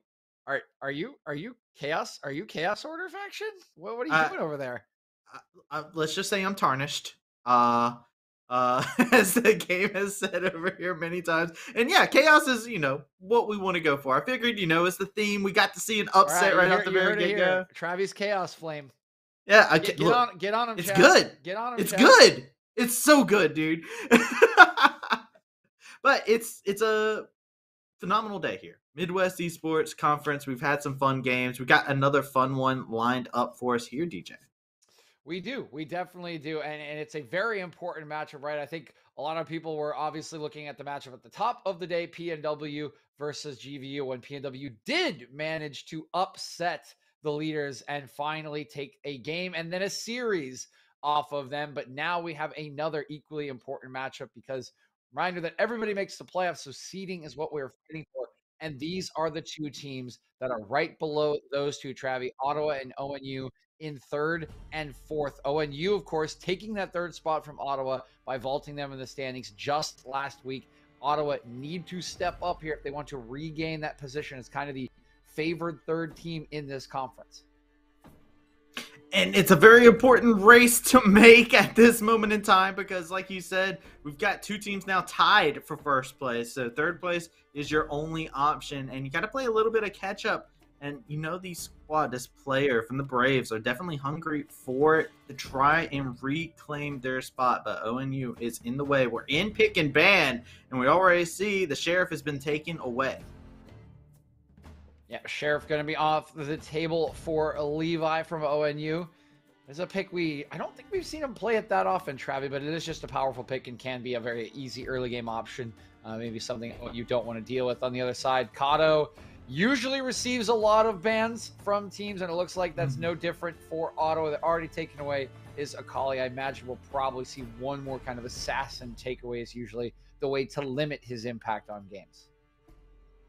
Makes sense. Want to get this mid pool feeling comfortable. We've seen what happens when Blondie is able to feel comfortable over there inside of the mid lane. And we see the respect band, the Warwick taken off away from Brixton, not allowed to play at Warwick top. No, no, no.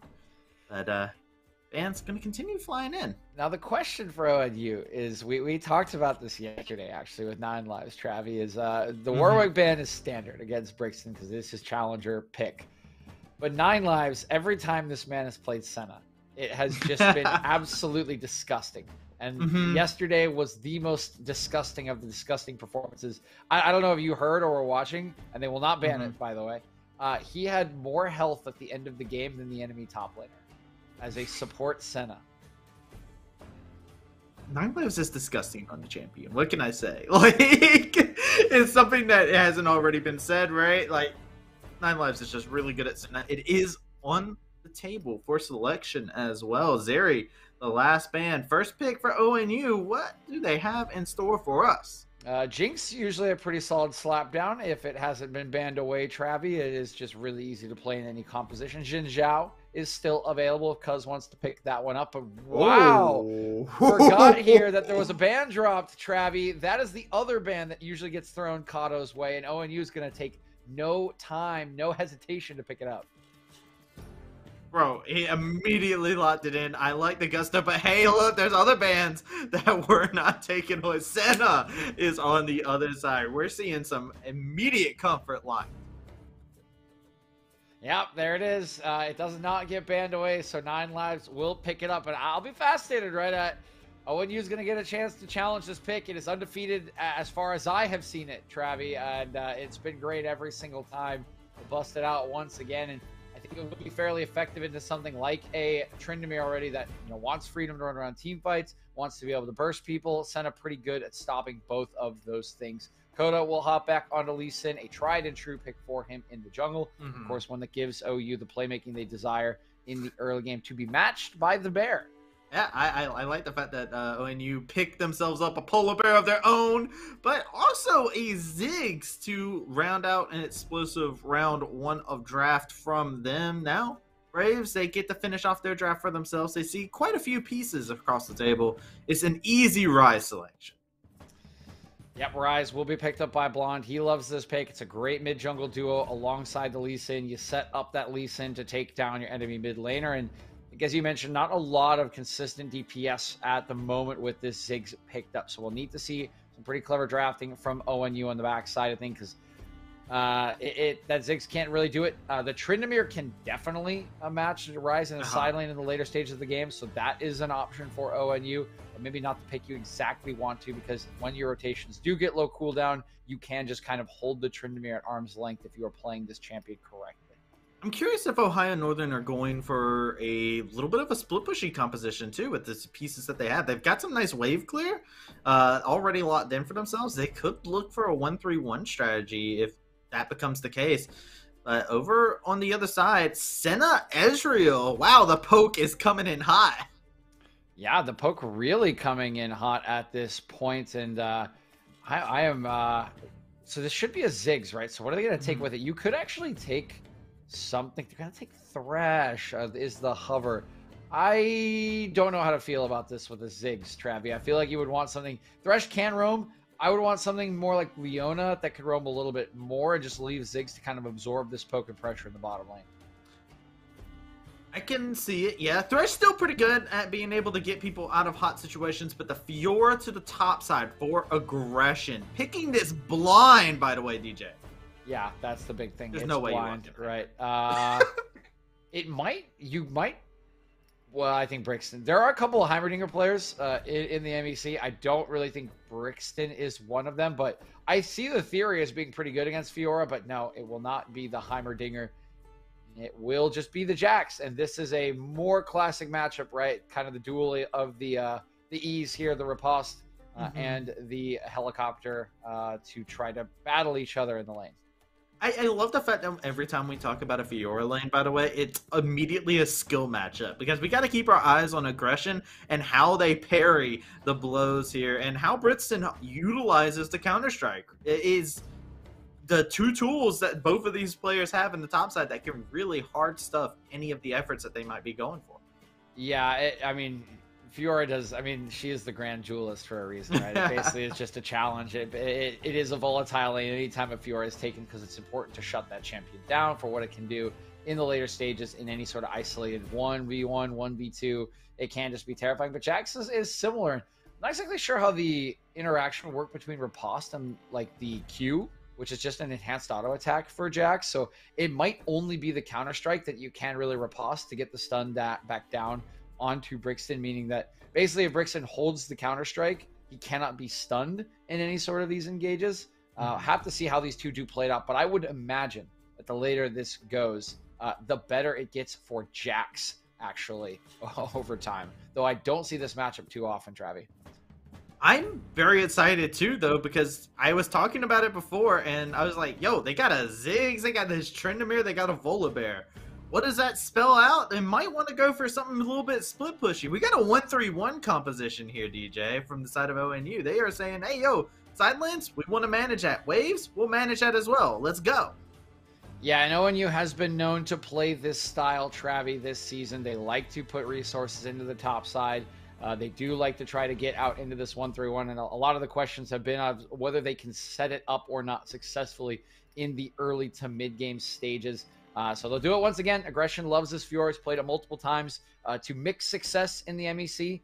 Um, thus far, Kato, of course, has been much more successful on this Tryndamere, and they will have those side lane options. But that being said, I think that Ottawa has the resources to match them. They have nine lives on this Senna. He is a master at this pick. They have poke and safety if they're playing in a 1 3 1 or matching. And I do think that their team fight is actually better than ONU's. So I, I, think fairly good draft on the other side by Ottawa. And it's going to come down to can ONU again get those two laners ahead so that all of a sudden their side lanes do become a threat.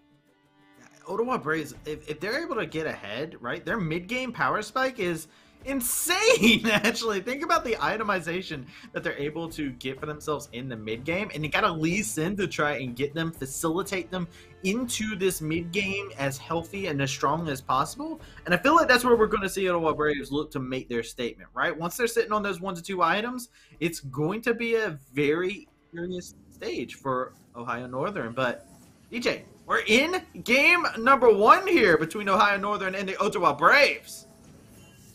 Game one of potentially a best of three. And remember, we reminded you here, this is a battle for third place. So seeding going to be important for everyone here in the MEC. Everyone will make the playoffs. And currently, Ohio Northern in third, six and four series record, the same as the Braves.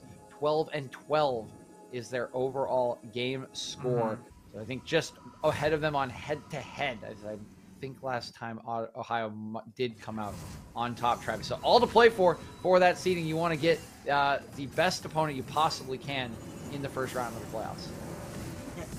In Collegiate League Legends, that's a huge focus for these teams is trying to figure out the seeding order that you want to be able to grab. But a lot of these teams are looking to dodge out on those messy round ones. There's it unfortunately will happen and then you find yourself in a tricky situation. You want to you know you're going to end up having to fight this team eventually but none of these collegiate teams are going to be like yeah i want to fight this team right off the get-go. They want to build up their strengths get some more games under the belt and continue to get stronger throughout the playoffs.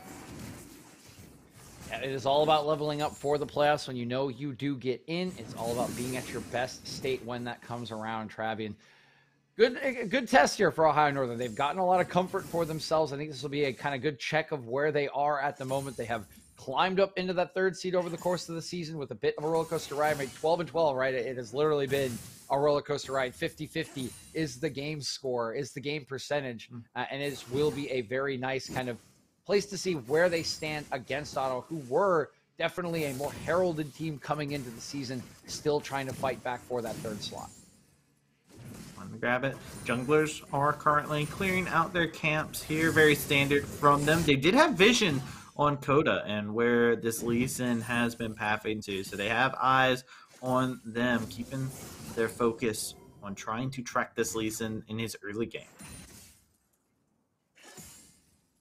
Both on chicken camp right now. They both can make plays, uh, Travi, and if we are looking at a lane to make a play, and I think the top lane is probably your most interesting option. Uh, good setup for Coda in both of them. A little bit easier to gank Kato pre-6, but uh, still maybe not the easiest. Would likely uh, cost Blonde his flash for that kind of setup. You can see how volatile that matchup is, where the wave is, both the junglers towards that top side. Volibear has assistance from the Fiora as well. This Jax is being punished pretty, pretty hard. And it's kind of the early lane phase problem that Jax has. Fiora doesn't have that issue. Vitals, they're there. They're ready to be procced. Jax waiting to hit six, start getting those free stats for himself to continue the whacking away with that ever so satisfying sound. Yeah, the old, um, what's his name? Uh, I'm, I'm, gonna have to look this up over the course of the game. This the old pacer test, uh, the Bricky Orchid 8 meme. I can't remember the, the name, but uh, yeah, basically an old fitness test where you, are just uh, thwacking to the, the sound of the, the, the, the, pacing of the fitness test, and it just increases over time. It's uh, the classic satisfying uh, gameplay there, Travi, and he's doing all right. Brixton just fine. You know, doesn't have the sustain of the Fiora, but does have his pots, does still have TP, and now he's trying to trade back because is here. Yeah, Cuz is here. This will be the lightning getting called down, but good on Brixton to time it, but a nice parry used offensively. First blood generated over for Ohio Northern. Wow, what a play. That was really nicely done from aggression. It looks like we were correct about the interaction. hook lander shouldn't be too much oh, problem. Coda's here. He's got the he hits the shot. And it is a one for one at the end of the day. That's so bad for this Ezreal. Yeah, a little unlucky that Levi does go down. Took one too many turret shots. I think he thought he was out of the range, but was not quite there. It will be a little bit worse, unfortunately, for uh, him. He does have to expend the TP to get back to the lane. Fortunately, does have it, so he won't miss out on the EXP, and will pick up that wave. Should just be kind of even uh, honors even at the end of that trade. Travi, the big winner in that case will be Coda picking up the gold. Check this out. Nine Lives immediately roams together, Cuz trying to get some chickens for himself, but it is at a numbers disadvantage. Thresh is still down here in the bot lane. So we'll be able to reset, but Nine Lives takes advantage of the situation to support Coda, and this is what makes Nine Lives so dangerous on this Senna. And Nine Lives just really understands where to be, understands where his bread's buttered, where his souls are going to be farmed from, and where he needs to be to support his jungler as well. Just good timer from him again, uh, and we'll see quite a bit of this. I mean, Levi and and, and Kim, I mean, they're on Ziggs and, and Ezreal. You can Yeah. leave this lane alone for a literal eternity, and they'll both be fine. I, I love the fact, by the way, that uh, Brixton has had to pay the Fiora tats of a Bramble Vest just to get those grievous wounds. This is a, a, a tried and true thing when you end up having to go against a Fiora. You want to make sure she's not able to just trade so effectively with you inside the laning phase. And uh, aggression doing a phenomenal job on this. This does mean the Braves will have the fast track on this dragon, so this will be secured for Braves. First dragon advantage. Nice use of the tempo from Nine Lives. He has not been matched at the moment by Charlie, so we'll use that to take the dragon. It's just a first Drake. Uh, Ocean Drake will be very nice, in particular for Brixton, though, Travi, as you rightly identified, does not have a lot of sustain for himself, and even that little bit of extra healing will be good for this top side of the map. So, pretty decent prize for Ottawa, but not the worst thing in the world for Ohio Northern as they continue to focus on gold and diving bricks. Yeah, he already used his counter strike, so he's dead as can be. The challenge was thrown out. A little bit of healing for aggression as he comes back under the tower to claim a plate. But aggression is showing that they are perfectly comfortable in this matchup, and Ohio Northern punishing crucial moments. Uh, this volatile lane really starting to go in the favor of aggression. He's gotten the jungle attention he has needed. He's getting a couple of plates, and he'll be very well set up to carry the game, Travi, if he wants to. It will be a side lane focused game for him. So, still some turrets that need to be cut down to really open up the map. Uh, but step one for Ohio Northern has been super, super successful. Get aggression ahead, can tick that box, and be pretty happy about it if you are cousin aggression. These side lanes, though, on the opposite side, Braves doing pretty good for themselves. I like the strategy that they've had with Nine Lives moving around. This Ezreal is being really good. We're seeing that this Thresh is trying to stay in lane, possibly look for some hooks, has finally found a moment to roam. But check this out the timer is such a weird place. They're just leaving a Senna Ezreal to their own devices down here in the bot side. They're getting a lot of free farm for all of this. But it's all in the name of just making Brixton not have a good time. A nice play. We'll get the counter strike only on the one member. And this time it's a kill for the Tryndamere. Yep, Coda gonna roam up, find himself an extra kill. That oh. might Blonde? mean- yeah, Yeah, he is gone as can be. Ziggs popped out. Wanted to check the chickens. Chickens already devoured. And that is a little bit of greedy positioning uh, from Kim's rules there because he knows the rest of his team is in the top side, and he knows that th- that what is important for this Ohio Northern composition is their top side, right? So to kind of play that way, knowing that these members will be on the camps uh, when the jungler shows up, knowing that plates are going over to Levi and Nine Lives is just greedy uh, in kind of the Oh. maximum. And you see, this is the price, right? Paid. It's not that big of a price, though. It's a couple plates as we do get a pause. Uh, and what they won for it again was shutting Brixton down for the third time Yeah. and getting the Rift Herald. And that Rift Herald is a big, big tool for ONU in every game they play. Because if you want to enable your side lane, you need to open the side lane and then move your powerful member around the map. Bro, I'm gonna cry. Look at where Coda is right now. Ziggs is coming up here with no support to facilitate him, no way to be able to get out, no flash available. This is the simplest, just like, hey yo, I'm gonna wait in this bush and pop this Ziggs moment. He spots him out, but the Ziggs is completely zoned away. He can't do anything now. Yep. Uh, poor Kim's. He's uh, gonna have to. Yep. There you go. There's the bomb. This is what you love about Ziggs. But uh, I like what Ohio Northern doing. This is a pretty big punish. I mean, Brixton is uh, it's about 20 feet under right now, Travi. I don't know how much further he can go before we're, we're hitting the mantle at this point uh, of the Earth's core. Uh, it is real, real, real big camp, and he is really far down now. That is how you open up a side lane for Ohio Northern, and now they can look Yeah. to move aggression to another part of the map to start working on another turret. Aggression has all the gold leaders right now. He's got himself two assists, right? He's got himself a nice plethora of farm in their pocket. They're going to be able to get a reset, get a Goredrinker fresh out of the shop. It is a very dangerous time now because this Fiora is completely unlocked. Uh, and you cannot send just one additional person now. I believe at this current moment, with a Goredrinker completed, you cannot 1v2 it would be very tricky, and in most odds, aggression will at least take one person out with him. But with the grand challenge, that's rough. I, I, I personally, I feel like this is a scary spot for Braves. They've got to figure out a way to answer.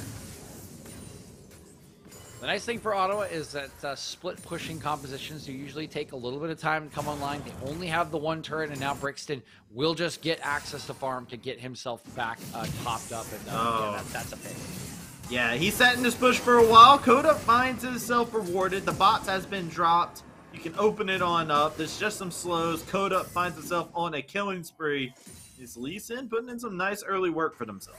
Yep, 3 0 0 is Coda. He's going to complete his mythic item when he goes back to base after this. And the Drake up in 30 seconds. The only question will be whether he waits for that to try to pick it up and give Ottawa a path to Soul Point or whether he does it beforehand because does already have his. So he's going to contest these chickens. Yeah, he's contesting the chickens for sure. Mega F Bomb dropped in the bot lane to try and get some wave clear out. Cannot shove against the Ziggs, and it looks like they are in position. Four members of the Braves are around this neutral jet. And this is something they've always been good at, DJ. Always good at being able to get onto these neutral jets Yeah, just a, a, trade of power I mean, uh, Kim's has been put behind, is low econ on the Twitch, and, and, that's just the price you pay for getting your top side ahead on tempo. Uh, Coda will head back with that resource finally taken down. He'll pick up his mythic item and look to be making some more plays. And now we'll start to answer a lot of the bigger questions, Travi, about execution. The early steps have been taken by both sides. It has given Ohio Northern a bit of a goal lead. It has set aggression up for success. Now they have to try to open the second side lane. Now they have to take advantage of these two soul lanes try to impress upon Blonde and Brixton as much as they can. Blonde is over here. Looking to see what he'll be able to do in the mid lane, but while this is all happening, top lane is finding himself in a rough spot. A nice parry, doesn't get the stun. Here comes the bear, trying to see if he'll be able to do some work. Gets the stun on Dakota, is going to jump in there, and it is just a killing spree for this bully they try to lay out a little bit more damage. True Shot Barrage did come in, did a little bit of damage with the Bull Bear. Finds a double kill, but now it is Bond who's looking to see if he can play clean he can up get all three he can get all three. damage. There's no ultimate for Kato. But it is the retreat from Ohio Northern that has been sounded. Yeah, they will finally have to back off those three very strong members. As you mentioned, it takes a lot to take aggression down, but that is a big shutdown that goes on to Blonde. A little bit of credit to Nine Lives getting the shield in from the Dawning Shadow at the right time to extend that fight. Unlucky for Brixton, who did really need the gold injection that he did not pick up the shutout potentially, but it does leave them with one very strong side laner in Blonde. 1-0-1 has farmed pretty much perfectly to this point, right? We are essentially at uh, 10 CS a minute, very close to it. Should be picking up his mythic item very, very shortly. Very shortly indeed. See some of the resets in the map here. We're about to hit that 14 minute mark, so plates are going to fall. Damage definitely been done across the table here, but you can see here with the player gold is Volibear and Fiora. It doesn't surprise anybody that they're top of the charts when it comes to gold. yeah, no, they've been they've been very successful in that top jungle duo, and Cuz actually picking up the four kills has kept him ahead uh, of Kato even when the CS has dwindled at times in this early game. They will be able to make a ton more plays. They have all the power and agency in their back pocket, but still only have those two turrets in top at the moment, Travi. They have been unable to dent or even, or to open or even dent these other two lanes, so there's still work to do for ONU. Definitely, but they are getting back into their field of expertise here. Tryndamere, top side, for your bot side. Ziggs and the Volibear in the mid lane, looking to play that wave clear duty. Brixton has the counter strike available. He's going to be able to do a good amount of damage. Nice trading to come out, a flash forward, and a spin to win. Kato lets it rip as he takes apart Brixton. Yep, not quite a mythic item, but does not need it. Just needs the ult. Does cost the flash in that Mm. top lane. And it will at least force Blonde to move uh, down and pick up that wave. That'll give them a window on the second Rift Herald. So Kato doing nice work. That's what you want to see in a side lane. Continue to impress upon Brixton. Make these side lanes a threat. Check this out. Lee Sin is down here in the bot side, forcing the Fiora to to just give some respect here. Doesn't want to tango with Nine Lives or Levi right now because they are highly mobile and can be very annoying they're not able to find the right angle. So I really like this respect coming out from aggression, even though very strong on this Fiora says, you know what, I understand. I can't get onto you two. So I'm gonna let you guys get a pass. Good respect from aggression, recognizing that he was on the weak side uh, with Kato getting the resources and Cuz making sure that his uh, Trinity, you know, once the ult's down, you're, you're pretty vulnerable. He needed to make sure that Kato could just walk back to base, spend his gold, deploy back out into the map. It looks like these side laners will flip sides. Kato going to start to go to work on this bottom turret. You can see Blonde moving to match him as well, meaning Brixton will once again have to deal with aggression once he pushes this lane back towards that inhibitor turret in the bottom lane. But importantly, next Drake coming up in 40 seconds. That is Ottawa's ticket to the late game. This Cloud Soul, Travi. Eh, have a couple awards already. They'll need to try to contest this when it comes up. Another good ticket for them is Jax is getting a nice little bit of farm because the top wave is shoved in all the time. So I, I actually like the fact that they're giving Jax this farm because it's giving Brixton some time to recover. He's 0-5 right now, but he is much better in terms of farm as he was in the comparison to what he was just a couple moments ago. But this is what Ohio Northern need to do: kick the tempo up and start breaking these towers. Their third tower now broken into, and it's the most important one, the mid outer. Yeah, Ohio Northern have kind of completed steps two and three. Will they pick Coda? Yeah, they find him. There's no way for him to be able to get out. A nice satchel charge. Cuz finds the kill.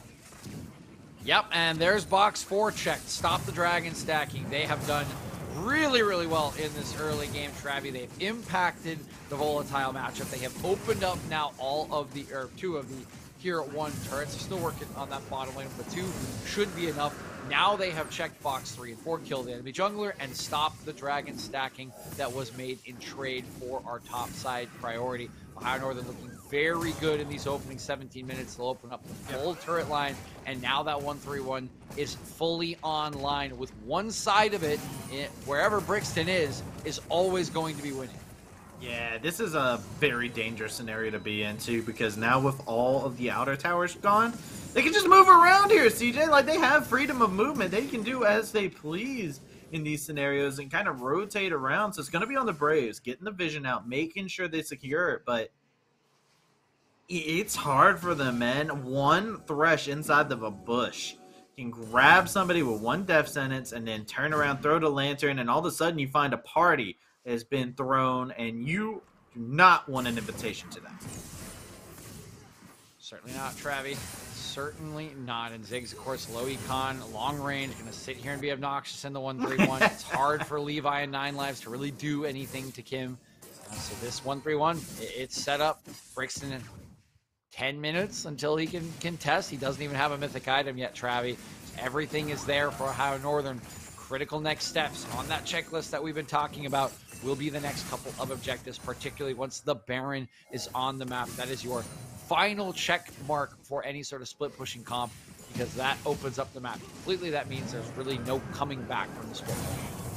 But uh, in a dangerous way, nice hook fished out by the Thresh. Gonna see if he can catch Coda trying to safeguard to a teammate, but does not find the mark. Now we have a little bit of a skirmish around the blue buff as they both of these teams, neither one want to give it up. Nice minefield laid out will deter any pursuit. And it will be the Braves securing themselves a little bit of a window out of there, but losing the blue buff in the process. Death Sentence connect onto Lee Sin. Didn't get the kill. No follow up there. Just happy to take the blue buff and retreat. Allow aggression to just keep pushing this lane, keep being a threat. He's still 50 ish CS up ahead of Brixton, about to complete his second item. And about the same time that Brixton will be completing his first. So the lead continues to grow for Ohio Northern. All they got to do, this is great, right? All you got to do is clear this mid wave. Just let aggression be a threat. Let him be a nuisance to Brixton. It's still going to be at least two items before Brixton can do really anything, and he'll still be way behind aggression and Kato at that point. Black Cleaver completed on the Senna as well, like this, to try and knock down this Volibear who's 5 0 and 1. Try to open him up so the rest of the team can do a little bit more damage to him. This is a very scary scenario where the tank is actually the most fed member in terms of just straight up getting kills. And who kills this Volibear right now? The Jax is so far behind. The Ryze still needs to complete some itemization, trying to get into that Frozen Heart is a tough scenario to be inside of. Yeah, pretty tanky at this point is cuz I think a little bit of consistent damage from Blonde could do some work, but it is a big question to be asked. Will take a little bit to take this very chonky bear down in this game. Minute 30 now till that next Drake. I think this is one that Ottawa probably just gives up. Travi is there headed towards aggression. Yeah, they want the play. Grand Challenge has been laid out. Multiple members are committing themselves for this too. Jax has TP for this. The challenge is still there, fades away. They're still going for more. Coda playing this very aggressively. But look at what this does. This opens up the map completely. Ryze has to Realm Warp back to the bot side.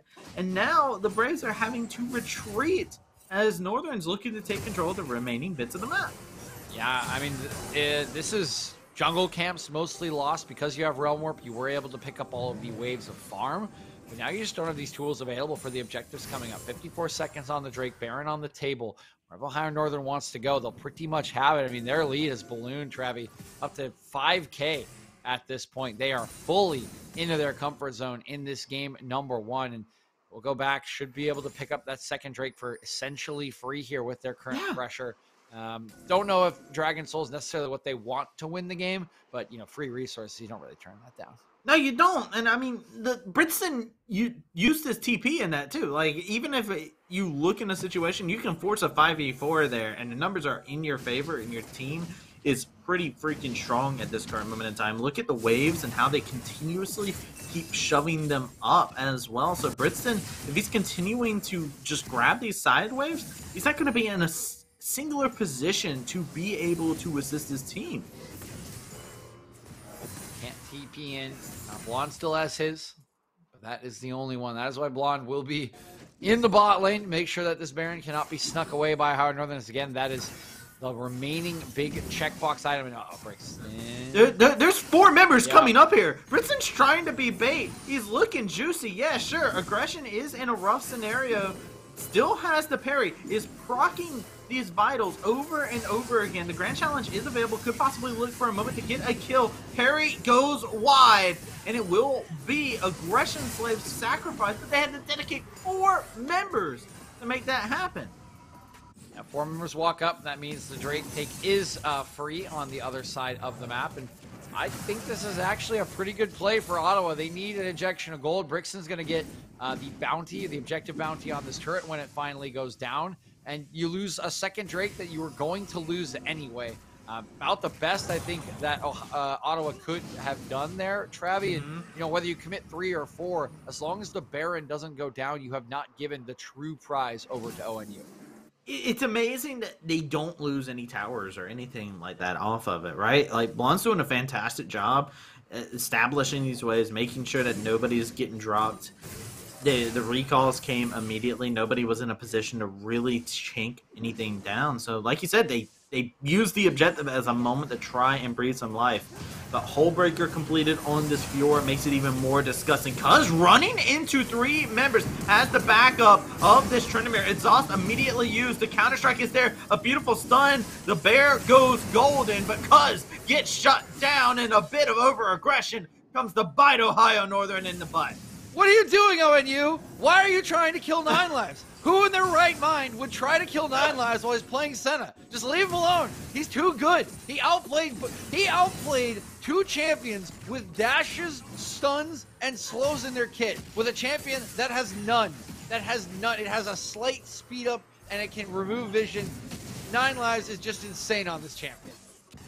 I mean, you're right. It is the immediate exhaust that comes through. I'm just questioning why why go for that play, right? Two members into four. The numbers advantage are not in your favor. The gold lead is now being shored. We were looking at a 3 to 4K lead in favor of Ohio Northern. But now, all of a sudden, it has been shored. They have found themselves in a situation where the Braves are now able to match them in terms of gold. And the mid game, the items that they need to hit, they're establishing those items right now. Yeah, I, I see the logic, Travi. Like, this is not even grass Senna, so this is a squishy er champion. You could just try to burst her, and that's what Kato and Cuz are thinking. Okay, we're gonna get on top of her. She's a little bit separated. We burst her, and Baron is ours. And hold on, here's aggression. He's fine. He sees my ward. Yeah, no, it's Cuz here to support him. He's perfectly fine. He's just like, yo, hey, can I get one person up here just to make sure that this Lee Sin will stop trying to focus me down? Gets that resource, and hey, look at what happens. Uh, Coda can't go forward with the aggression. Now, Ohio Northern, they're in a situation where they're trying to establish themselves back into this 1-3-1, but Botwave is incredibly shoved. Botwave pushed all the way up by Blonde in the meantime. King again now is ONU. They're looking for that pick. That's what they're looking for initially. They were hoping they could pop nine lives and then move on to the Baron. Again, that Baron, that is the big prize. As you can see, Ottawa doing a good job of stalling out, holding them at the doors of their base, of their tier two turrets. That is the frustration for ONU, which is why they overcommitted to get nine lives and just did not expect that they would get outplayed by the literal god of Senna himself. They're on Baron. Yeah. If you're looking for a pick, started off with the Thresh, but now they're just looking Oh, to not grab a nice objective for them s- right now. Braves Nation, Blonde has the TP, has the Realm Warp, could possibly look for a play. They see everybody rotate around. They say, all right, well, we're not testing the waters. Let's not 50-50 this. Yeah, you can see how much of a frustration this is for ONU. Again, their their composition does not lend well to 5v5 team fighting. They look for picks, they look for open skirmishes. So the Baron is a real frustration. It's a real trick, uh, kind of tricky objective for them. They're trying to do it this off vision. They're keeping people in lanes to convince Ottawa they're not on it as they get to the full team now arriving. Three members trying to do this alone, but I think Coda is sussing it out. Maybe here comes the true shot barrage. Yeah, they're gonna have vision of it. They're gonna immediately get it. This is such a slow Baron for them because of the fact they do not have a traditional marksman. They have a Ziggs instead, who went the Luden's Echo build. So there's no shred. There's nothing to melt this thing. So they have to pull off of it immediately as they're spotted. Half HP bars and Ohio Northern in a tricky situation because you do not want the smoke. He's gonna get himself popped, and that's Levi finding the kill on this Ezreal, and more damage, more shielding to come about. It is the Mega Inferno Bomb getting dropped, but it's Kato who's the person who will find their body hitting the floor, as it is the Braves coming in clutch in the fight. I mean, there should be Baron for Ottawa. If they wanted the jungler is down, they're actually working on the Drake to get the soul point, but they could potentially move up for the Baron as well if they really want to, if they really feel they can do it. Looks like the decision is, yeah, they're going to start it. The pings are out. Here they go. They have the Jax over into the side two. Triforce Hullbreaker completed is a very, very much so different champion than what he once was. They should be able to take this thing down so much quicker than what Ohio Northern is. You see the TPs trying to come in for the nearest possible flank. They do not have ultimates on key members here either. This Baron is gone. And one of the shortest realm warps out I've ever seen, but it does the trick. It does the trick, Travi. It gets them away from Tang, from Charlie interrupting their bases. And so what we've been talking about for the last four minutes, ONU consistently and permanently frustrated by trying to take this Baron. The literal final checkbox on their checklist of items for this game was get Baron. The sub items were get pick, get Baron. And every time they attempted it, nine lives, shut him down on this Senna, then found the pick onto the enemy jungler, just showing his expertise on this champion once again in Ottawa.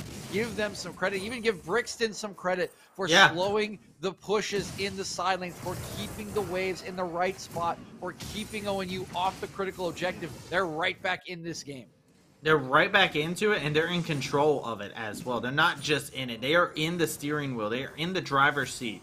And Braves looking to steer themselves to a victory, but a catch like this is not what they need. Coda gonna find his HP bar getting dropped down very quickly. Nice true shot barrage to lay in a little bit more damage. Tango Charlie is dropped down critically low, and two members just like that get dropped Blonde over here on the flank, burst down the Tryndamere. And that is three kills in quick succession. This split pushing has fallen apart for Ohio Northern.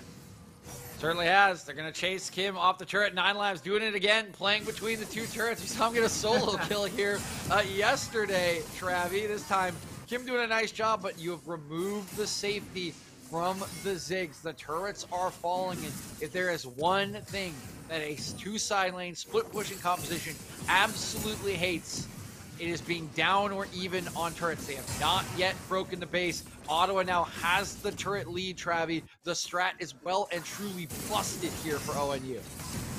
Another grab onto Coda. These death sentences always hitting them, but they're not able to solidify the kills now. Now that he has the itemization, he has Death's Dance, Gore Drinker. It's so hard them to be able to find a way. You can see in the gold how quickly this is all shifted in the favor of Ottawa Braves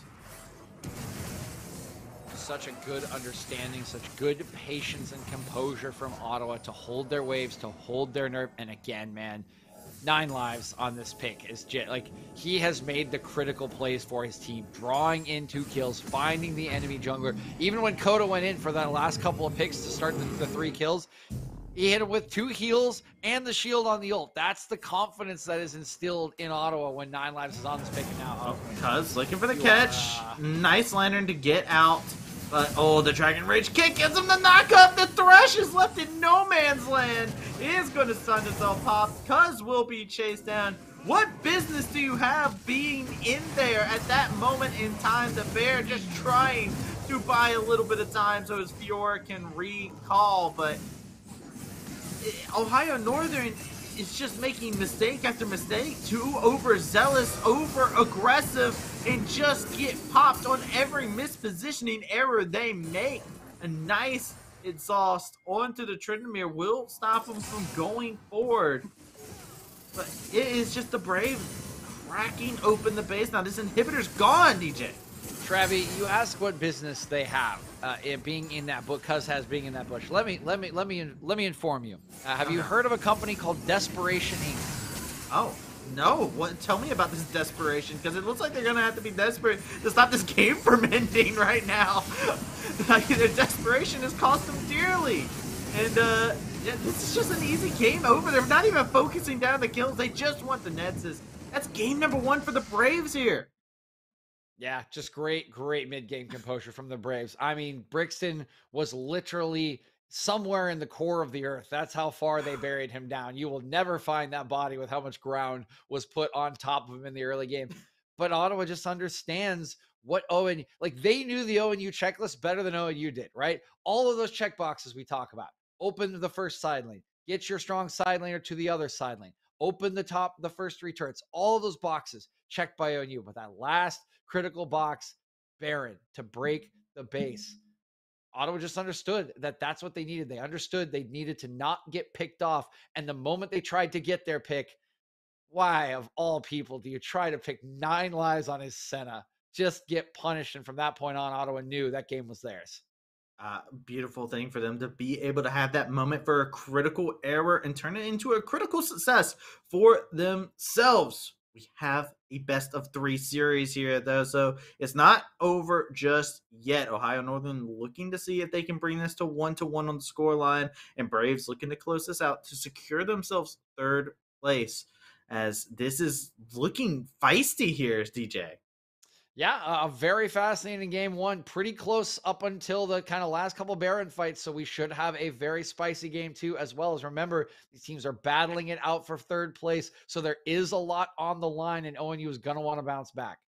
And we have something else that's spicy. We have some fantastic sponsors, I do believe, that we show off at this moment in time. Show everybody the people who are able to make this kind of stuff happen. Atlantic, Tapati, Skulls, and as of course, Gangsta, as they are our lovely sponsors, making sure that we're able to bring the finest of collegiate action, and also Skulls, who make us look good. You know, they give us all sorts of nice little apparel and stuff like that. You know, you can check it out. You can be uh, swagged out as well. Get yourself some Unified merch while you're there and be able to check out the Unified collection. That way you can look good while you play good. It's just facts. If you look good and pl- you play good, it's just how it works. I don't write the rules. So we will go ahead and take ourselves a short break. When we come back, we're going into game number two. So don't touch that browser as we will be right back.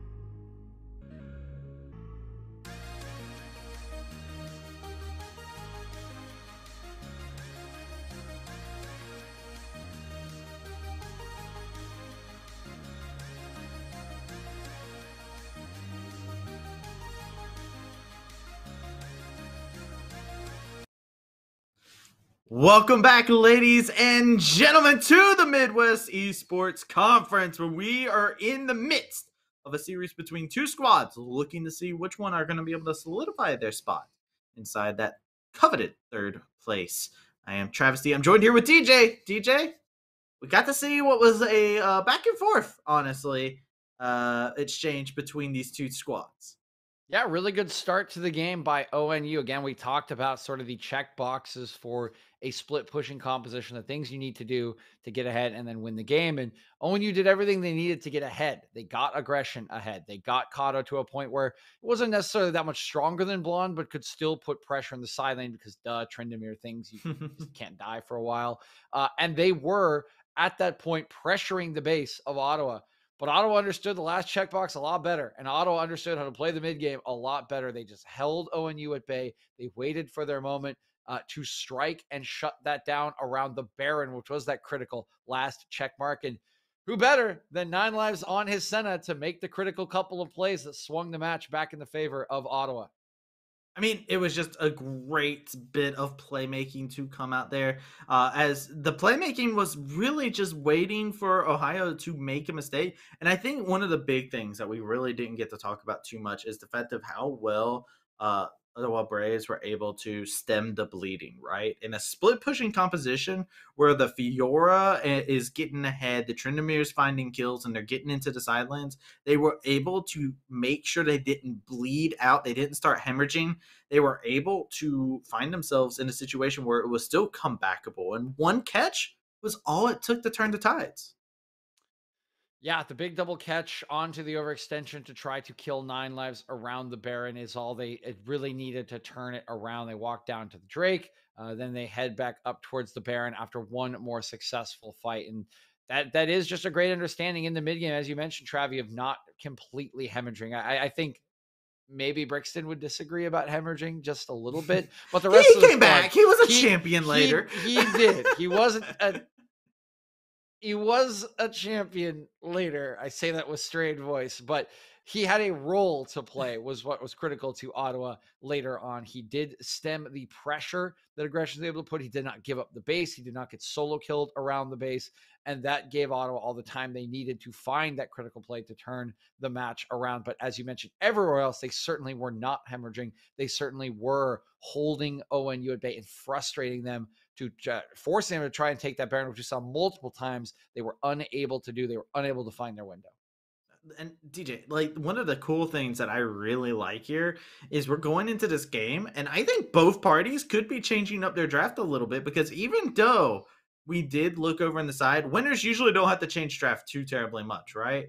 They did have that realization of they are going to pump resources in there, and what happens if the four kills aren't as well? Those four assists are actually kills on the Fiora, right? Like there's a different world that they, the Fiora could have been more accelerated inside of the game. So I'm kind of curious if there might be a slight adaptation for them thinking about how Ohio Northern likes to play.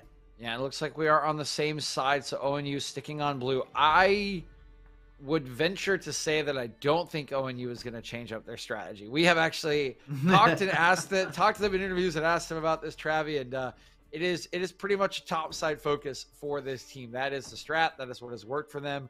Um, their own players talk about that. So I get the feeling that maybe the picks will be different, but I don't think the strategy will be. And I think that is reinforced by the fact that we see them stay on blue side. So I do agree that there could be some slight adaptations from uh, uh, Ottawa because I I do feel like they think the early game probably got a little further out of their control than they would have liked it to in that game. And again, it was just some very kind of nice composure and then some big plays from a couple key members that turned the game around. And we so far seen some of the same bands. Zeri, Caitlyn, not allowed. Curious to see if the rest stay though. Like the Senna was another interesting thing. The Tryndamere was another interesting thing. I want to keep our eyes peeled, but you can see the respect bans have to stay. Yeah, you have to ban the Warwick. Uh, will they ban the Senna? I, I I'll be straight with you. I would just do it. I just think you do it. I think that last is too good on this champion, man. Like, you think you could pop him? You're wrong. He turns the game around. I just I would ban it. I wouldn't give. I wouldn't let him anywhere near this champion. Senna's really, really good right now. And the problem is, Nine Lives is better, is still like really good on other enchanter type champions, right? We see him roaming around on the Karma pick and stuff like that quite often. So I think that roaming still happens no matter what. Be curious to see if Nine Lives gets his hand on the Senna, and if he doesn't get his hand on Senna, what does he prioritize? Yeah, that will be the question. I think if he doesn't get the Senna, you can actually wait a little bit longer, as I think draft has had a slight issue. So we'll be uh, taking a couple of minutes uh, for that to just reset, uh, just the uh, draft lull breaking itself. So no bigger issues Mhm. with the uh, players. Uh, never mind, it was not draft lull breaking; it was a client breaking. Uh, hopefully, that's not too long. Hopefully. eh, you know, sometimes the spaghetti comes for us all, but it's a very interesting prospect to think about in terms of the draft. Um, I think what you said earlier, I think Ohio is probably going to stay at the same thing. like they're just like, yo, we know what we're good at, which I respect. Uh, I'm curious if they have different pieces to utilize with that, or they're coming to this with a, a different mindset for sure.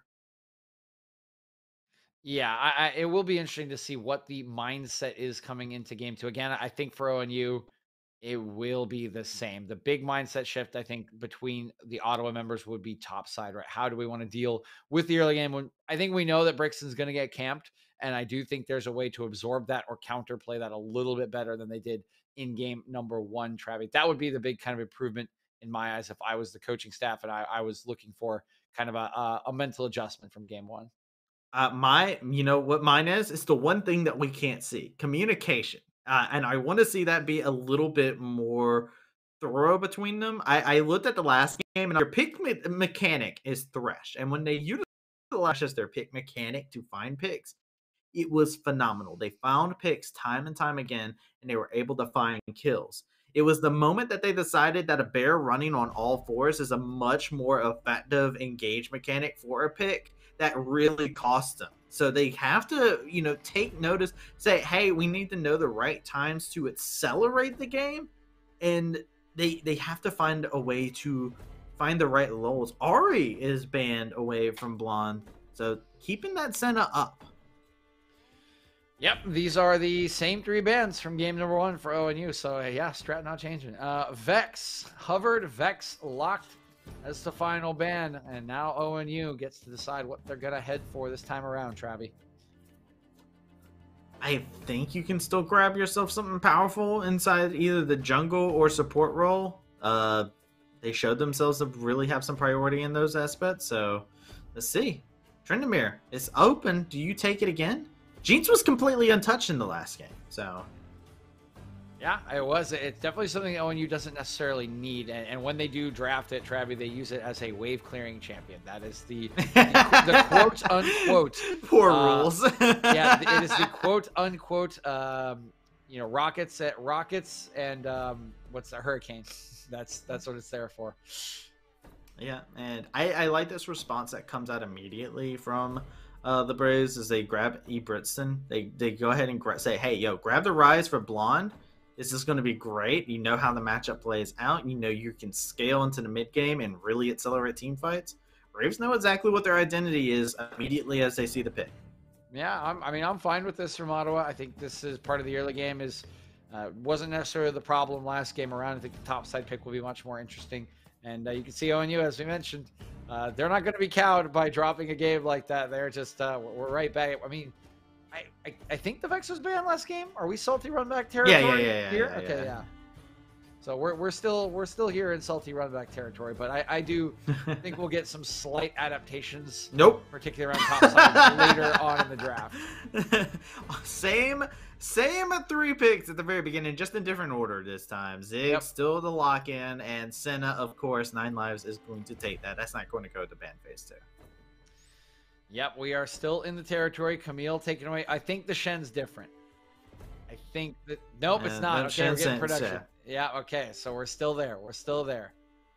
Production Same gonna have to bands. help me with the last band as well here when it comes in, but we are uh we're not far off now. Same bands. same bands. It is literally top to bottom, same bands. I would be curious to see. if they there, you it go. is. That's an There go. adaptation. All right, all right. Well, why though? I mean, it's still uh, it, it's still a skill matchup. It might counter something that you can see aggression wanting to play. Maybe aggression doesn't want to play the Fiora. Maybe has Yeah, their eyes set on something different. You know, like I, I, I guess that's the the plan. It also is a champion that Did you really put it behind? It, mid game, Yes. it still gets the items like the all like all the other champions does, and becomes disgusting in the side lane. So, Ezreal picked up surprise. Not really. Uh, that is the pick for the bot lane of Ottawa Braves. A little bit of an adaptation. Hold on, aggression might be piloting this Tryndamere. That Yeah, is a concept we haven't thought about. This has happened before, but no, it's it's Thresh. Still thresh. Okay, aggression. Okay, okay, aggression slash Kato. What do you got? Okay, it we'll send it up to aggression. Yeah. So I, I like this. Uh, they banned away the Jax because it's not a fun matchup for them.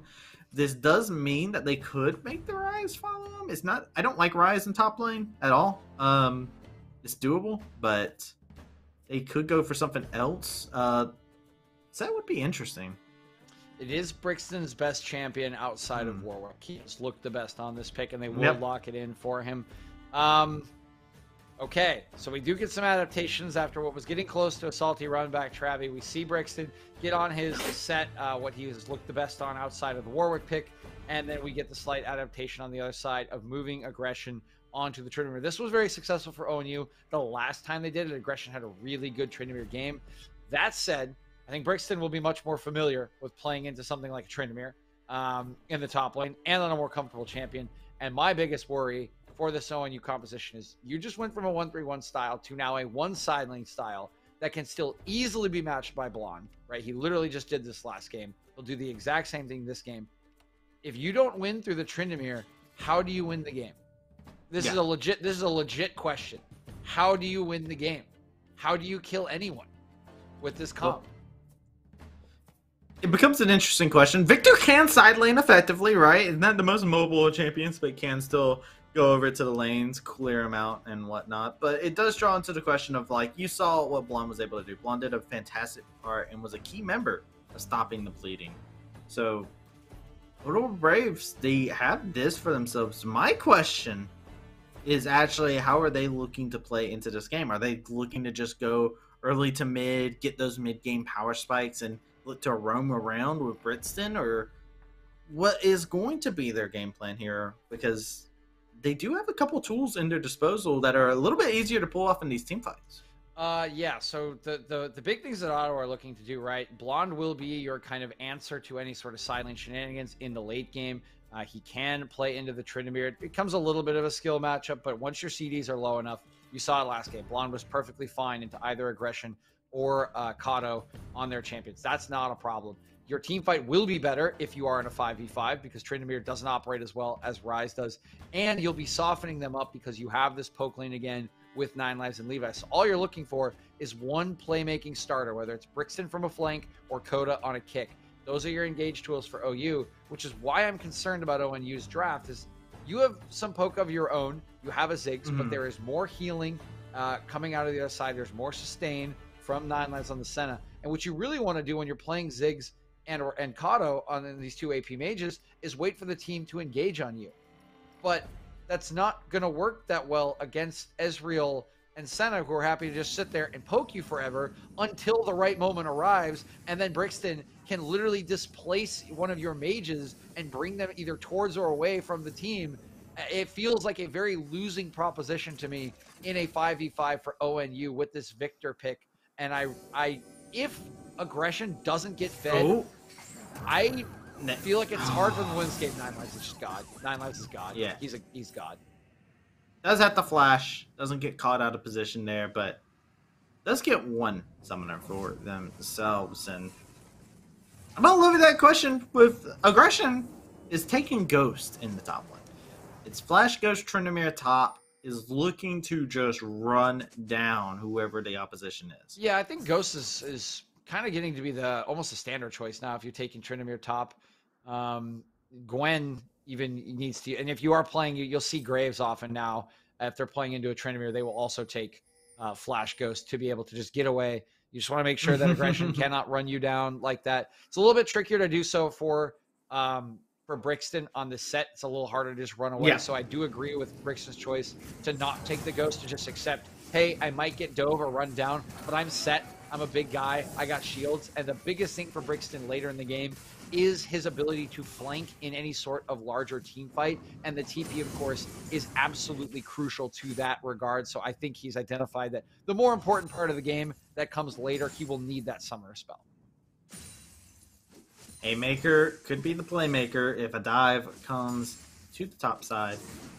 Junglers are both going to be moving around their camps at this moment in time. Keeping my eye especially on Cuz on this Volibear. Had some nice early aggression over here in the top side as we've talked about. Looking at game number one. See if that continues. Going into this top side with a Tryndamere now. Pretty interesting laning phase between Tryndamere and Brixton. Uh, Tryndamere usually known for bullying people in lane, uh, looking for those crit lottos, but uh, Sett no slouch either. We've seen Brixton be very aggressive with that pick in lane. Is sort of hovering around this bottom lane. This should put him a little behind in clear. He's actually taking a very early base. He's not full clearing, Travis. Mm-hmm. Yeah, he hasn't even got his red buff. Uh, interestingly enough, has not two buffed or anything like that. One's backing brought themselves a long sword, which is going to be very curious, looking to have that little extra edge. You usually see something like boots or something for that early aggression. They're going to try this.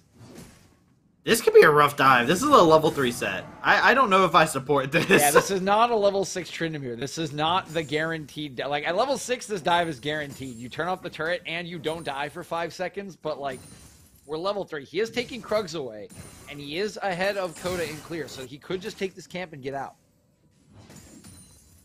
It's just they, they can't get away and possibly look for Brixton to go for something that's overly aggressive. Coda is none the wiser at this moment. We do see a couple MIA pings. They might have saw the Krug that was chasing Volibear and look to cut him off. Cuz looking to see if he'll be able to get onto Coda. Coda does have a little bit of an item advantage for himself, but Cuz is going to be able to get that shield. Does have the priority coming in from the top side, but mid lane, Blonde is there to Zat as Coda in a good amount of damage. Aggression looking to follow up a stun onto Blonde. He has to flash away, but the blade finds him all the same. First blood goes over to Aggression.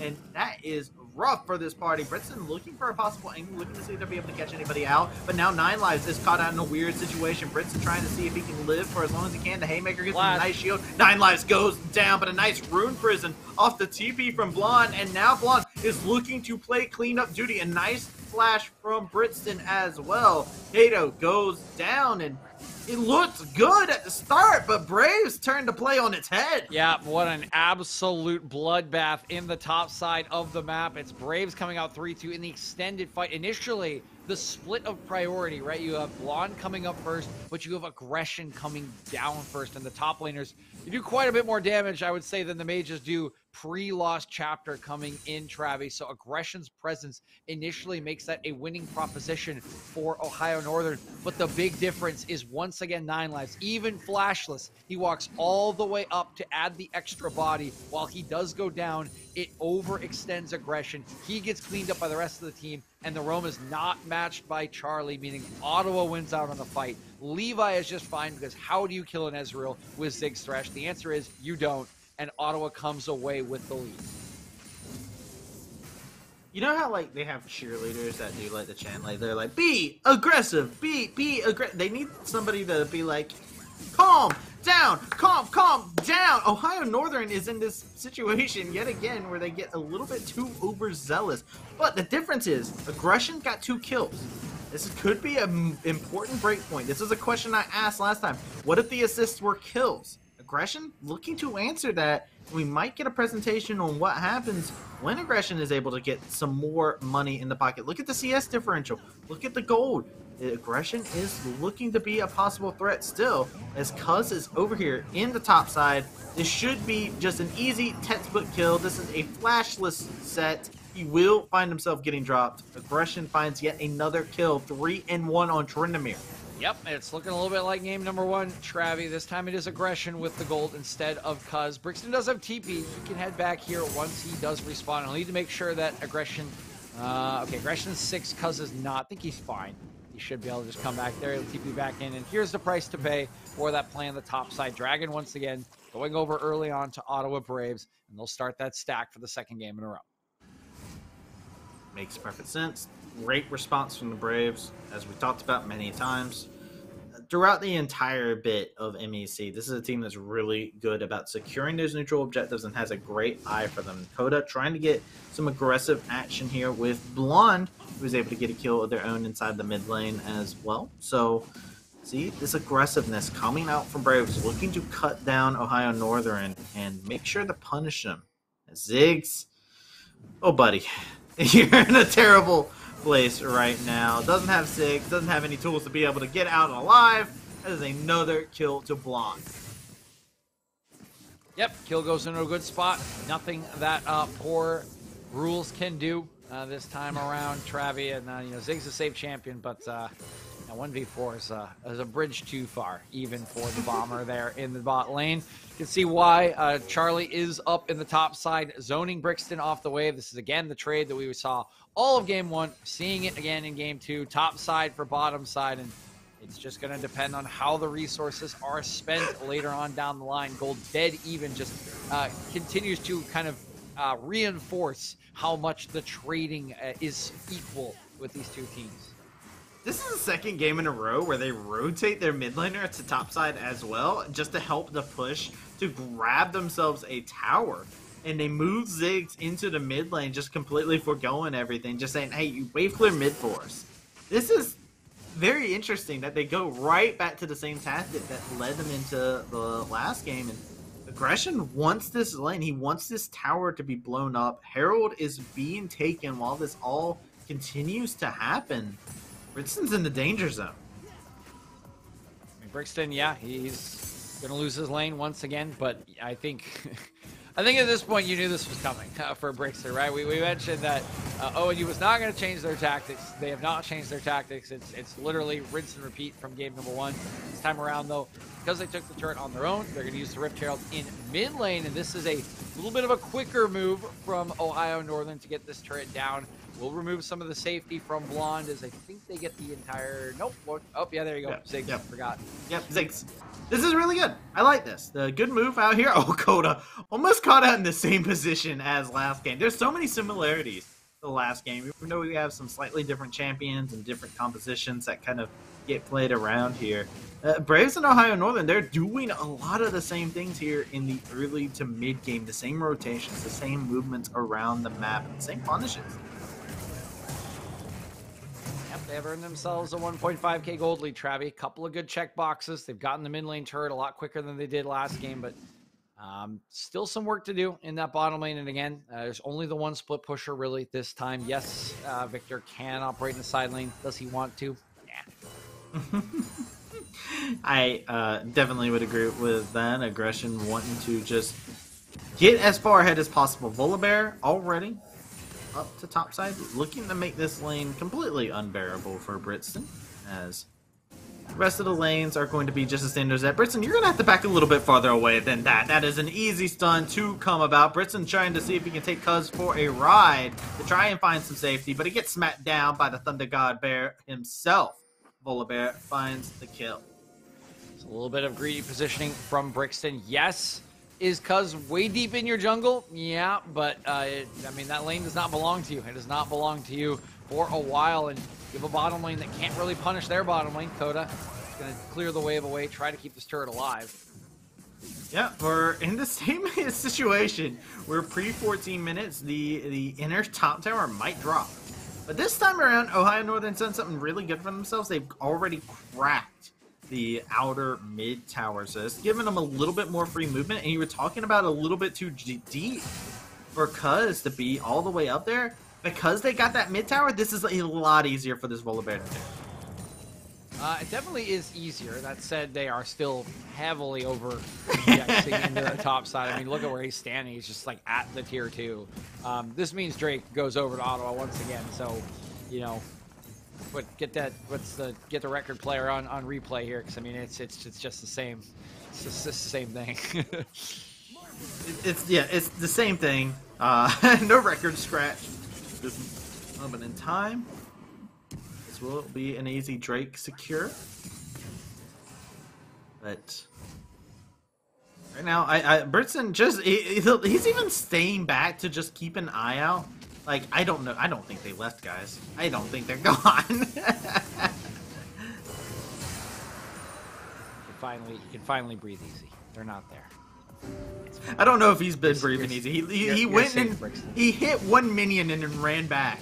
Don't worry That's about not it. breathing easy. Don't don't worry about it. You can finally close your eyes. The lightning and the lightning and thunder is gone. I, I promise. For now. Watch, his back is gonna stop the second they see Tryndamere on the map. They see Tryndamere, and the back stop. My man was hyperventilating up there until Tryndamere showed up bot lane.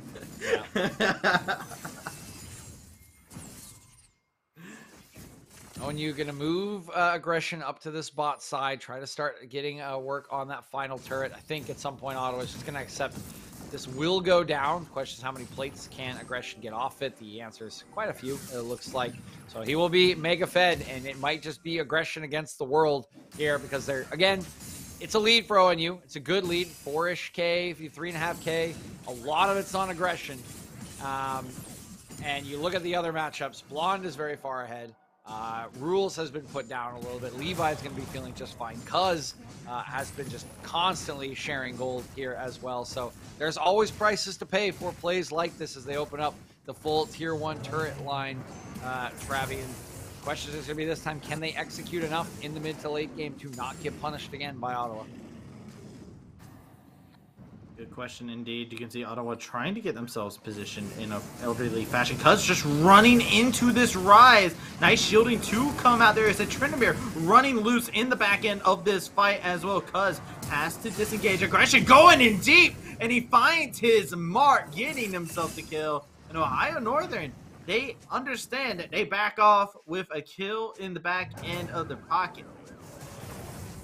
Just so hard to take down. Tryndamere, such an obnoxious champion as he hunts down Coda. A little bit fortunate, I think, that Cuz does survive there. A pretty decent trap set by Ottawa, but they're still just dealing with how powerful aggression is at this point in the game. Did cost Flash and Ghost in that exchange, meaning they will not be up for the next objective. The second Rift Herald will come up in a minute or so. The next Dragon, of course, well, unfortunate. It rolls Cloud again for Ottawa, but it will come up in 240. I, I feel like that was a little bit of a mistake though from the Braves, right? They don't have they haven't hit item spikes on the trap that they had set yet. Like Graves was still sitting on just the lost chapter and tier.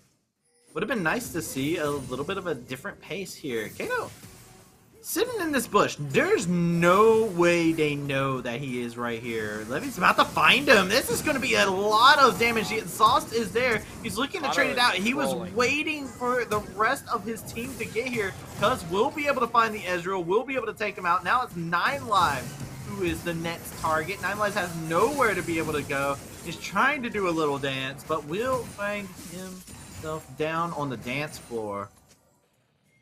This is rough for the Braves. Set trying to answer the Tryndamere. Mid lane getting shoved in, but Ohio Northern looking to rush into this Herald. I mean, I, I personally, I think this is fine for the Braves. Uh, actually, uh, yeah, I think it's very fine. Uh, they're going. Well, they almost do. Uh, maybe it's not. I, I thought they were gonna get the mid turret off that. No. If you get mid, if, if you get mid turret for that, that's worth it. I mean, the the Rift Herald is a promise of a turret. The mid turret is a turret. Uh, and you sacrifice four members walking up to get two kills, but you traded one back for four. Like that for mid turret, that would have definitely been worth it. Now Ziggs doesn't have somewhere to stand. Now Kato doesn't have somewhere to stand. I think it comes out a little bit better for ONU because the turret doesn't go down. But as soon as that mid turret falls, that is a big price to pay for two wave clearing mages that want the protection of that tier one. Don't think Kato was looking to get caught out in that situation. Wasn't expecting Ezreal to walk back into the bush. As you can see, still able to come out ahead on the play though. Have themselves the Herald. Keep our eyes on exactly how they utilize it as Cuz already making his mark down to the bot side of the map. He said, yo, aggression, where you at? He'll be right there. Yep, Aggression's still pushing forward, and just like last game, he's on two items, and uh, Brixton's still working on one.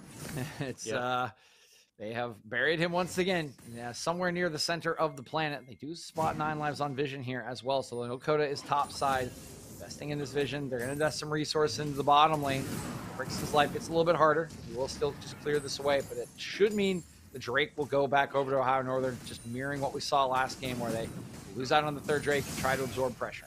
Yeah. Um, would you like to hit a specific key for Brixton right now? He has got uh, three members here. Uh, none of them people he wants to see. Brixton is in a terrible way right now. He is going to get caught out of place, goes down immediately, tries to find a escape path out, but this is inner tower in the bot lane, dropping in response to a top tower going in the favor of Braves.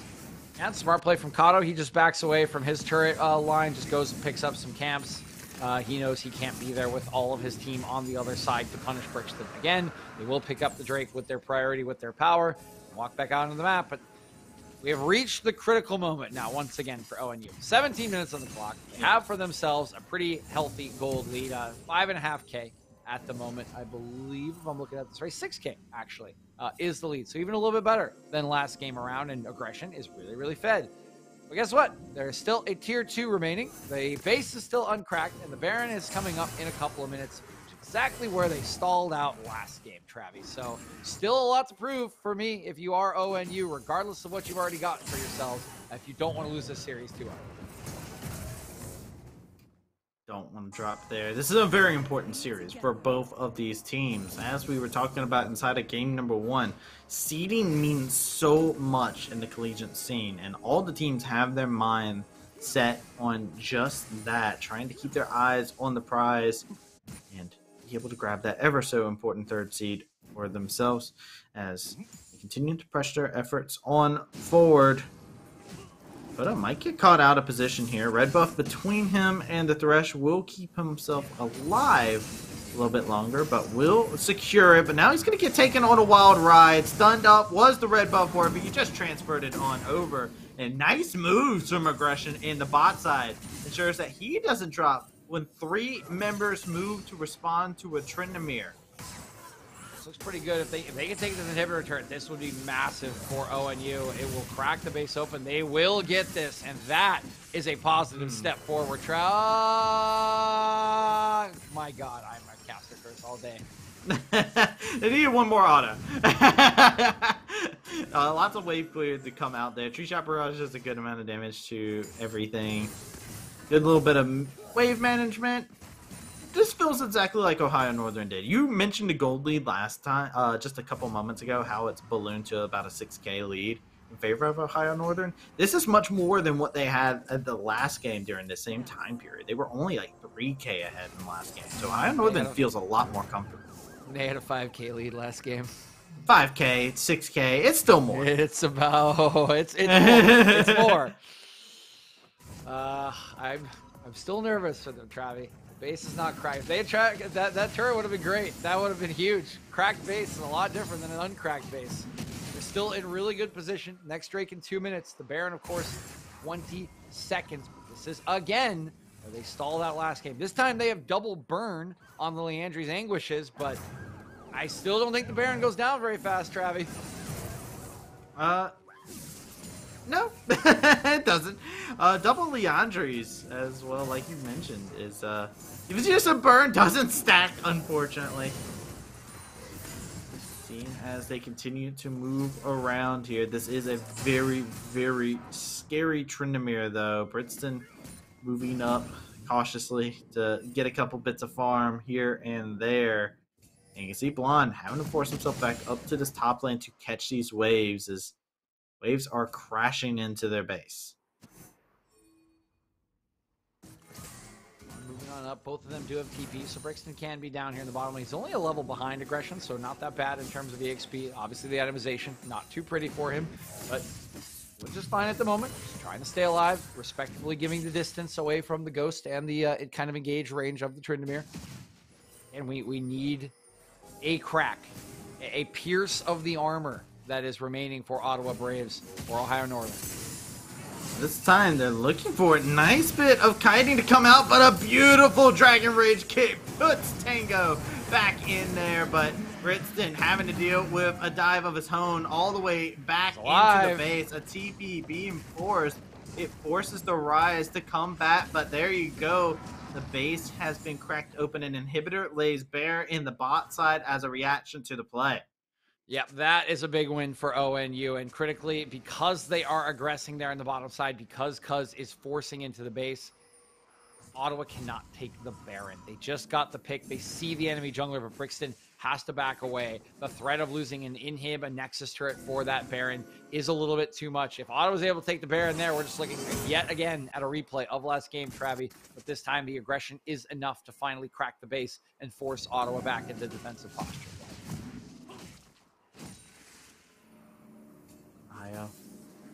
Trying to keep the tempo up, man.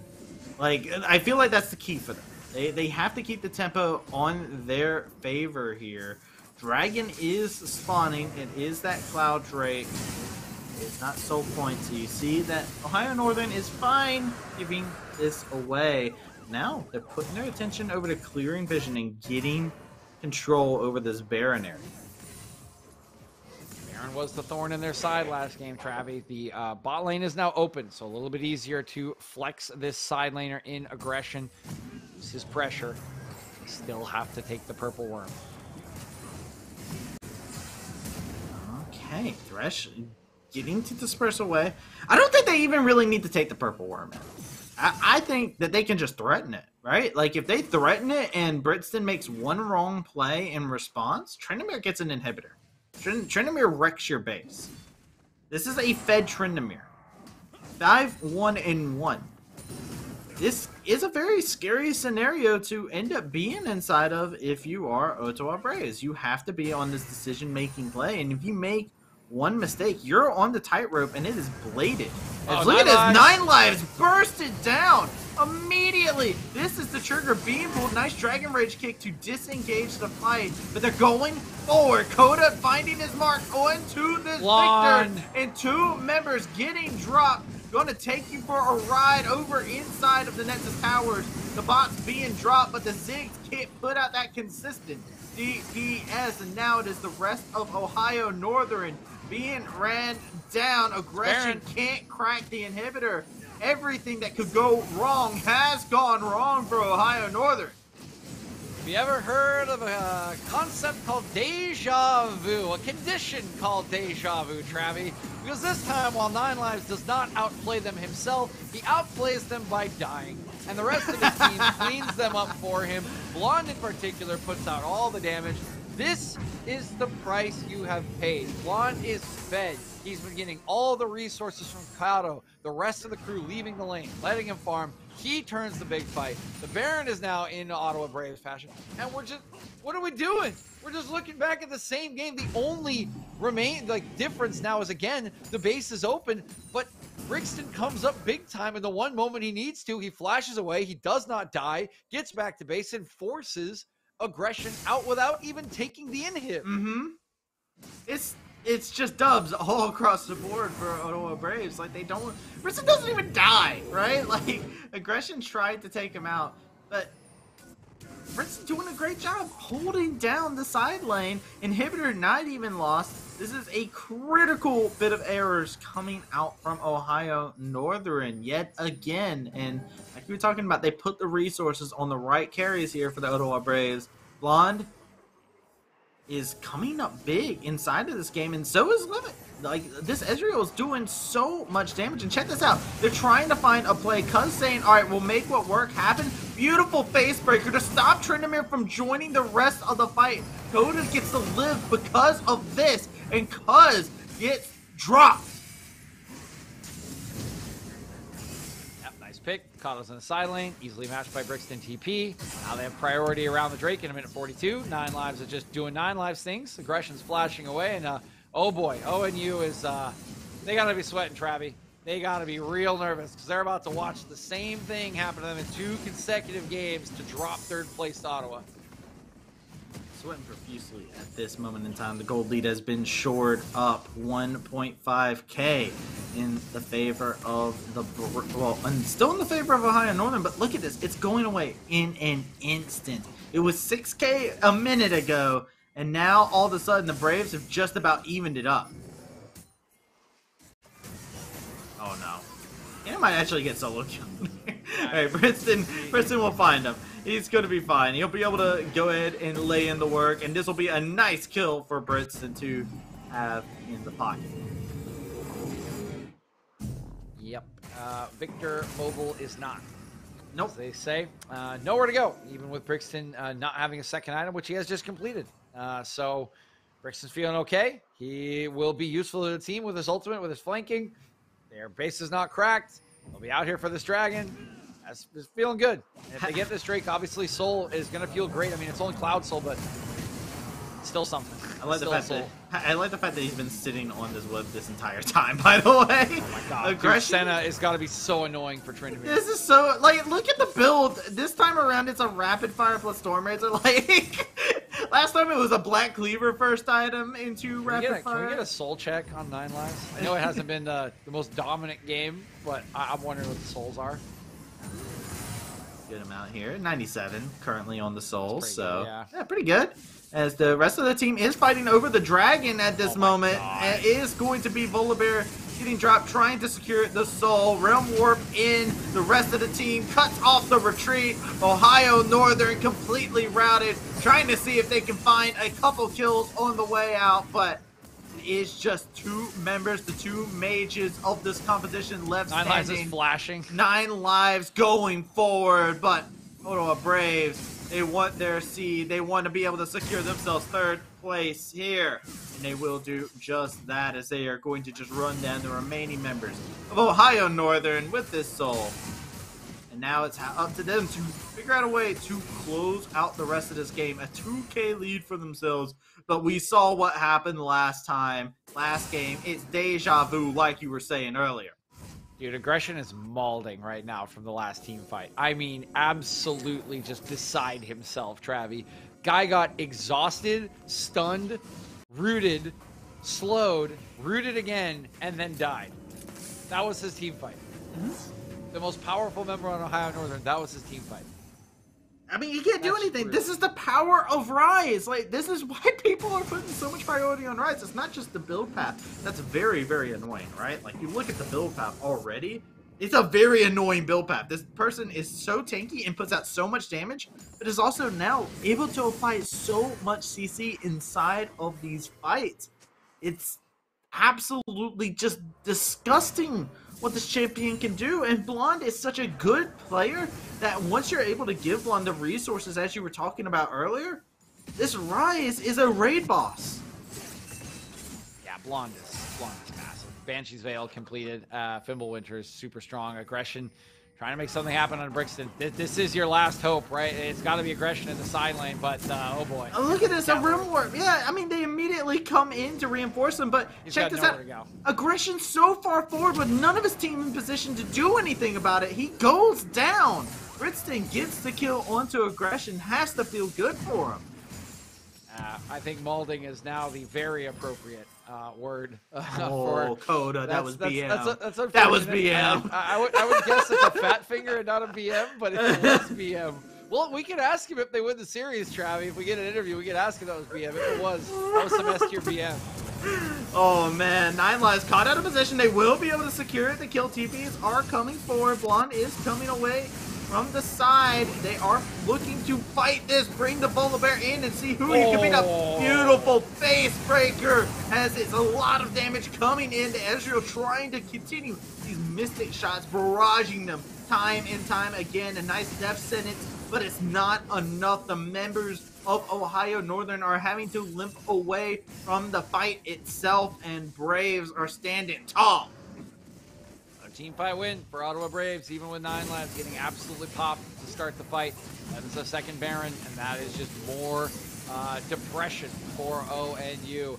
Again, their hope relies on this open bottom lane, some sort of split pushing threat. But we mentioned this in the draft. I was adamant about this in draft.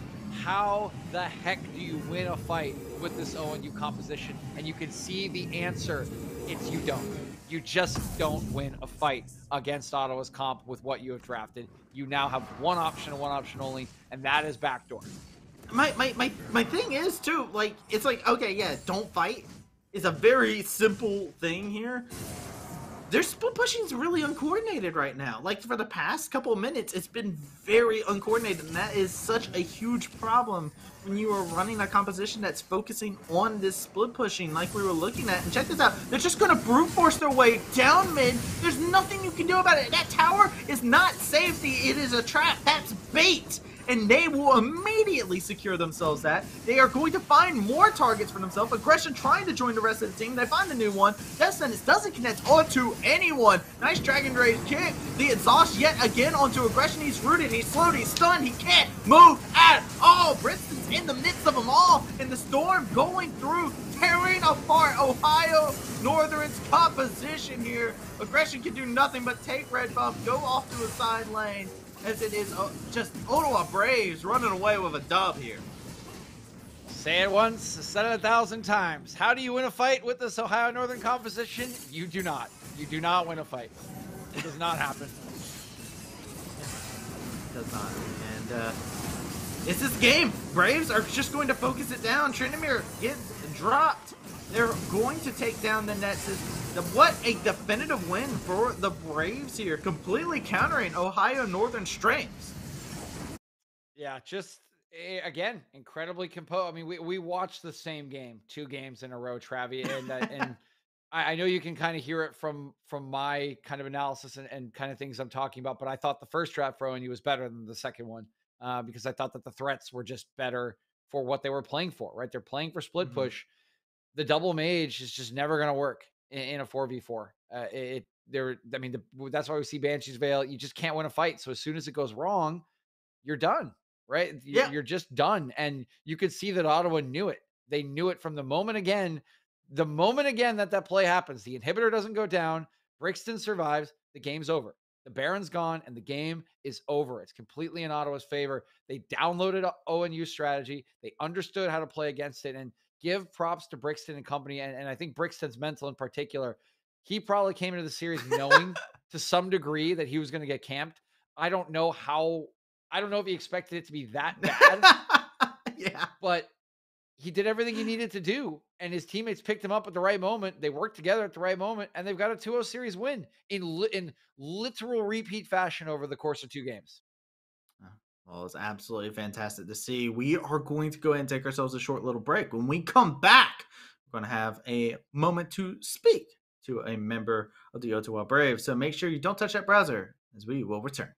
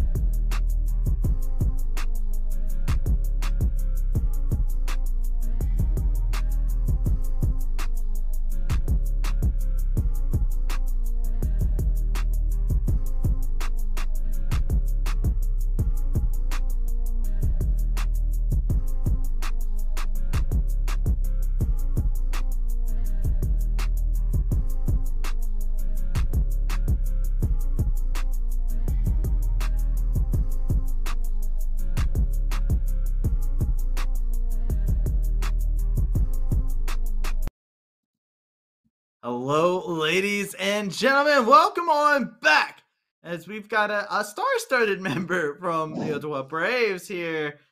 How's it going, man? You guys just secured you guys uh, the third seed here against the opponent that was looking to contest y'all. Yeah, hey guys, feel it feels good for sure. Um, we were definitely looking to cement our third seed today. We came in really prepared. We prepped well. I think we prepped really well, and it was, yeah, we had they had good ideas in the early game, but I think we adapted well, and we knew that if we reached a certain point in the game, we were just better. So that's how the games played out. I think.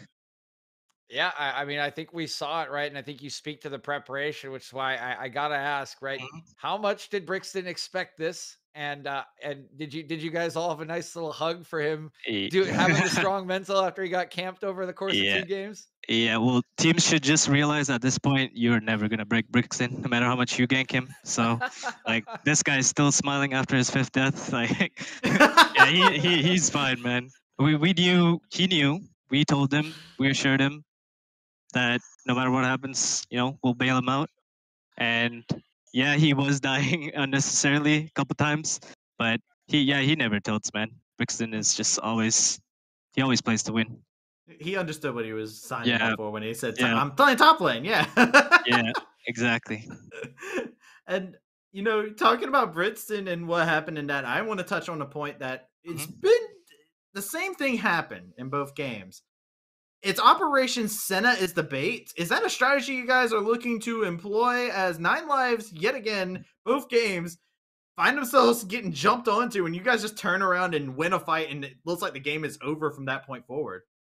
Yeah, I mean, guys, uh, Nine Lives tries to look as juicy as possible. So if you want to go on him, you know, we're ready. We're always ready. We haven't lost with that pick yet. Well, like we're very comfortable with playing. He's he's very comfortable with every matchup. So yeah, we love it when he's on center. Uh, it's it's been an excellent pick for you guys. I Mhm. know I've been a huge fan of it, but kind of uh, getting a little more focused on you, Levi. I know you came Yep. in a little bit midway through the season, right? So, kind of Yep. want to ask you, like, how's your experience been? How are you enjoying the MEC? How's school, the team environment? What's what's going on in the world of Levi? it's going great. Yeah, I I really enjoyed. I was already like working with the team even in weeks one and two when I had to come in. You know, I think I slotted in pretty well. I love everyone on the team. Atmosphere is good. We're we're trying to ramp up towards playoffs now. I think we're getting better and better. Yeah, I think we can make some surprises in playoffs. I hear you. I hear you, Levi. You're looking pretty good, especially on the Ezreal man. I gotta give you some props on that. Your gameplay has spoken volumes, and I feel like a lot of times you do have this pairing that goes on between you and Nine Lives. How is it going to pair together with Nine Lives? Somebody who's been inside the scene quite a bit. You're joining into this team. How has it been working together with them, especially since Nine Lives has a much different pool than a traditional support does? Yep, agreed, he does, but he's also very creative. He is very, very comfortable to play with. I will let you know that we don't have to talk about a lot of things because we already understand the game well. I I literally don't have to tell him anything. He knows what he's doing. I'm very comfortable with him. Yeah, not much else to say. I think uh, he's a great sport to have. Always great to hear that the uh, bot lane relationships are going strong. It's uh, I like to say it's a foundation to any good team, mostly because I'm a bot laner, Levi. You know, it's- Oh it's- yes, we're we're we're we're, biased like we that. are the so most I- important for sure. I agree. Oh, definitely, definitely, hundred percent. I definitely feel you on that. So it's good to hear that the relationship has been good. We've seen you guys play a bunch of different champions. I think I've seen you on five different AD carries at this point. They've all Mhm. looked really good. So I'm excited to see how you guys do crest this season because, of course, it's been a little bit of an up and down at certain points with with changes in the org. Uh, but I mean, as we do get into playoffs, right? Looking at a third seed, uh, I expect you will be pretty confident in your first round matchup. But how do you feel like you guys are peaking right now? Do you feel like you're at the peak of your powers, or do you feel like there's way to go before you get to those critical matches in the best of threes, best of fives? Uh, yeah, we're. I definitely feel the progression. We are ramping up. We're we're definitely not at our peak. It would be stupid of me to say that because I know what we're all capable of, and this is definitely not our peak.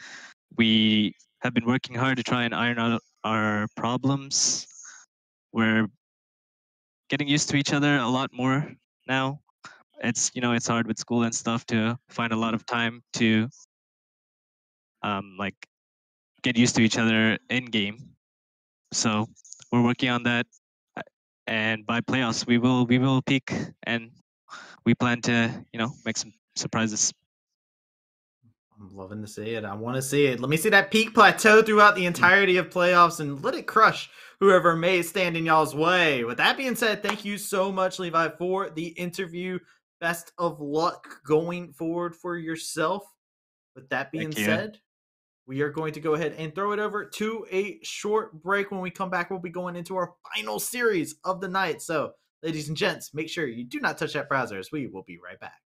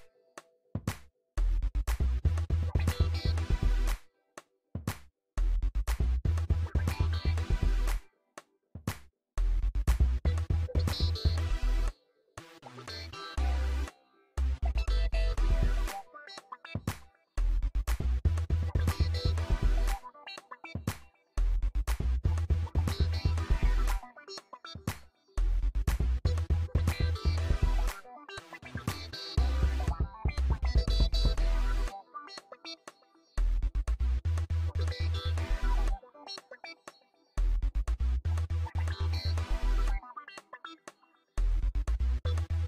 you.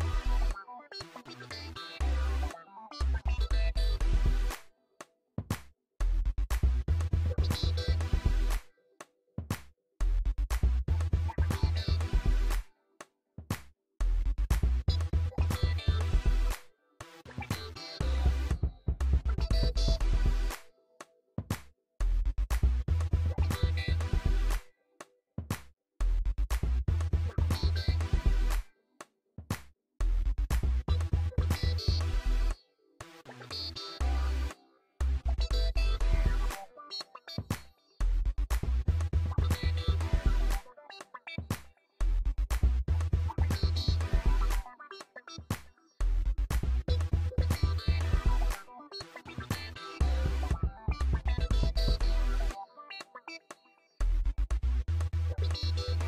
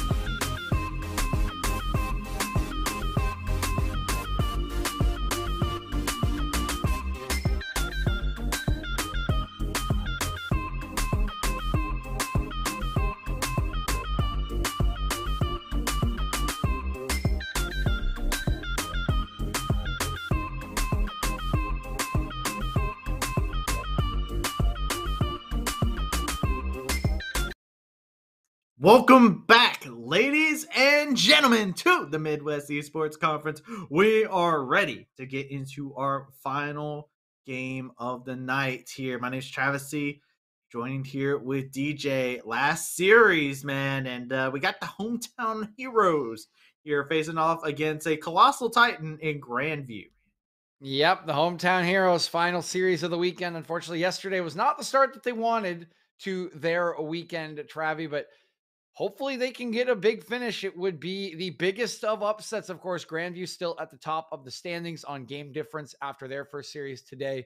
And uh, we have Drury at the bottom of the standings. So it would be the biggest upset possible to cap out an already insane weekend, but that is no easy task. And now we get to find out what Grandview looks like after uh you know, th- this is the this is the bounce back series. So, what does Grandview look like as they bounce back from their first loss? And uh, will it be even worse than we imagined they would be at full strength?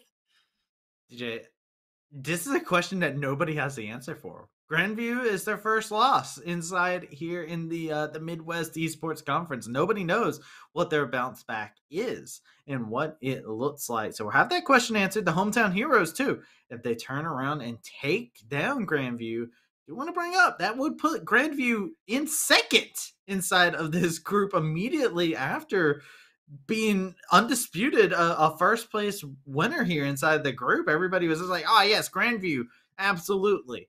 This is a, a big game for them now. Yeah, they're they're gonna want to show that they can bounce back. They're gonna they're definitely not gonna want to have an 0-2 day, right? In terms of a series after being 18 and 0. So I, I definitely expect them to bounce back. I, I I, I said this on Twitter earlier after PNW did win the series. I, I do wonder a little bit uh, if they have just poked the bear, right? It is kind of the way we look at it, right? Grandview mm-hmm. has been uncontested for this entire season. Now they've lost their first game. And we always see the character of teams when they do take losses, when things are going wrong. Do they bounce back? Do they fight back? Do they come back with a vengeance? I definitely think the Grandview squad, the boys on that team, and the coaching staff are those kind of people. They are competitors through and through. And so I get the feeling that the bear might have been poked, and I get the feeling that Drury might feel the wrath. And it might feel the things of the Grand View, well, Vikings, I guess. Yeah, as they come in here, Grandview University looking very much so powerful throughout the whole entire season. And to put it in a different way, too, hey, look, everybody takes a loss every now and then. You can learn from that it's better that they took the loss now than inside of playoffs, right? They're looking at playoffs coming into their immediate future, and uh, they they cannot now. They're in a situation where they cannot sleep on any teams. They have to make sure that they go their all. I know in previous interviews, uh, one of the big things that Grandview has said over and over and over again is we want to go into every match, every series as serious as possible, and we gotta keep our eyes now. How do they answer back as we get into draft between Drury and Grandview? Yep, Drury and Grandview underway here. Potential best of three series draft number one. Again, to wrap up the Drury LAN home team gets the home team advantage, and they'll be on blue side to start off. Travi, they'll start, of course, with that Ryze ban away from Meslo. We saw what it could do last series in the hands of Blonde. Not to let Meslo do the same thing. Curious to see if there will be any focus thrown at Prankuru. Uh, we've seen Prankuru be a very, very strong top laner here. It feels like a storyline that we have here inside the mid uh, Midwest. It's just the top laners are crazy. Uh, so keep my eye on Prankuru to see what champions they get. As you can already see, Anivia taken away from the killer guy. Yep, uh, Anivia not going to be allowed for the killer guy. Probably a couple other things that might get thrown in there. He has played some very different looks uh, of mages. We've seen Kog'Maw even come out from Killer Guy. We've seen the Neeko, which he was famous for last year as well. So plenty of things they could take away. Colthrow, though, not going to get his hands on the big bear. We were talking about poking the bear. Apparently, Drury taking this very literally. Take it away. It's a champion that we've seen rise in priority as of late, and you can see the mid lane focus currently coming out from Grandview, wanting to shrink down the possible pull from the killer guy. Killer Guy seems to be the target. They definitely want a good matchup for Meslo at this point. Ahri, just a really powerful champion anyway, so not surprised to see it taken off the board. Last but not least, Gonna throw one Aaron's way. Why not? We'll, we'll, we'll, we'll, throw a little ball at him here. Takeaways of Aphelios. I mean, Aaron's really clean on Aphelios, so I, I get it 100%. You do not want to face 200 whole years of uh, development in your big game here. One more ban out for GVU. By the way, you- mentioned what Prankuru would get or, or if he would get any bans. What, what we do know he did get today, critically, was the Pikachu with the apple. So congratulations, Prank. Finally, Ah. the, the the plushie the plushie is yours. Good work, Drury LAN. Good work, good work. That's what we like to see here. Finally gets his uh his Pikachu, but now he's got to deal with the the man in the bear costume. Udyr yeah, other this side. Feels like Udyr feels weird being one, but if you know what Colthrow's on the other side, you know that you need to not give him this champion. So I think this is almost necessary. And of course, uh, of course, Othkirk has played this quite a bit. He is very comfortable and very good on the champion, so it makes a lot of sense for it to be locked in. Aaron, though, going to go a little bit of a different direction from the hyper carries with the Jinx and the Aphelios already off the table, and he will head towards the Jhin.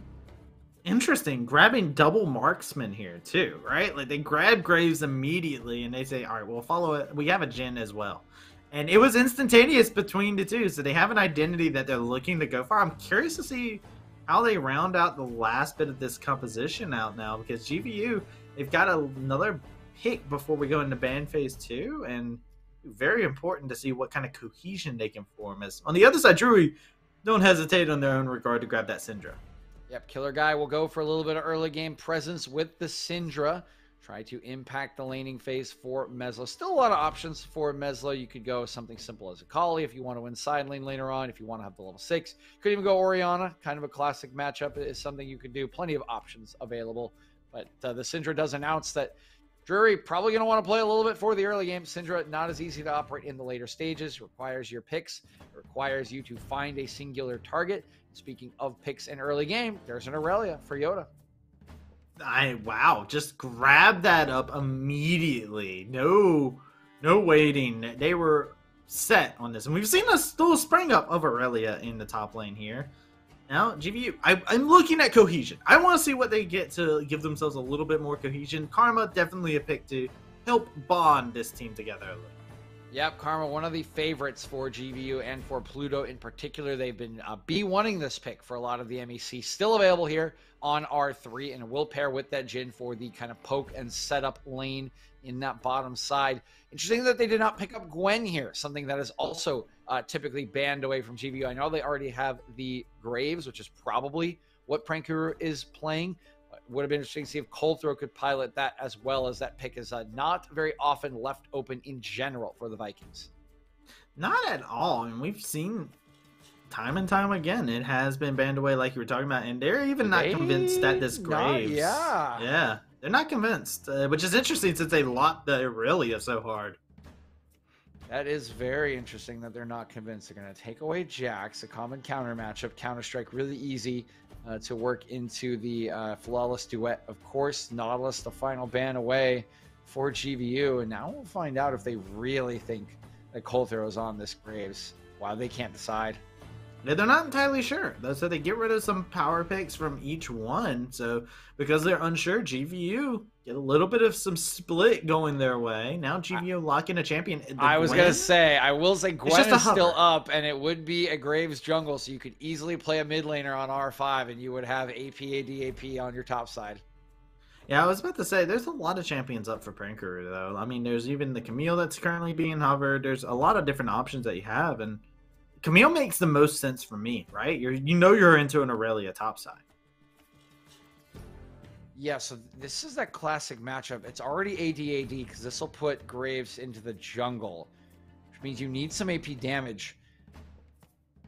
They could go Galio here, but then they are really heavily indexing into pick and side lane Travi because they will not have a lot of damage in general. As oh boy, Oh. hover of a Jayce. So they look for the Syndra ah, Flex. Okay. So see what locked in. There you go. It's a Renekton topside. So it's, they completely baited switched them. Syndra actually getting played in the bot lane. It's been a long time since I've actually seen a Syndra get rotated down. So hey, Matt's feeling comfortable on being able to aggress on this mage in the bot lane. I do remember Baymax was the mid laner to start this year, so not too surprising that he should be comfortable playing a mage in the bot lane, as they will throw Fat Cat onto the bard that he does really enjoy.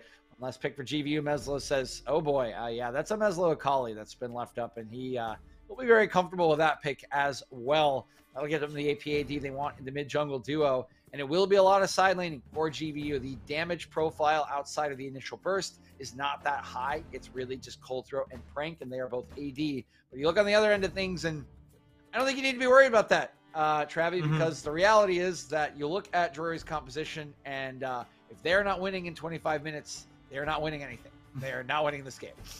I, I I really want to bring out the fact that I, I really love what the the coaches or whoever was orchestrating the drafts for for these teams were because there was a lot of bait and switches inside of this drafts. Uh, very very thought out and methodical from both sides going into the match. But yeah, once you enter the fields of justice, once you hit the rift, it, it becomes a different story. And like you were talking about, it becomes a very very hard one to have to deal with if GVU is able to start getting ahead, if Prankuru is able to start putting people in that Hextech Ultimatum, and you're able to get this flawless execution off, it can be a troublesome situation for this composition.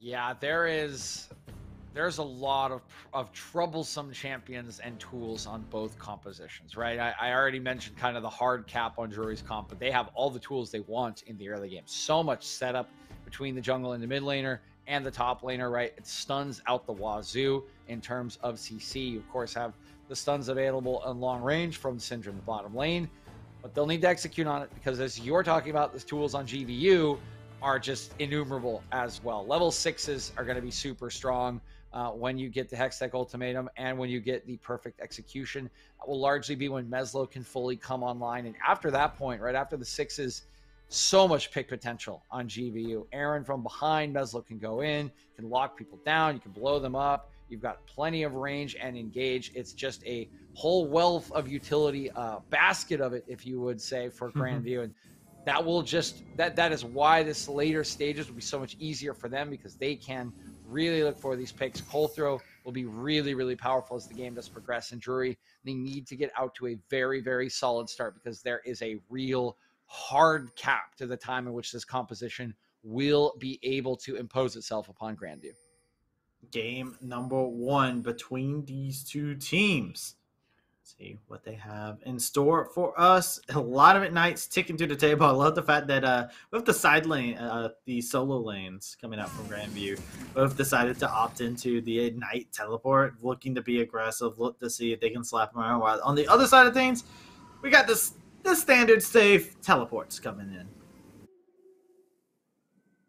Pretty standard stuff. I'm trying to see if there's anything a little bit out of whack here, Travi, and I can't really find anything. Guardian on Bard makes sense here against Pluto's Karma. It does negate a couple of the abilities you would want to use to dominate the lane. And yeah, I mean, everything pretty stock standard. There's press the attack on Yoda instead of the Conqueror. So really going to try to uh, get on top of Prankuru and punish him in lane. But you can see the grasp comes out.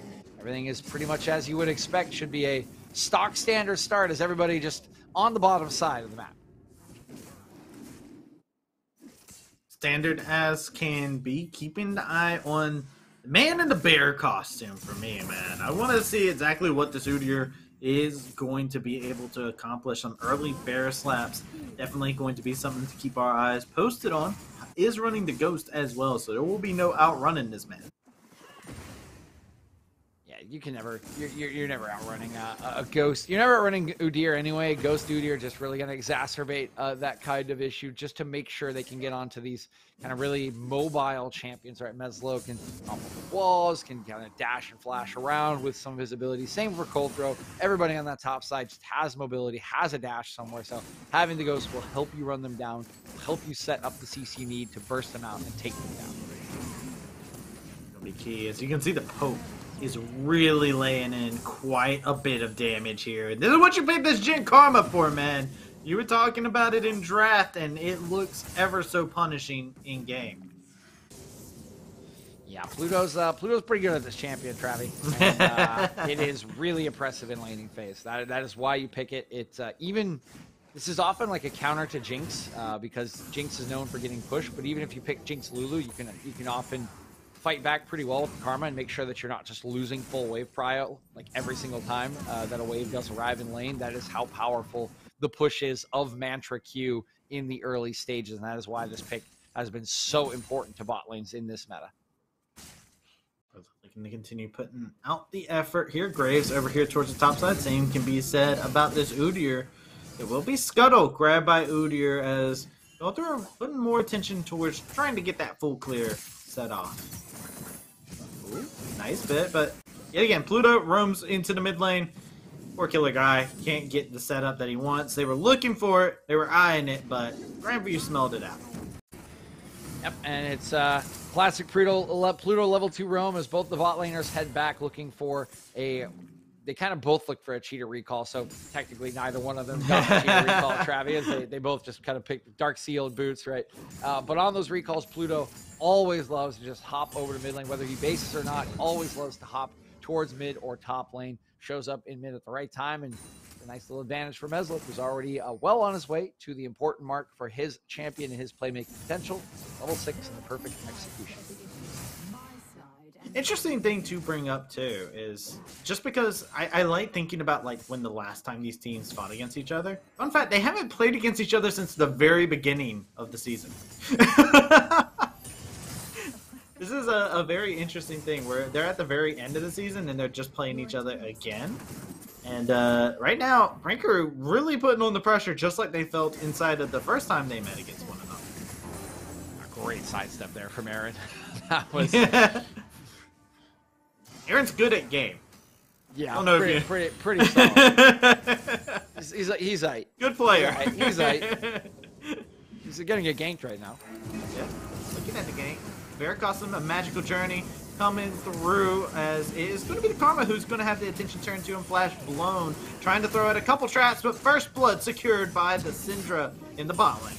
Nicely done. They hold away right outside their turret. They wait for Othric to come on around. The ghost is all too much for Pluto to get away from, and while Aaron does survive, Coulter was not there in time for the counter gank. Nice first blood for Drury Panthers. Nice indeed. Drury Panthers looking to get aggressed upon now, though. Fat Cat in a troublesome way, taking a magical journey. The four shot, not enough damage, and the buckshot doesn't hit the wall, so won't be able to pop the remaining bit of help from Fat Cat. So Drury getting out like a bandit there in the bot lane. Yeah, you can see Coulter trying to wait for the magical journey to come out, tried to set up the Q to pop back against the wall as quickly as possible, but did not quite have the angle. Fat Cat does survive on this gank. Yeah, it's a level six. Oh my god, Meslo going right back in for it. An easy kill. It looks so smooth. And he looks for more. Killer guy almost getting dropped. The Ignite is there. Oh my gosh, what kind of moves Meslo has? Yeah, Meslo, uh, very good at this champion, very good at assassins and playmaking champions as it is. And uh, I don't know how many times I need to say it, but uh, Akali at level 6 is a different champion than Akali, free level 6, and Meslo uh, shows that the hard way to Oscar. Oh, yep, and he gets a kill for it as well. That's give the trade. but Meslo putting out a show on the Akali here in game number one. Yep, double kill there in the extended fight. Will go down for his troubles, but hey, it's just a quick base at this point, right? just the express route. As uh, this Renekton up in farm, but not having a fun time. Every time we look back up to the top side, is Pranker who has the HP advantage. Uh, this Renekton needs to be very careful.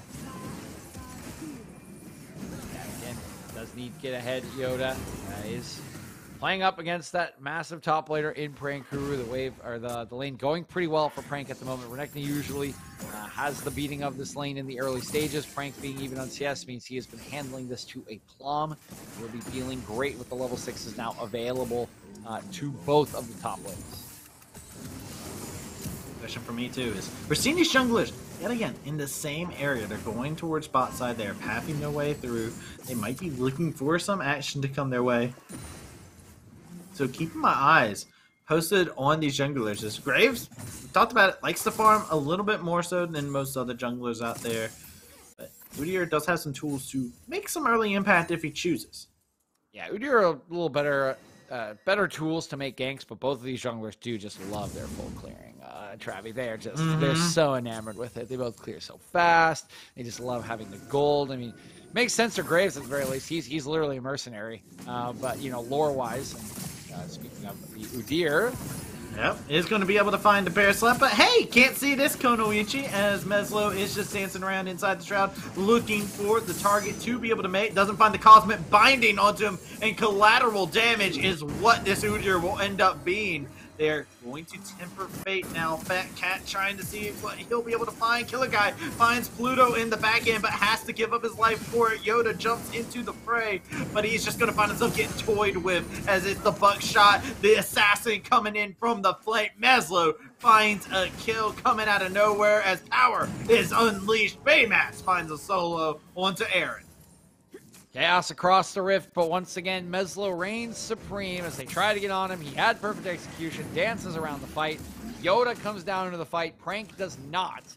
Grandview still come out on top. 1.5k gold lead. They'll get the Rift Herald as well. The only win there for Drury is in that bottom lane where Baymax finds the combo, presses his you don't get to play League of Legends or have fun button, and Aaron disappears.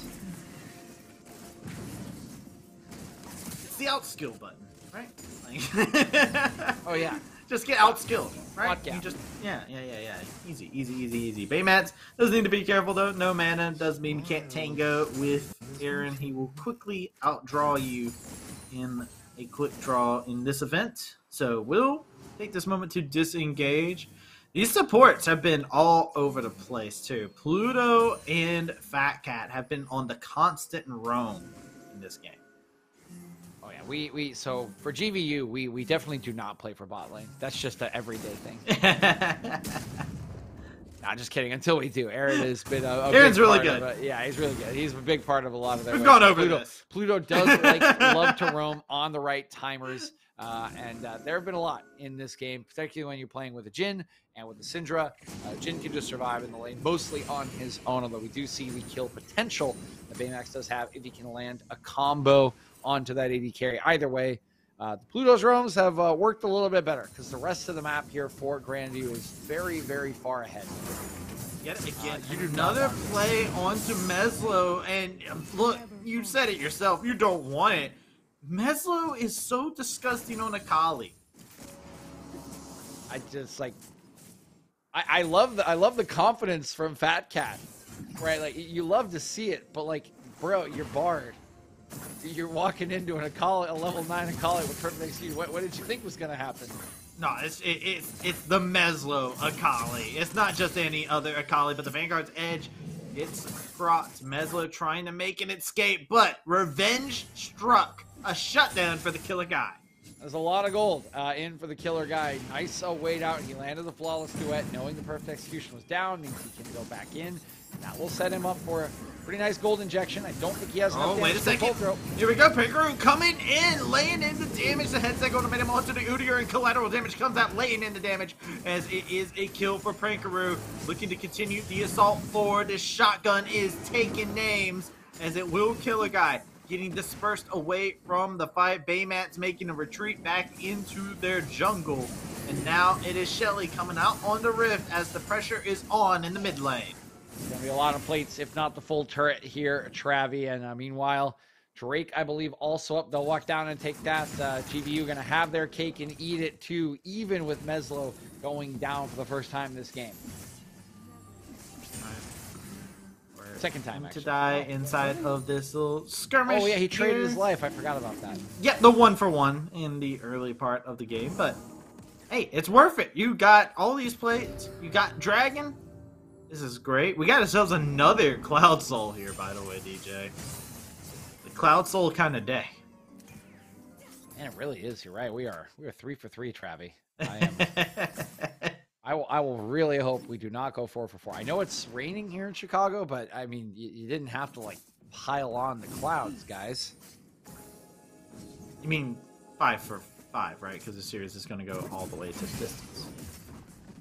I just meant for the. I just meant for the next game. I just meant for the next game, Travis. That's all I was referring to. I, I don't. I don't know where your. I don't. I don't know where your head's at. my, my head's at these teams are really popping off inside this game. Honestly, I really like the fact that the Panthers and Grandview are really coming in clutch. They're really putting in some work for themselves. I like the fact that Aurelia and Cinder are so strong. I'm a little bit worried though when I look over at the other side here. When you look at Meslo on the Akali having a highlight reel kind of game, but Prankuru and Coulter are looking very strong. Uh, yeah, just a little bit. Uh, 2 0 2 is Colthrow with that mythic item complete. Actually, has gone. Uh, hey, he's actually gone Goredrinker. That's an interesting one. He is trying to get up in the action then. Uh, and uh, yeah, uh, both the Soul Lane is pretty strong as well. Uh, Cold Meslo stopped off for Sorc Shoes. Why he hasn't finished his mythic item yet, but can't be long around the corner. Travi and uh, they've already Grandview built themselves a 3K gold lead here at the 13 minute mark. That should uh, only get better and better. Because reminder, uh, Drury Panthers drafted a very early game focused composition that had a bit of a hard cap in terms of gold lead for timers. First timer check coming up 15 minutes. You usually want to have about a two to 4K gold lead at that time. And unfortunately, it's um, it's on the other side. Yeah, and a lot of this gold is on Meslo and Prankuru, the solo laners for Grand View, are doing a great job for themselves, really putting out the effort and really being scary, honestly. they are the nightmare fuel for what you have to fight against inside of a solo lane. And they're in Pluto, holding it down for themselves, being that utility that they need.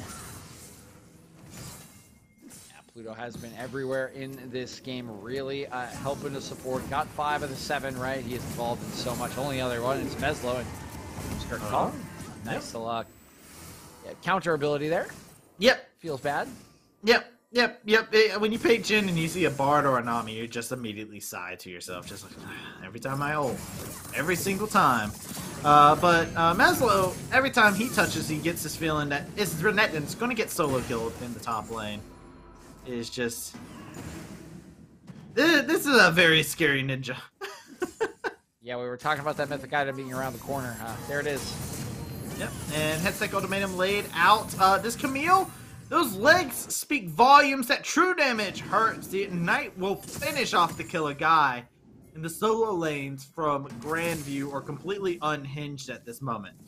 Yep, they uh, swap the matchups, but they uh, both get a solo kill, Travi, and yeah, this is uh, this is going to get worse before it gets better for the home side here in Drury Esports. Again, their composition uh, just hit its first timer, and they are way, way behind. 5K gold, an early game composition. When we hit the second kind of timer at 20 minutes, it's usually when you would expect uh, turrets to be falling, uh, kind of in the tier two range. You would hope to have a 5-ish K gold lead and be kind of getting ready for Baron.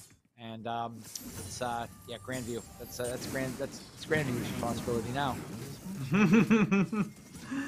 Grandview, indeed, looking to press the advantage a bit more for themselves as they grab this Herald, take this objective bounty off the table, and really, I mean, even though they dropped a couple kills, very impressive how they have maintained this lead and just continue to grow it, even though they've been trading back and forth with Drew. There has been a little bit of trading. Travi, trading has gone in Grandview's favor still. They're kind of showing what I expected to be a, a bounce back performance. The uh, the poked bear, so to speak, uh, was banned away. Uh, angry, angry bear is not here, but uh, the proverbial poked bear uh, is definitely here. Grandview trying to slam this matchup, and we, if we're Drury, we need to look for a couple things. Need to look for a couple of clever plays to start to work your way back, because there's another Drake in 16 seconds, Travian. Be the third for Grandview, which would be a big magnet for the rest of the game.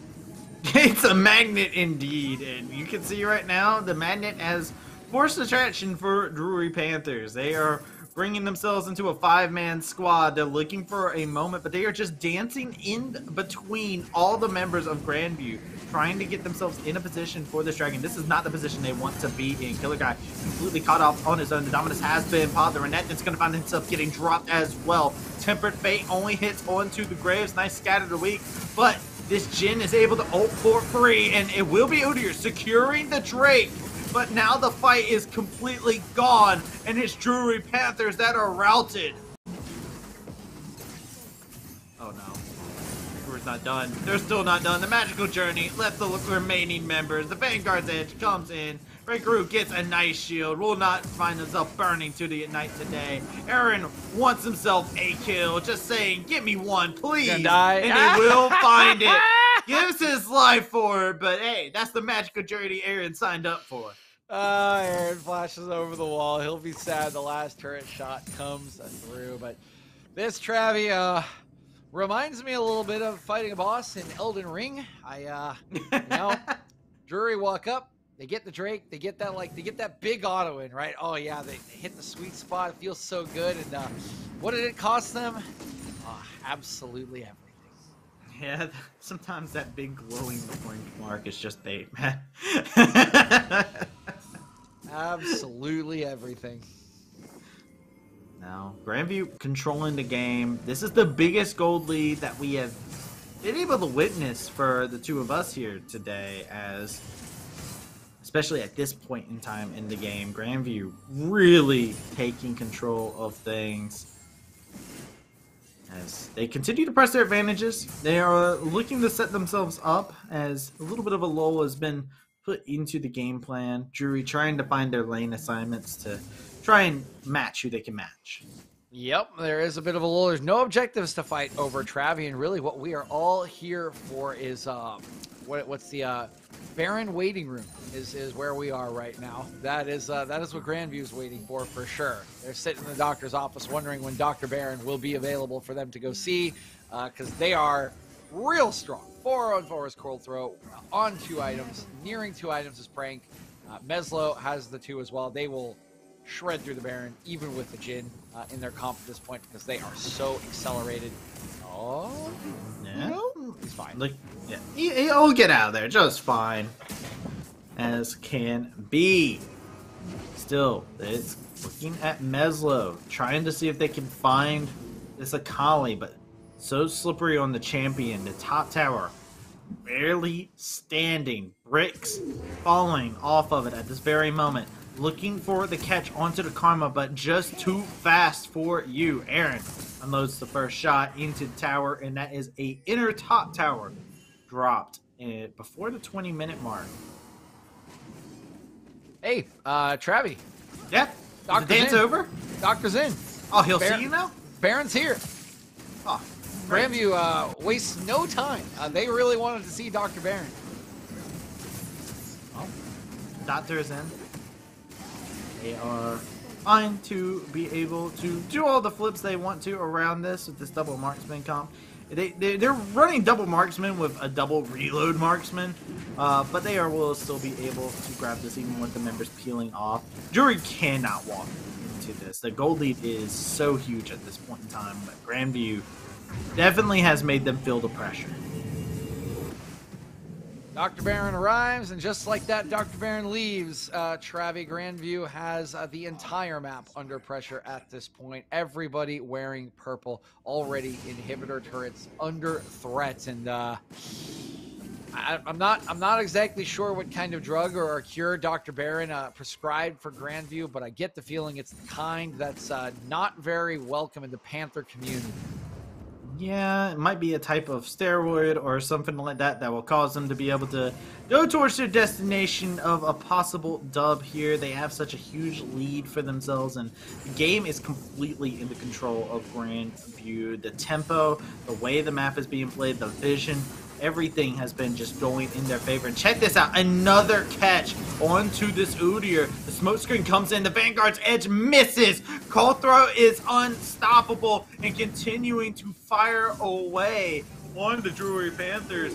Trick call coming in now. Temper Fate does connect onto the Jhin to be able to stop his aggression from going any farther, but Hikaru finds a kill as they almost secure Colthrow, but Inner tower dropping in the bot lane. Aaron smells blood in the water, looking to see if they can snipe out Baymax. This is going to be an inhibitor dropping in the bot lane, and it's also going to be an inhibitor in the top lane. Akali has just been splitting this entire time. Nobody can react to Meslo. Drury don't know who they have to pull the trigger on.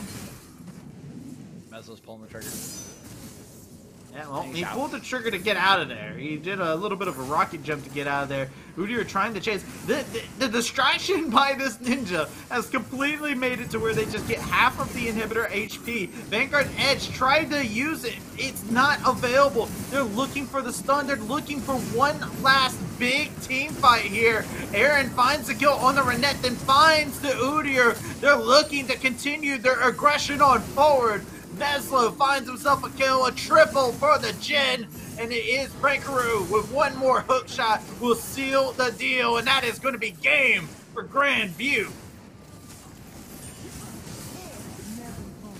Um, consider the bear poked, Travis.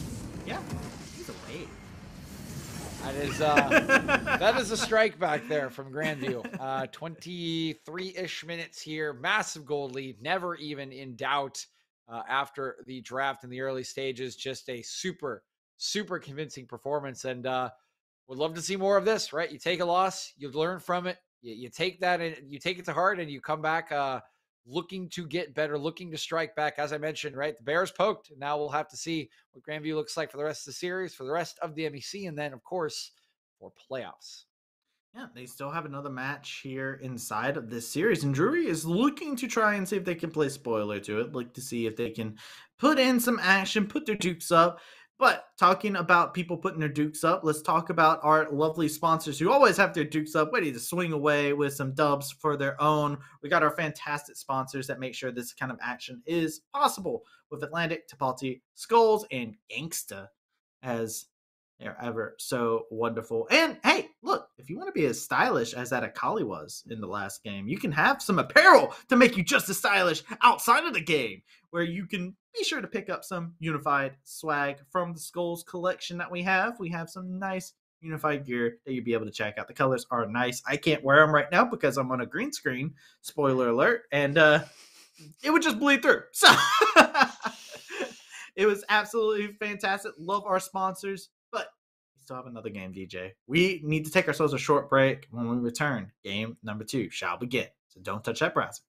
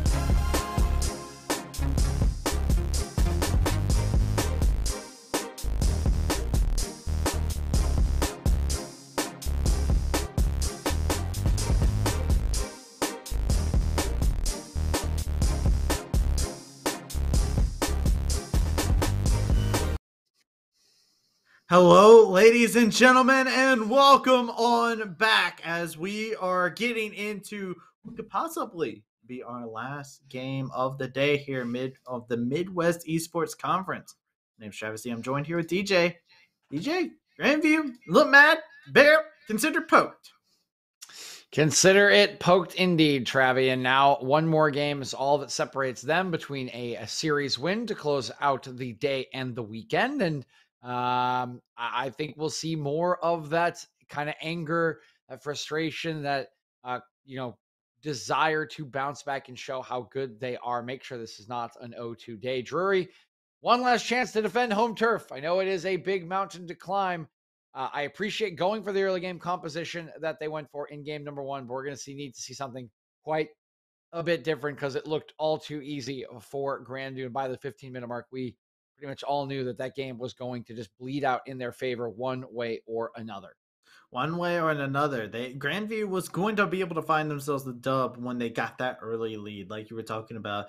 The question is, how do Drury Panthers pounce onto whatever weaknesses they could possibly find there? Right, Grandview didn't really show any kind of weaknesses, so Panthers, they've got to figure out a way to control some of the strengths, I feel like, right? These solo laners got to pop off inside that game. Meslo's Akali is illegal. Uh, I'm doing it now. It's too good.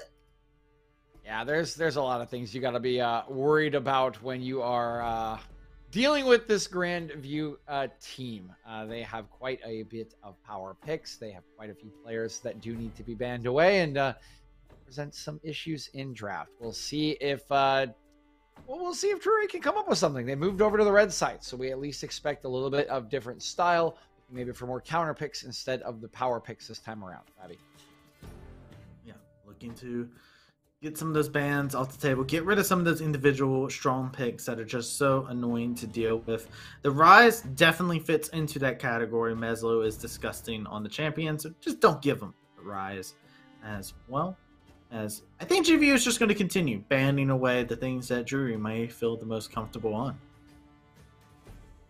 We do see two similar bans this time around from GVU. The Syndra obviously was played by Killer Guy, but they did send two bans his way last game. Or actually, I'm sorry, it was played by Baymax. It was Fane playing by Killer Guy. Still going to throw that ban in there, Travi. Two mid lane bans. The Ryze, of course, taken away from Meslo. We'll see a couple more from Drury. Do they ban the Akali away? I mean, if you ban the Akali away, you're, you're still leaving something up, right? That, that's what we mentioned is the problem. But I feel like just shift Vesla into something else. He he took over that game. I, I just like the idea, the thing that Aaron's just like, yo, I don't want to get hit by the outplay button again. like, it is uh definitely a have vets nets I, off, I, off the table. I'll be man. I'll be straight up. If I was in comms with Aaron and he said that, I'd be like, okay, bro, then don't flash out under tier two turret to get a kill on the Bard. Listen, that was a response to it, but this time Jeans was left open this entire time did not get banned. They chose to ban away Udyr Lulu instead. So, Jinx now for Aaron. We've seen what Aaron does on this champ.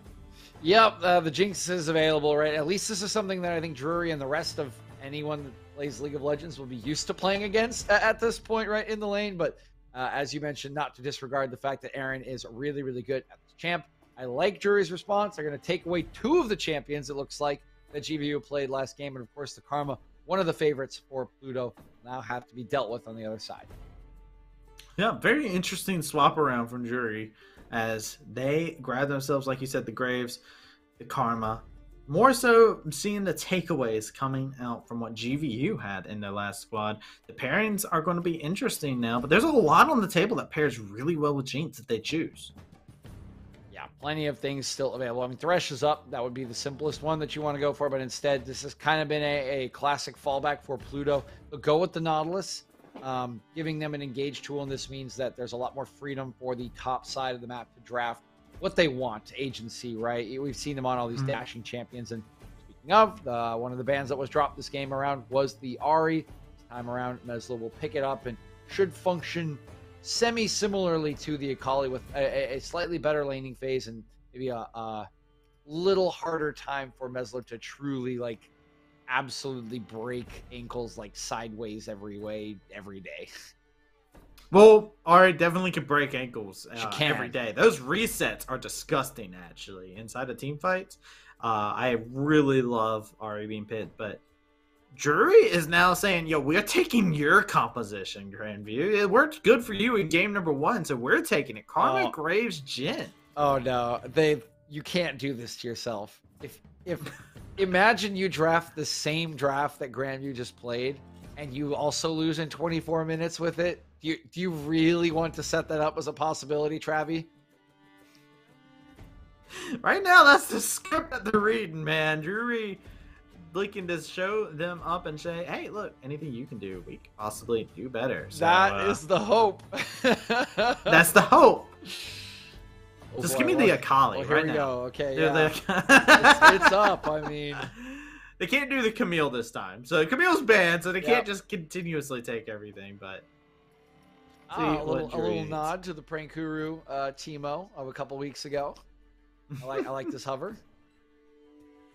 Her say, "Hey, why don't you lock it in? See what you got." As they were netting continuously bet to be in the hover, Tahm Kench getting grabbed though, like this. The thick boy coming into the rift. the double thick boy, and uh, that means he's going to be a top laner, Travi, something we've not seen in quite some time. It's also blind, so Prank going to get whatever he wants into it, and he will select the Gnar. Be the nice range advantage, can hop out of the W, of course, and yeah, okay, okay. I, I someone's there watching LCS at the same time. We yes, we get it. Whippo picked this earlier in top lane. Okay, fun hover, yay. I mean, I'm down for it. I'd like AP Oh on the boy, top. okay. Okay, we got Kha'Zix. Okay, so Coulter is going to be piling. We've been seeing actually quite a good amount of uh, pop-up performances from Kha'Zix here in amateur and collegiate. So I'm very excited for this pick. Yeah, Kha'Zix can be absolutely oppressive. There's a lot of squishy champions on the other side, and uh, yes, there's a karma, but you know, Serpent's Fang is an item. I'm sure that uh, Coulter will be building it, so you can still absolutely pop people. And apparently, I was Oh, uh, apparently I was right that someone is watching LCS. Apparently, it's Colthrow, and that you know, EG just played this. Uh, they lost with it, so hopefully he doesn't repeat that. Um, meanwhile, though, Killer Guy will get a counter pick here. He will go back to the Neeko that got him so much success last year in solo queue and in competitive and see if he can fight back against Meslo uh, after Meslo had an extremely good performance in game one and, of course, has the agency on this pick to do so again in game two. I'm very curious on how this matchup will actually play into the Ahri, right? Like, in terms of like, yeah, you can lock them down and immediately just give good trades, right? Your EQ is a very reliable trade when it hits, and it does quite a bit of damage. But Ahri has actually quite a good amount of sustain, and those dashes. Once you hit six, you're never catching them with a pop blossom.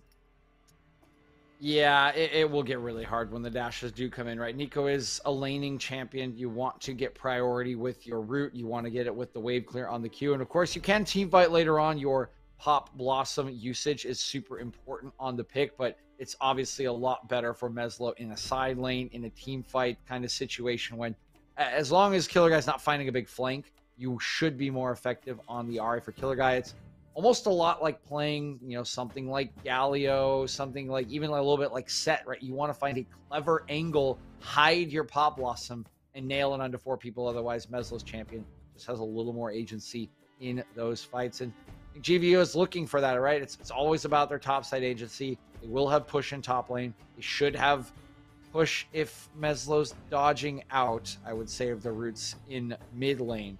That'll give Coulter everything he wants in the early game path with this Cosmos. Absolutely. Kha'Zix, Colthrow. See what they do inside of this game. Always want to be a bit more proactive inside the matchup, wanting to see what they'll be able to find. If they'll be able to find some targets in some isolation. Uh, they do see a, a Graves over across the jungle from them, across the river bend, and see they pursue them. I'm also very curious because we're seeing a different lookout Francoeur playing this Gnar. This feels like a champion that Francoeur is going to be very, very solid on into the matchup, especially, right? Gnar can be disgusting as a blame bully, especially into someone like Tahm Kench, who's just like, all right, I just have to take my hits. Yeah, uh, he's got the range to get early prio. Um, every top laner and their mother better know how to play Gnar by this point in, in the existence of League of Legends, and it, it just offers again prank agency, right? When he has control of the lane, when he can kind of pick and choose when he's turning mega because of how the lane should interact. It, it gives him the ability to hold, to push waves, and to just kind of tag team with the rest of his top side. That's something we see GVU do so well all of the time. Uh, and it's uh, what they draft for a lot. So you're, you're very happy to see this come out as a counter, right? It's another champion that we see Prankuru play in the MEC to add to an already massive list of available picks for him. so uh, not too surprising that he would have something like this in his back pocket. Not surprising at all. And I'm excited to see what these teams have going forward for them because these fights can look very explosive. There's a lot of moving pieces to keep our eyes on, especially. I, I, I can't help but go back to the Meslo point. We saw how they styled on the Akali. Now they're on the Ahri. Here we go. Going in to game number two, possibly our last game of the day between Grandview and Drury Panthers. Opposite sides of the rift here. See if we get any shenanigans. Level one. Keep my eyes on the ward placement. Both junglers just gonna see themselves in the line. Actually, going to the bottom lane. Did they place or both of them placed wards in that bottom lane brush? Oh boy. By the way, the Neeko is taking that electrocute too, and uh, Graves has exhaust. Yeah, I, I, I think that makes sense. Yeah. Right. You don't want to get you don't want to get one tapped. You don't want to get one gibbed by this uh by this Kha'Zix. Don't want to get killed in the shenanigans that a Kha'Zix brings to the game. I get it. 110%. Graves one of the junglers that can get away with not having to take a flash. Yeah, it has the dash. You know, this is similar to something like Karthus. You want to make sure you can win your 1v1s. You can fight off uh, members in your jungle and farm up because we talked about Graves and greedy jungling. He likes to stack it up. He likes to get that gold in his back pocket, Travis. So think the exhaust does make sense. You can see a second exhaust also on Fat Cat. So uh, and they know that spell's broken. They're they're right, by the way. Exhaust is broken. You guys It is take, broken, Take yes. it, take it, take it more in your games. Trust me. It's it is as good as heal in like most situations. I, I usually take it. I usually take it because I'm the kind of person when I when I play League of Legends that I'm like, wow, how can I make the other person not have fun? Oh yeah, That's mean- usually my strategy, and uh, it works out really well with exhaust. yeah. I, I mean, I'm in gold, so like every second game you play, someone's either playing Yasuo in bot lane or playing it with no knockups in mid lane. So you, you just oh, take you, no- you just take you just more take juicy. exhaust, and they just hate their life. It's great. Oh man, when you see that first pick Yasuo come out, it's just like, mm, exhaust game though. There's something uh, wrong with me when it comes down to that. Too many years of League of Legends has twisted my soul. Oh, dude, dude, dude. Ev- I've I've only played like consistently League of Legends for three seasons, I think. Maybe this is four. I've already lost count. Um, either way, every single year at the, at the end of the year recap, the most deaths I have is Tiasso, and it's not close. Every single year I've played the game. here since season one, and looks like Pluto looking to lock down Fat Cat immediately. As Pluto, as that glacial augment is ever so powerful on these anchor toss. Yep, Anyone that can and does have a root will be taken. Uh, that glacial augment rune. A lot of damage comes through from Killer Guy. This is why the pick is strong in lane. It's it's a little bit trickier for Meslo. Yeah, Aaron needs to be careful here. You're not on on- that power spike just yet, but they catch out Baymat's nice exhaust placed onto the Jeans. Baymat's using the fourth shot just to get a little bit of farm, but here comes Graves looking to back up the rest of the team here in the bot side. Pluto being forced to flash away, and it will be Grandview staying safe in the bot lane. Ah, nice timing on the flash from Pluto. I thought he was Oh dead. no, cold throw! He's looking for somebody else here. Uh, Graves thankfully does spot him out just in the nick of time. Also, heroic uh, minion caster there. Thank you, RMC, for blocking the hook from uh, from Pluto. Work. Uh, well, right now we got a bit of a tango inside the jungle here. Both of them trading evenly here. It's, uh, Tom Kench just taking a couple of boomerang toss here. Not appreciating that whatsoever. Nope. Boomerangs do not feel good, Travi. Oh, oh just wow, for the Ignite coming in. Killer guy! Solo kill on the Meslo! Nicely done by Killer Guy. You can see the comfort on this pick, man. He knows his power. He knows the timing. Great route into Ignite, and that is an exceptional first blood. Well done to, Dra- to Killer Guy and Dre Panthers. Bro, like, he had that killer instinct there. He immediately knew, yo, I need to kill this Ahri before she hits six. Let's do it. Love to see it. And like you said, great proudness on the champion. This is a champion that the killer guy, very much so known for. Be able to get that reset, come back with some nice itemization in their pocket, and to try and carry this lead even further beyond. Came back with a tear. Huh. Okay. Took it from Meslo. Yeah. Yeah. nice. well done. Okay. I, I it took me a half second, but I. You're right. It's a good one. It also took Killer Guy a half second. yes, it did. that it did. I can keep going with this every Please, oh, please do. Me- I, I, Meslo can hear you. Lay, lay, lay, it- lay it on, man.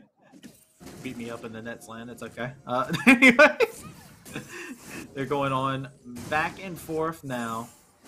The guy first to hit six has that pop blossom available. Meslo has to be careful until they hit their spirit rush. It can be a very tricky scenario. Spirit Rush is now online though, Travi, so the pressure can be there. A little low in mana, uh, being said. So it's one chug of the corrupting pot, and might be needing it because you can see everybody hovering around this first Drake. Six minutes in here. Three Panthers. Looking around here.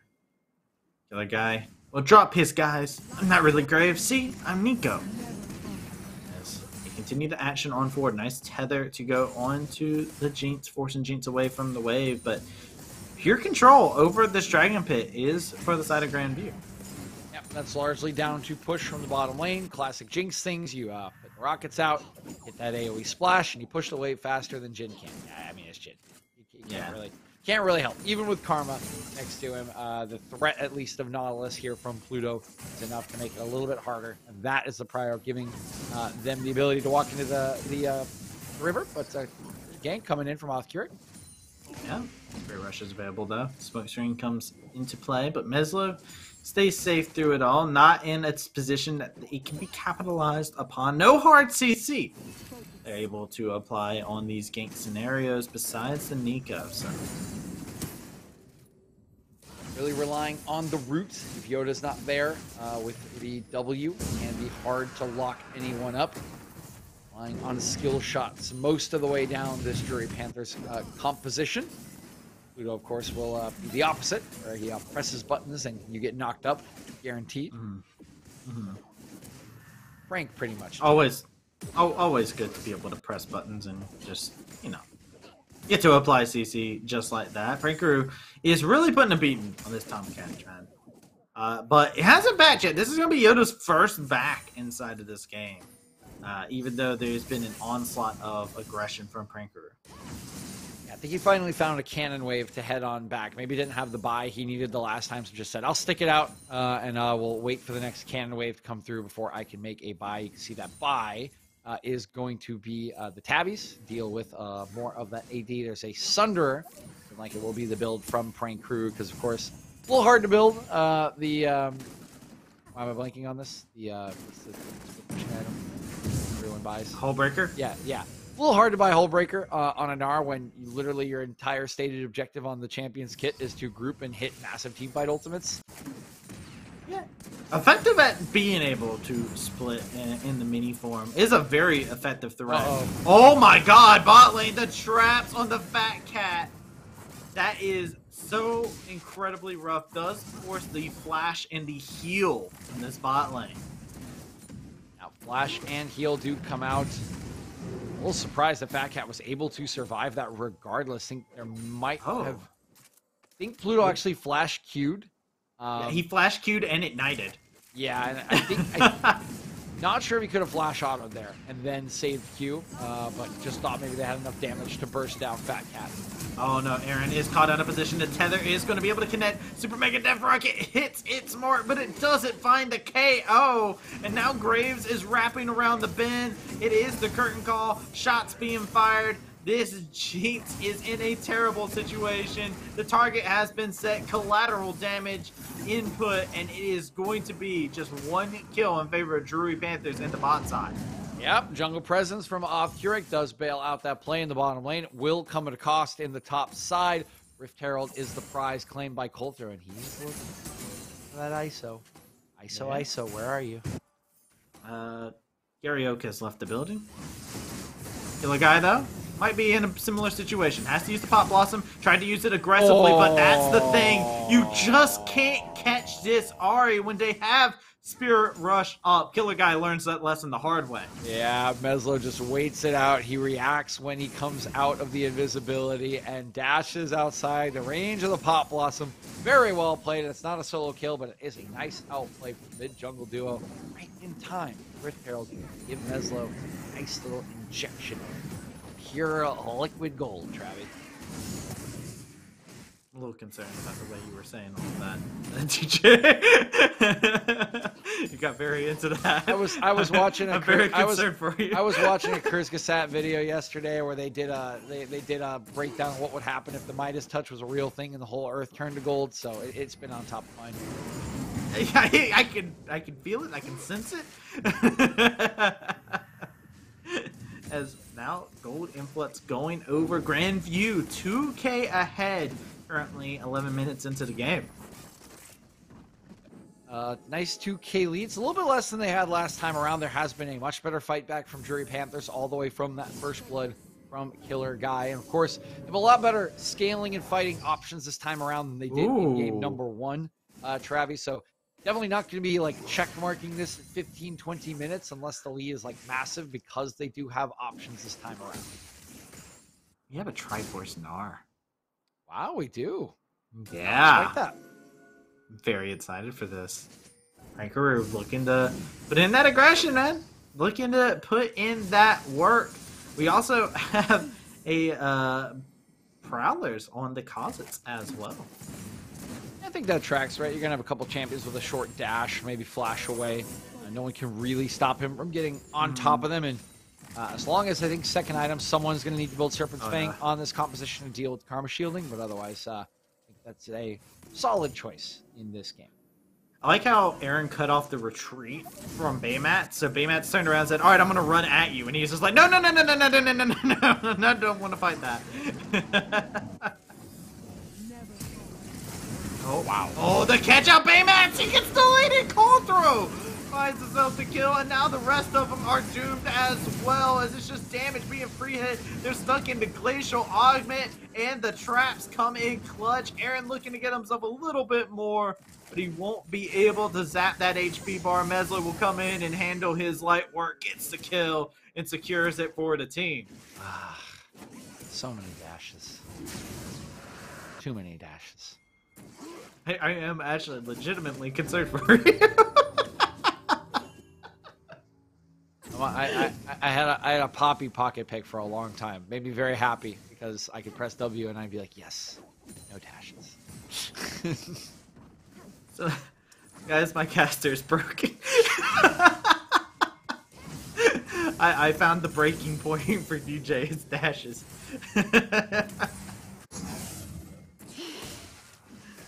Morse code scared me Oh. as a kid. What can I say? Yeah, well, I feel like you've said a lot of your statements here.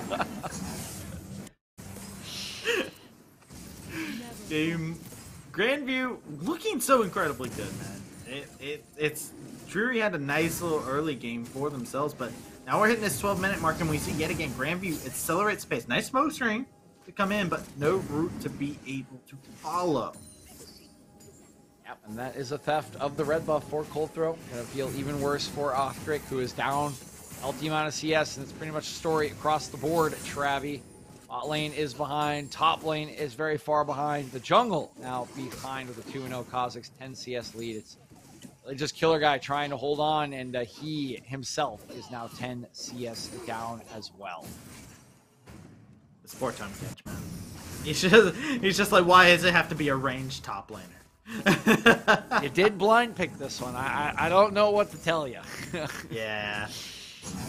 Kench is that uh, that good low econ uh, just top laner really, and uh, right now he's getting dropped down fairly low, gets gnarred out against the wall. Killer guy gets caught by a point blank charm. The ignite is enough to finish him off, and it, the Tahm Kench just gets dove under his own tower by Prankuru. Yep, that's what we're talking about in the draft, right? When you are Mini Gnar, you can just hop away uh, from that Abyssal Voyage. Uh, easy solo kill for Prankuru on the top side. And, uh, Oh my no. gosh, Baymats! I- Gone, deleted yet again. Colthrow making it personal whenever he sees Baymats on the screen. 3 0 isolated target. Prowler's Claw. Yeah, you're not escaping that. It's just a, uh, that's the, uh, I, I've done this plenty of times before. That's the, oh crap, there's an assassin flash. And then you, a second after, you're like, why did I do this? It's the jump scare. Yep. Yeah, it, it, it's legitimately the jump scare of ah, and you just jump away. We've all felt it. It happens all the time. Uh, it's something that you do see from time to time inside the game. Fortunately, that does mean that uh, Baymats is flashless and is looking like an even juicier target yet again. Yep, Flash's 80 carry is a field day for Colthrow and Kha'Zix in general. And uh, we were talking about uh, a few more tools being available to the Drury Panthers in this game too. Uh, for Abby, well, they still have those tools, uh, but those tools are going to be heavily blunted because if we're talking economy here, uh, Drury uh, just loaded into Elden Ring. They have profit gear. Their gear is rusty. It is not sharpened. Grandview They've, they've got some boss armor right now. Very K Gold in the lead, and it's about to get worse. Yeah, uh, Killer Guy getting jumped onto. The Void Spikes will be able to finish him off. The last little type, the fade away, as Killer Guy got the solo kill to start things off, but has not been able to find a groove since. Yeah, just one extra kill actually has gone over to Off Offkirik, I believe, in a bottom lane gank. Got it onto Aaron, the uh, ignominious other member on Grandview that is no longer deathless. We are 16 minutes in this game. Grandview looking to pierce the tier 2 turret line. Four minutes away from Baron with the second Rift Herald just being soloed out by Colthrow. The rest of his members apply this pressure. Oh my gosh, that's so terrifying. just Spirit Rush over the wall. Baymatch just is like, ah! Can't flash away from that one, but thankfully was able to walk away. As Aaron dodges out on the smoke screen, doesn't get connected onto with that.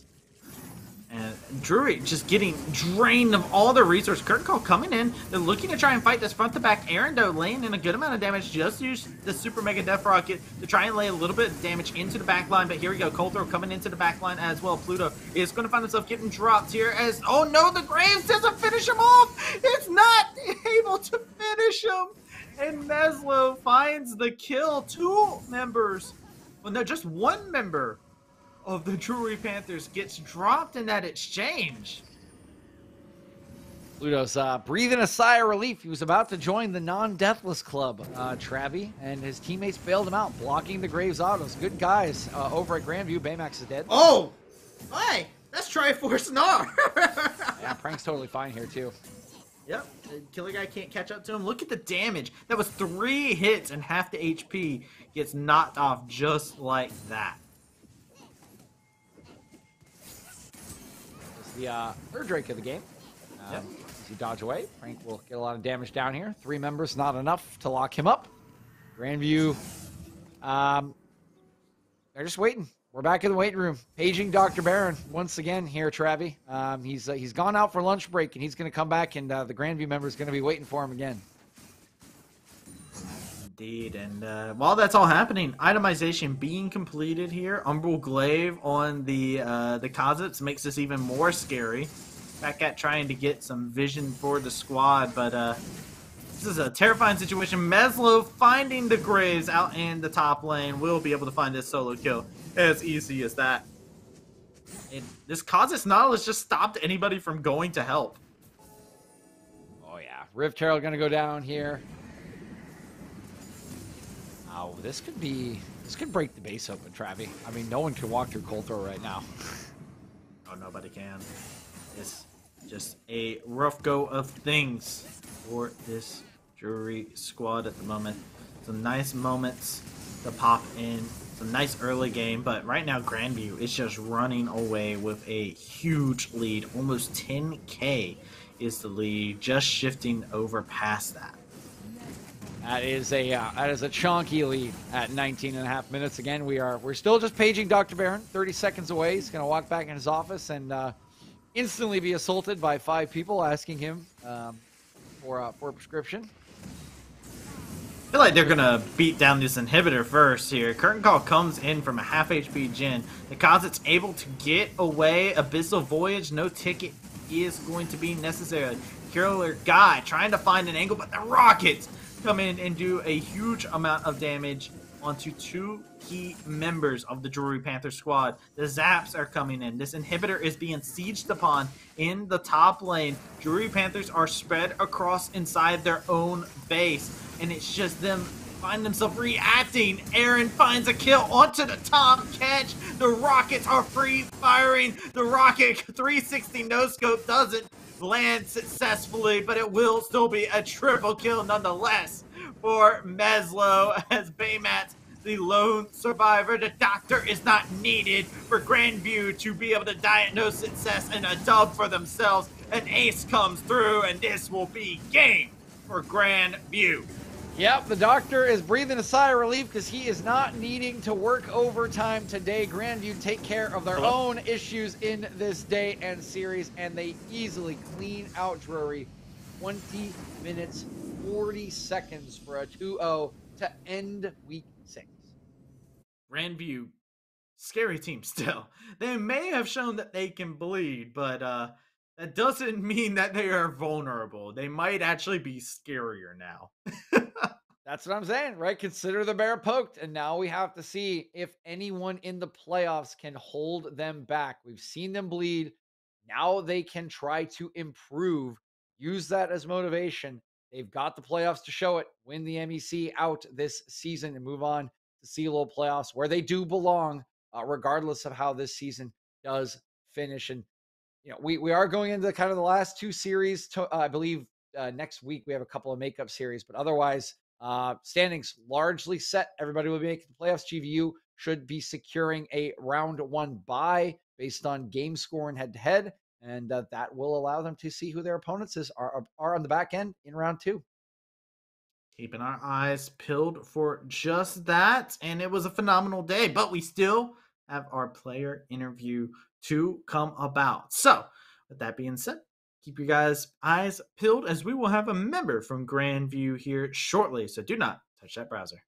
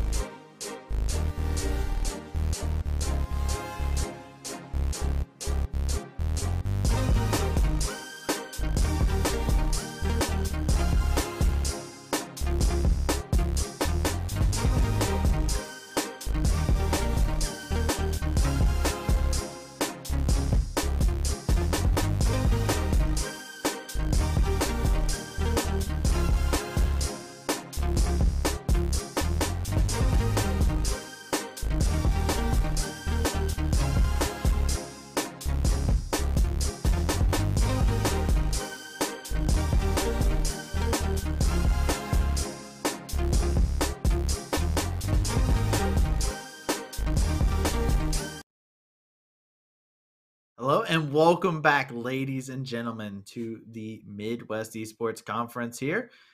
We've got the uh, the winning jungler here from Grand View University. How are you doing, Colthrow? I'm doing all right. Yeah, well, I'm sure it's not exactly what you guys were expecting, so I'm gonna go ahead and start this off by addressing the elephant in the room. Oh wow, you're you're you're you're, you're I'm gonna going douse right us with for it. cold water. I'm okay. going right for it. Had a one to one today, right? Yep, yep. Did have two games today. Yep. How are you guys feeling? Playoffs is in the radar, and this was a felt like a very much so comfortable game. My co-caster here continuously said the bear has been woken up. It has been poked. Do y'all are y'all feeling that way going into this game number two, or are you guys just like, is that a wake up call? How are y'all doing? Um, we're doing pretty like we're doing fine. It's just um obviously like it's one of those things where it kind of like sh- like shocks you like like like you guys said it's kind of like wakes you up. So it's a good um I feel like I've been playing for so long and like I've I've lost like plenty of games like that where like you lose to like a team that you just don't expect to lose to or like you've been on this like high swing and like you just get like that shut down. So I think it's a good experience to get humbled like that. Um and I actually like prefer it over like just going undefeated because we'll be much more focused and like confident going into playoffs and like going into actually nationals. before playoffs. Yeah, yep. right. Well, I think I think this is the last game for you guys, right? There- There are a couple reschedules, but this was your last game, so I do think their next appearance will be in the playoffs, right? Yep. So yeah, you guys looking into the playoffs. Hey, look, got the loss out of the way. Now time to go undefeated throughout playoffs, right? Yep, exactly. There you go. Already got the right mentality. Already uh, bouncing back, and of course, we saw that a little bit, taking out uh, some of the maybe frustration on Drury here to unfortunately end their uh, land. And how has the land been out there at Drury? Right, you guys have been to a bunch of them uh, this season. Any any comparisons, big pros or cons? Any really fun things that happened this weekend? Yeah, um actually I think the Drury Stadium like looks the coolest out of like any of the lands that we've really been to, uh, especially this semester so far. Also, like I've been going to lands for multiple years now and like uh, Unified like continues to like do better each land and it's actually like pretty impressive the way like they keep getting now. So fun pretty fun experience overall, especially like the free play stuff. Like it used to be you kind of just sit here and wait for your next match and you just you just don't do anything, but now kind of just mess around with other people and stuff. So it's pretty, been a pretty good experience. I'm sure uh Pranker can bat that up. Finally has that uh that Pikachu Oh, boy, that they've yeah. been looking for. I'm sure that's been ecstatic for Prankuru. Yeah, that is that has been our quest for the weekend is to get him the Pikachu. I think I gave him five tickets or so. We finally we finally made it, boys. We Yeah. finally made it. Was it a team bonding experience to, Yeah. to get this Pikachu? I have to yeah, know yeah. now. Um, our coach Dre was just like, yeah, we just like guys today when we're like doing nothing, just make sure you're farming tickets for prank. So, so that, was, that was our goal for the whole weekend. Bam, and, and you accomplished that goal. So, right, slight hiccup aside, we've got a bunch of accomplished goals and got the right mentality for playoffs. Sounds like everything is fine for Yep. You know, yeah, that's, pretty much. that's kind of what I would expect as well. And uh, that's kind of a it's a future question. It's a, it's a little bit down the line here, but I think this was confirmed. I asked this earlier, but I believe one team qualifies for MEC, but there Yep. are some slots uh, for uh, other teams to be considered. I fully, from my perspective, and it's I kind of want to get your perspective. I believe that you guys in PNW should both be in the tournament. Is that something you think about PNW and this conference as well? Because I I feel like you guys have all both been kind of killing it this season and should be able to peak throughout playoffs.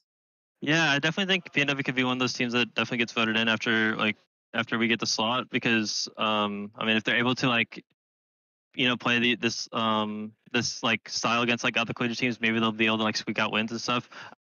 I don't think they'll be um I don't think they'd be like making it ever far or anything. Um not like probably maybe not even past top 32 top 32. Mm. Um but I do think that like the, yeah, it could be a possibility that they get voted in, but I think like anyone else, like eh, I I mean maybe even PNW, I don't think anyone else can really get voted in besides us. So Mhm. Very fair. And want uh, want I- that ma- I want that max MEC representation. That's what I'm angling for here. Yeah, no, we got it. This is my this is my um. I I graduated in fall, so this is my last semester of playing in MEC. So so I'll definitely I'll definitely bring it in nationals for sure. there we go. I was about to say you mentioned nationals earlier, and I, I wanted to touch on that. What's the goal for Grandview? What do you, what do you guys have your aspirations on?